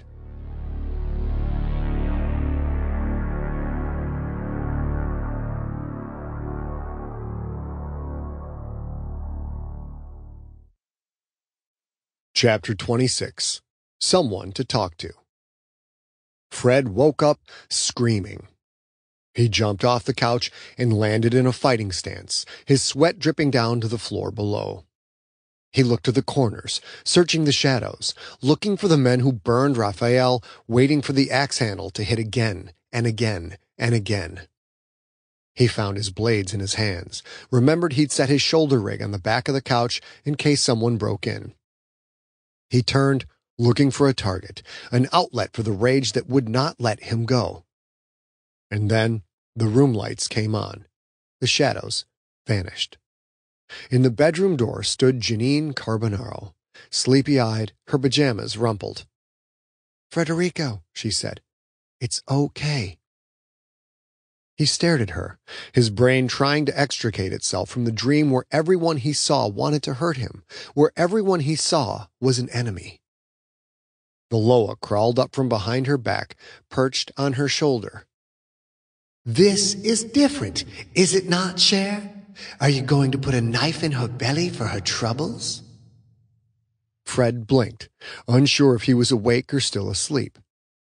The Loa was there, on Janine's shoulder, but Janine wasn't part of his dreams. She took a hesitant step forward. He saw fear in her eyes. No one is here, she said. It's just you and me. The door is locked. No one is here, Frederico. She took another small step toward him. The Loa on her shoulder pointed at the blades. You going to cut her, Rico? Are you going to make her pay for a murder she didn't commit? A murder that's so old you can't always remember exactly how it went down? Janine's wide eyes locked on Fred's. She took two more steps toward him, closing the distance. Her trembling hands reached up, palms out. Give me the knives, Frederico. Sit down. Talk to me. In his head, Fred heard Raphael's screams. But Raph was gone. He turned the knive's handle first and set them in her hands. Moving carefully, she returned them to their sheaths. Then her trembling hands reached out and held his. Sit, she said. They both sat on the couch. A nightmare, she said. Something from your past? You want to talk about it? Fred closed his eyes. He shook his head. No, I've never talked about it to anyone. Janine reached up and smoothed his sweaty hair. The gesture was so tender, so comforting. I'm not just anyone, she said. I am your friend, Frederico. If you've never talked about it, then maybe it's time to do that. Fred looked at her face, at her caring eyes. She wanted to help. No one wanted to help him, ever. Everyone just wanted him to do things for them. They wanted his disguises, his skills, and, sometimes, they wanted Rico to come out and play. But not Janine. She didn't want any of that. Talk to me, she said. I'm here. Fred sniffed. He wanted to chase her out, so he didn't have to deal with any of this, but there was something about her, something that made him trust her. His name was Raphael. On her shoulder, the Loa smiled. It tipped its top hat, bowed, and then it vanished. Fred cleared his throat. I, I called him Raph. I loved him so much. And that was as far as Fred got before the tears came. They came and they stayed. Years of pain and anguish, of loss and rage and frustration, they all came pouring out. Beautiful, talented Raphael burned at the stake like an animal for nothing more than being in love. Fred didn't know how long he cried, didn't know how long Janine held him in her arms. When he finished crying, he started talking, and he couldn't stop. All of it came out, finally, and for the rest of the night and into the morning, Janine sat there and listened.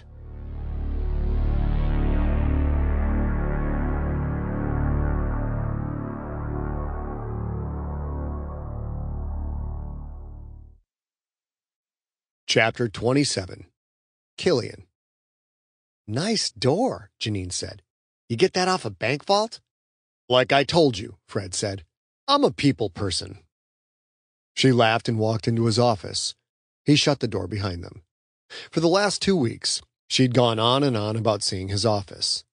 He'd thought he could keep things private from her, but he'd been wrong. She'd worn him down.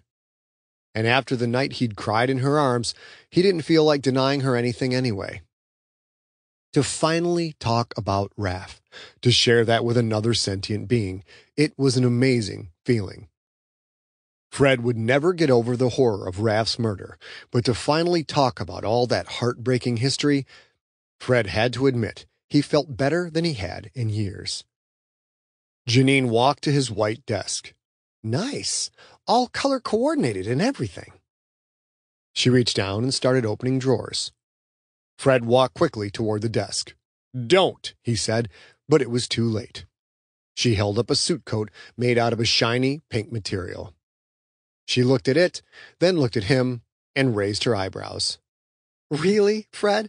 Isn't this a bit much? He actually felt embarrassed. I had it made to prove a point. What point? That you can be a ridiculous stereotype?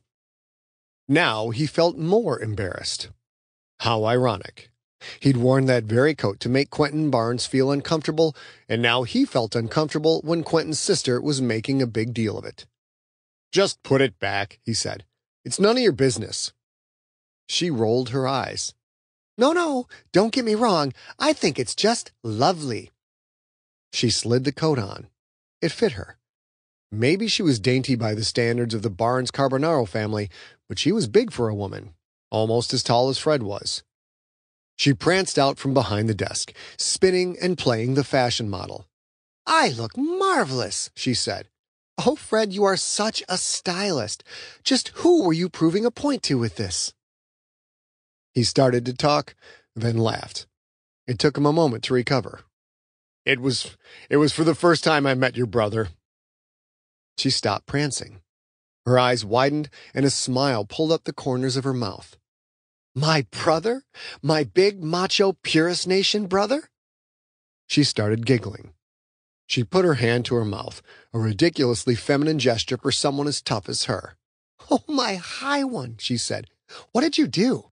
Pretend to be all super gay or something? Fred shrugged. She threw her head back and laughed. Oh, oh, every atom of his nationalite soul must have been trying to run for the door.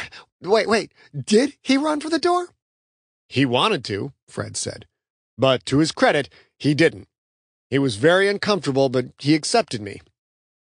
She stopped laughing. He did? I was as surprised as you are now. I put on a really poofy show figuring he'd take off and I wouldn't have to take his case. She turned her head a little, squinted at him. So he stayed, so what? If you didn't want to take his case, why did you? Fred shrugged. There's something about him, Janine. He didn't like me because I was gay, but he kind of realized he didn't actually know any gay people and he gave it a shot. He was just so, so open about it. Huh. That's hard to believe. But if you say he did it, I believe you. You should, Fred said. That's the reason you're not in that cell. He's the reason. Fred's index finger vibrated. He lifted his hand, held it palm up, let the display appear a few inches above his skin. It read, Incoming call request from Quentin Barnes. Speak of the devil, Fred said. It's your brother. She instantly started shaking her head. You promised. Relax. He doesn't know about you. He's just calling me. Fred walked behind his desk. Janine took a few small steps back. What are you doing? I'm going to answer my client's call. But you promised. Fred sat in his desk chair. I promised not to tell him about you until you were ready. I didn't promise to ignore my business. Just stay to the right side of the desk and he won't see you, okay? She stared at him, then looked down. She moved to the right side of the desk.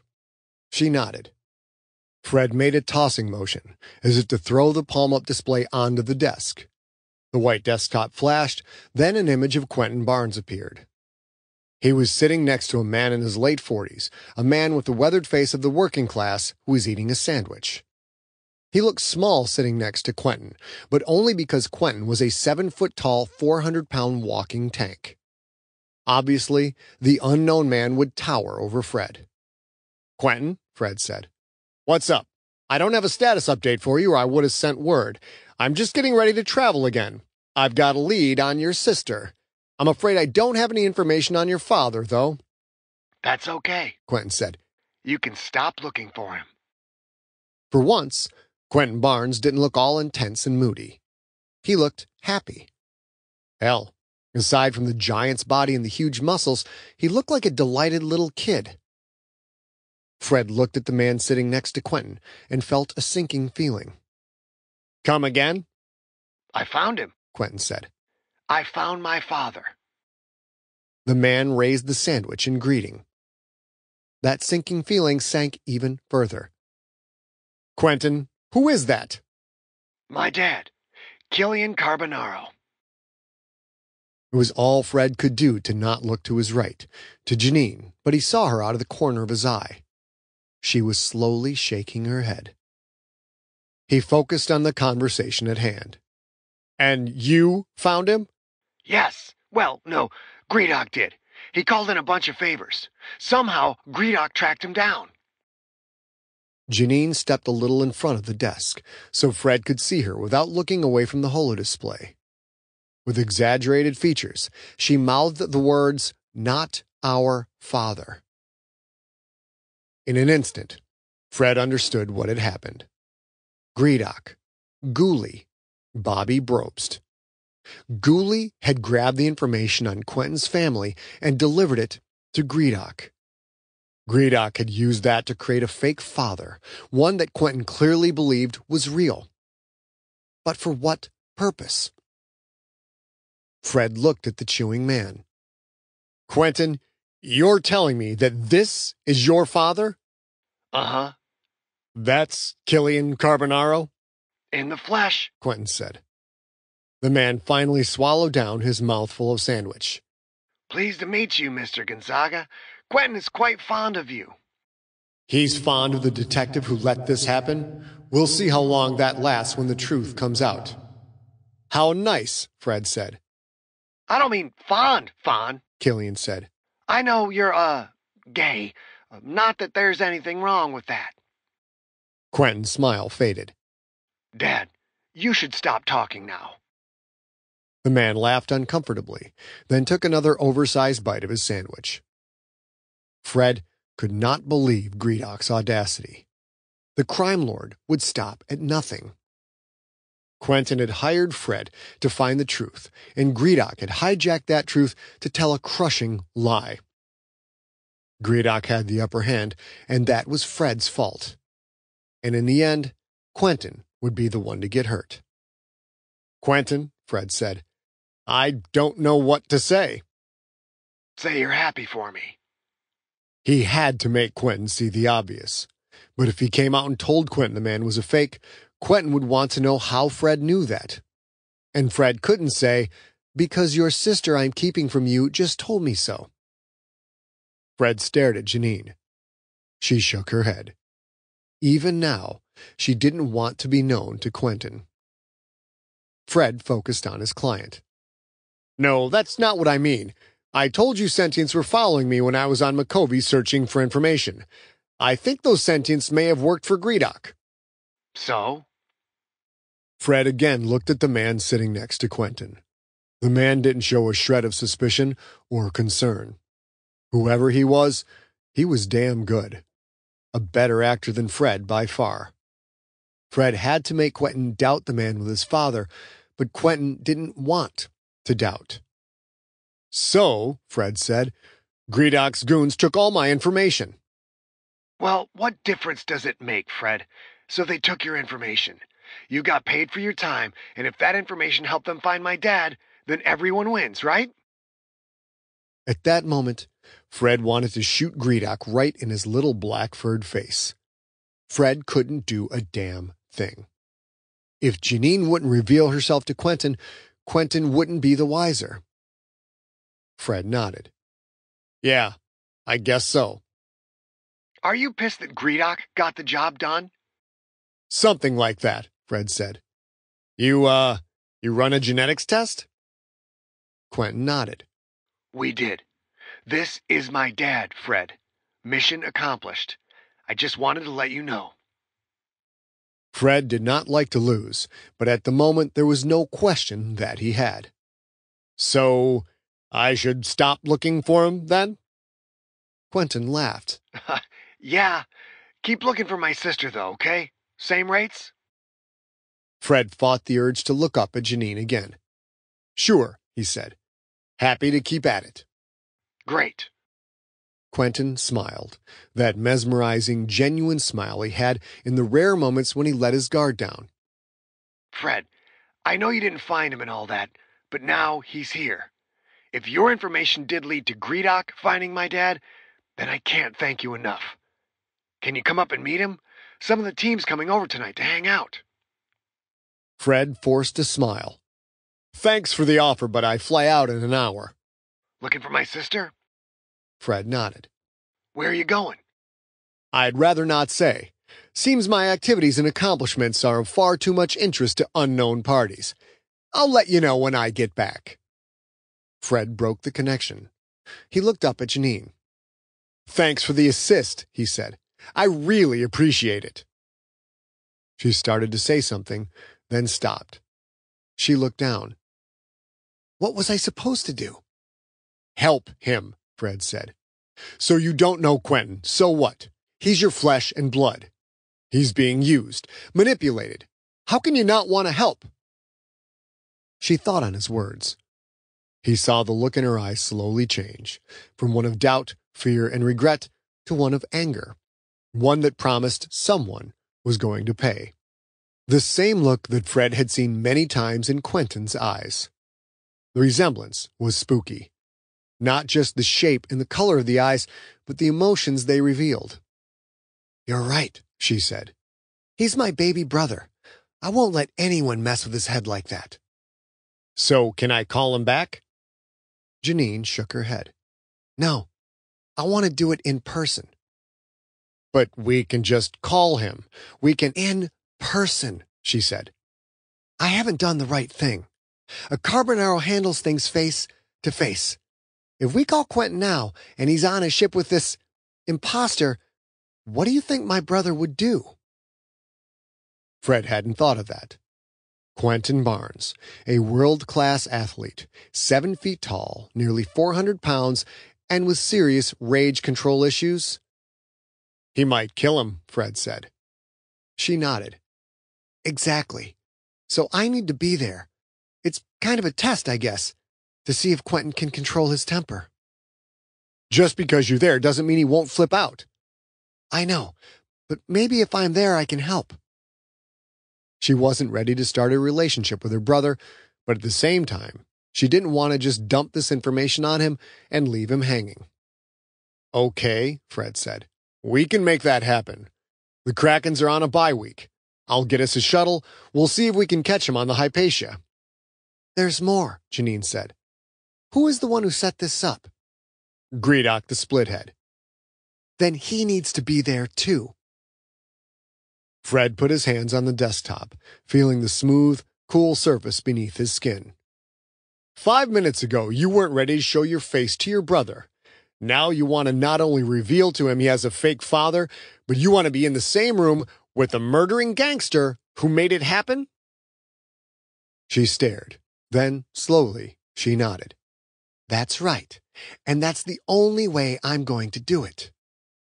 Uh, Gredok isn't all that fond of me, Janine. I've had run-ins with him before. What kind of run-ins? The kind that mean he'd like to see me dead. She walked to the desk. She leaned on it, her hair hanging down. That look in her eyes, that Quentin look, hadn't changed. My brother hired you to do a job. You want to complete that job? You do it my way. Besides, are you afraid of Gredok? No, Fred said. I'm terrified of him. She smiled. Sure, but I can tell by the expression on your face that you probably wouldn't mind making him look bad. Fred smiled.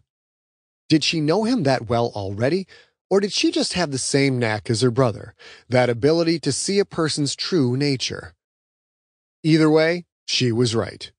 Gredok had won this game, unless Fred was the one who revealed it all to Quentin. Okay, Fred held up a finger. But first, I have to find out when they'll all be together.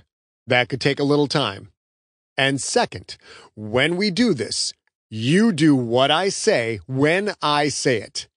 I'm the general, you're the foot soldier. She stood and crossed her arms. I can take care of myself. Normally, I'm sure you can, but Gredok isn't normal. Neither are the people that work for him. That's the deal, Janine. You give me your word that you'll do what I say when I say it, and you won't question me. Her eyes narrowed. Clearly, this woman didn't like anyone telling her what to do. Finally, she nodded and held out her hand. Done, she said. You have a deal. Fred looked at her offered hand, realizing that he'd been in the same spot when he'd shaken Quentin's. Like sister, like brother. He shook. All right, he said. Let's get started.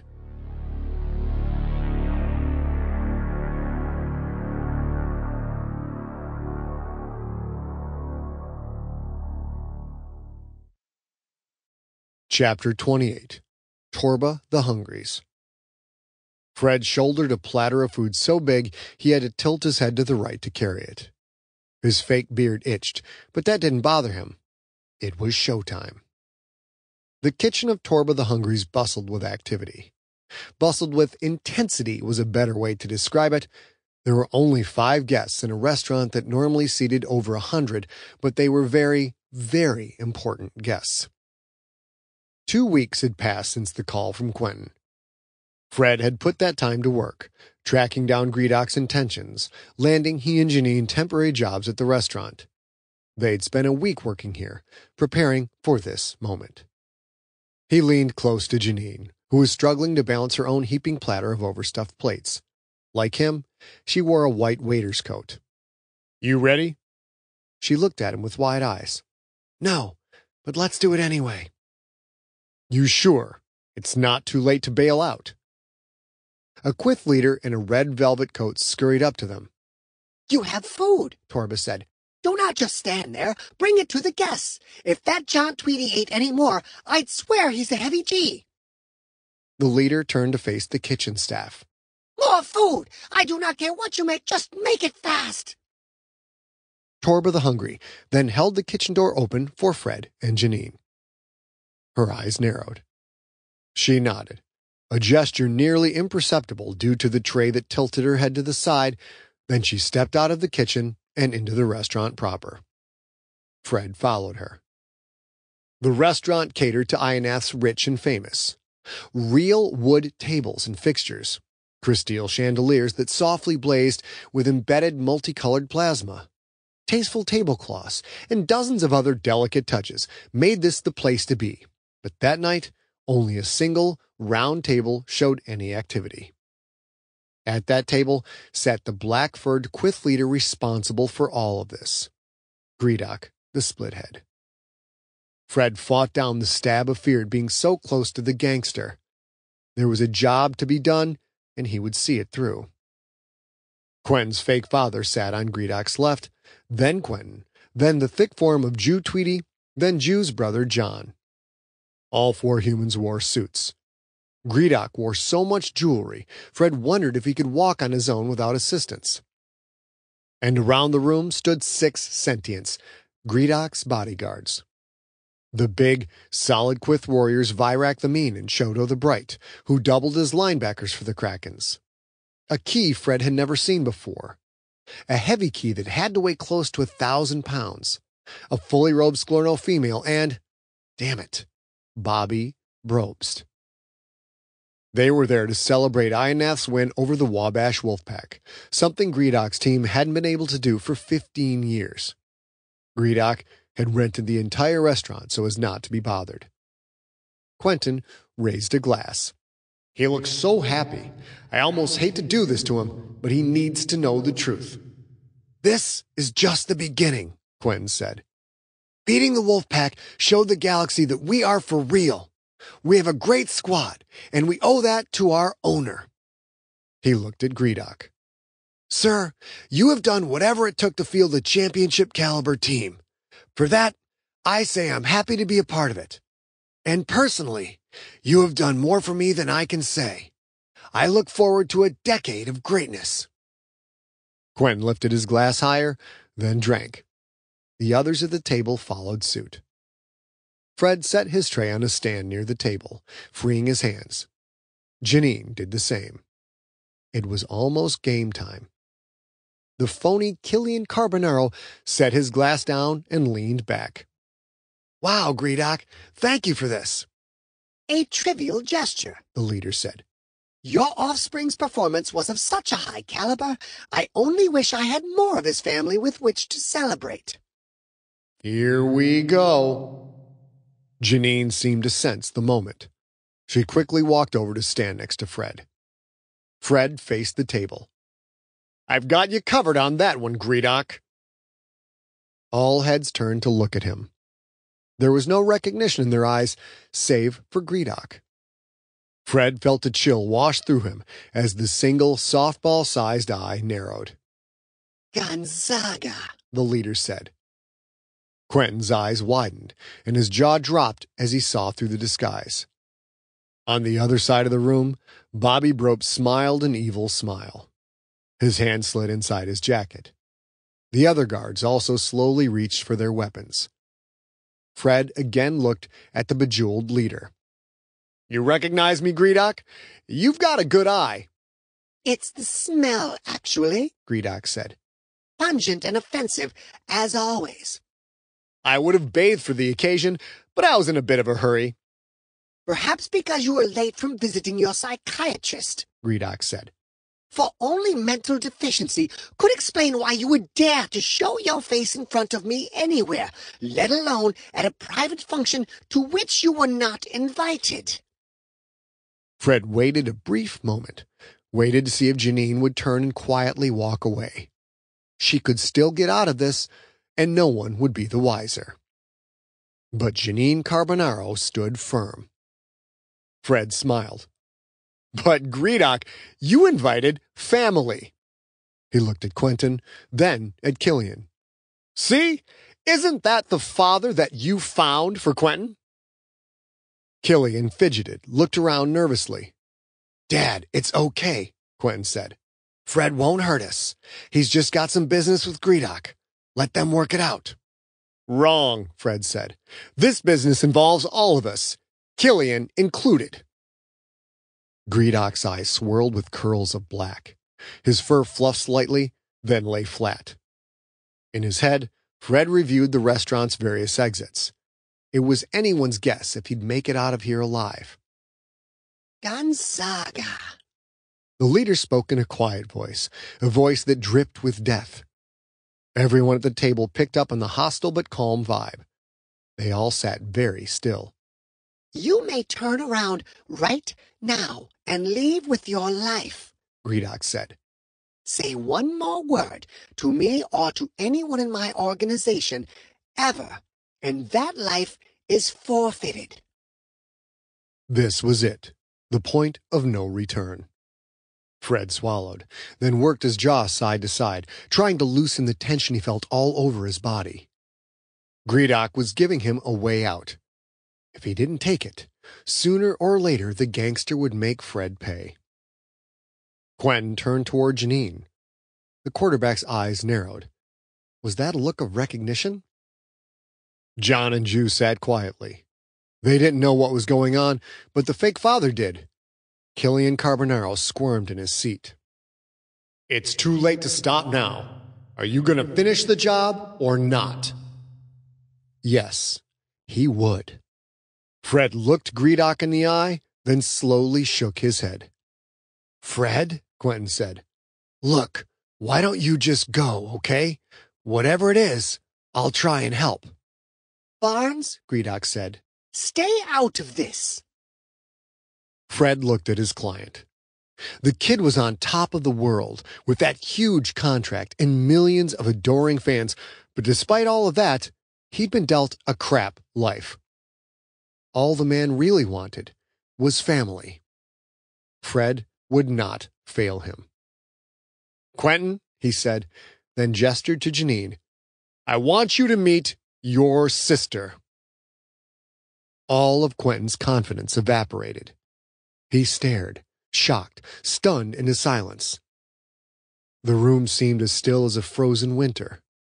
Then, finally, he spoke in a voice far too small for his oversized body. Janine? Her ever present hard expression softened. She nodded.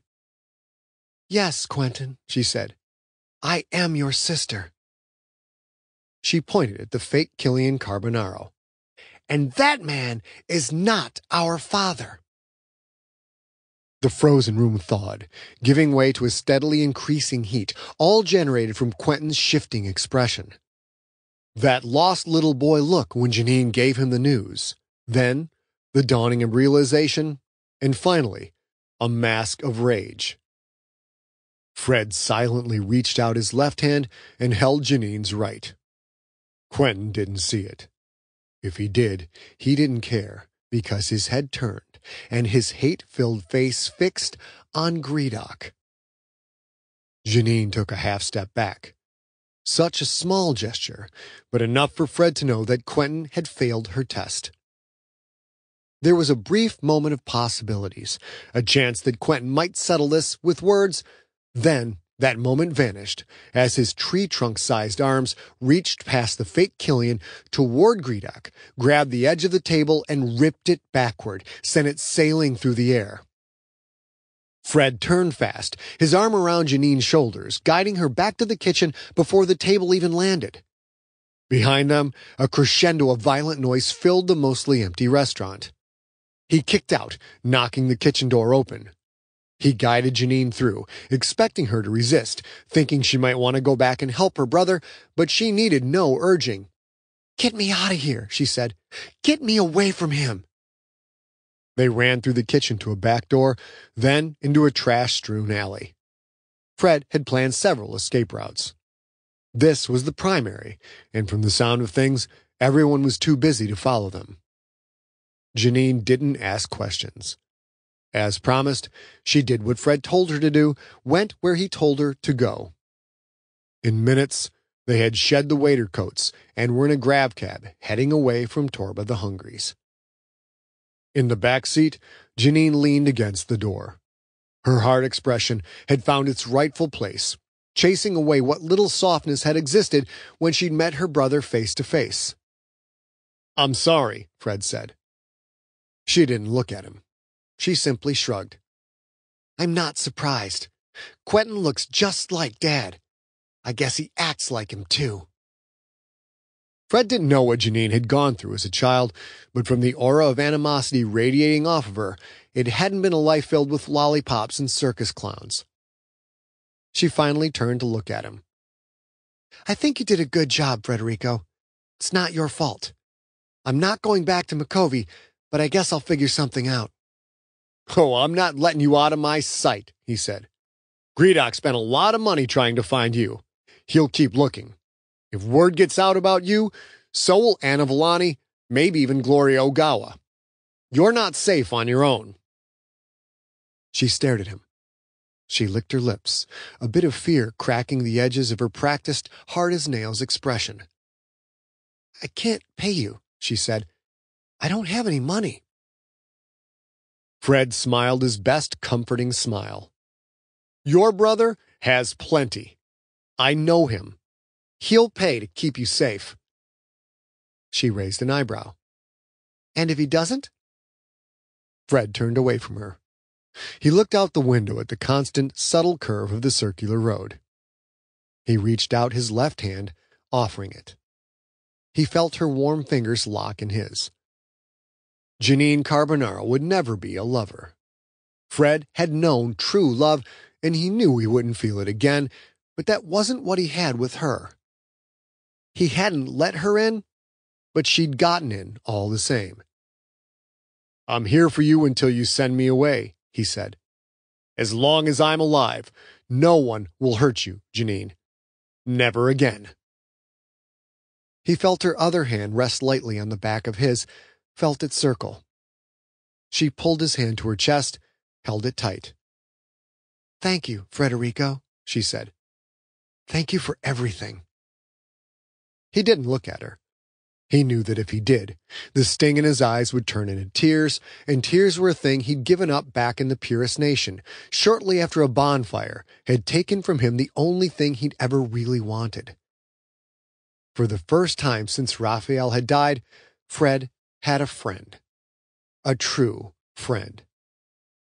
If anyone did try to hurt her, well, there was a wonderful man named Rico who would just love to make their acquaintance.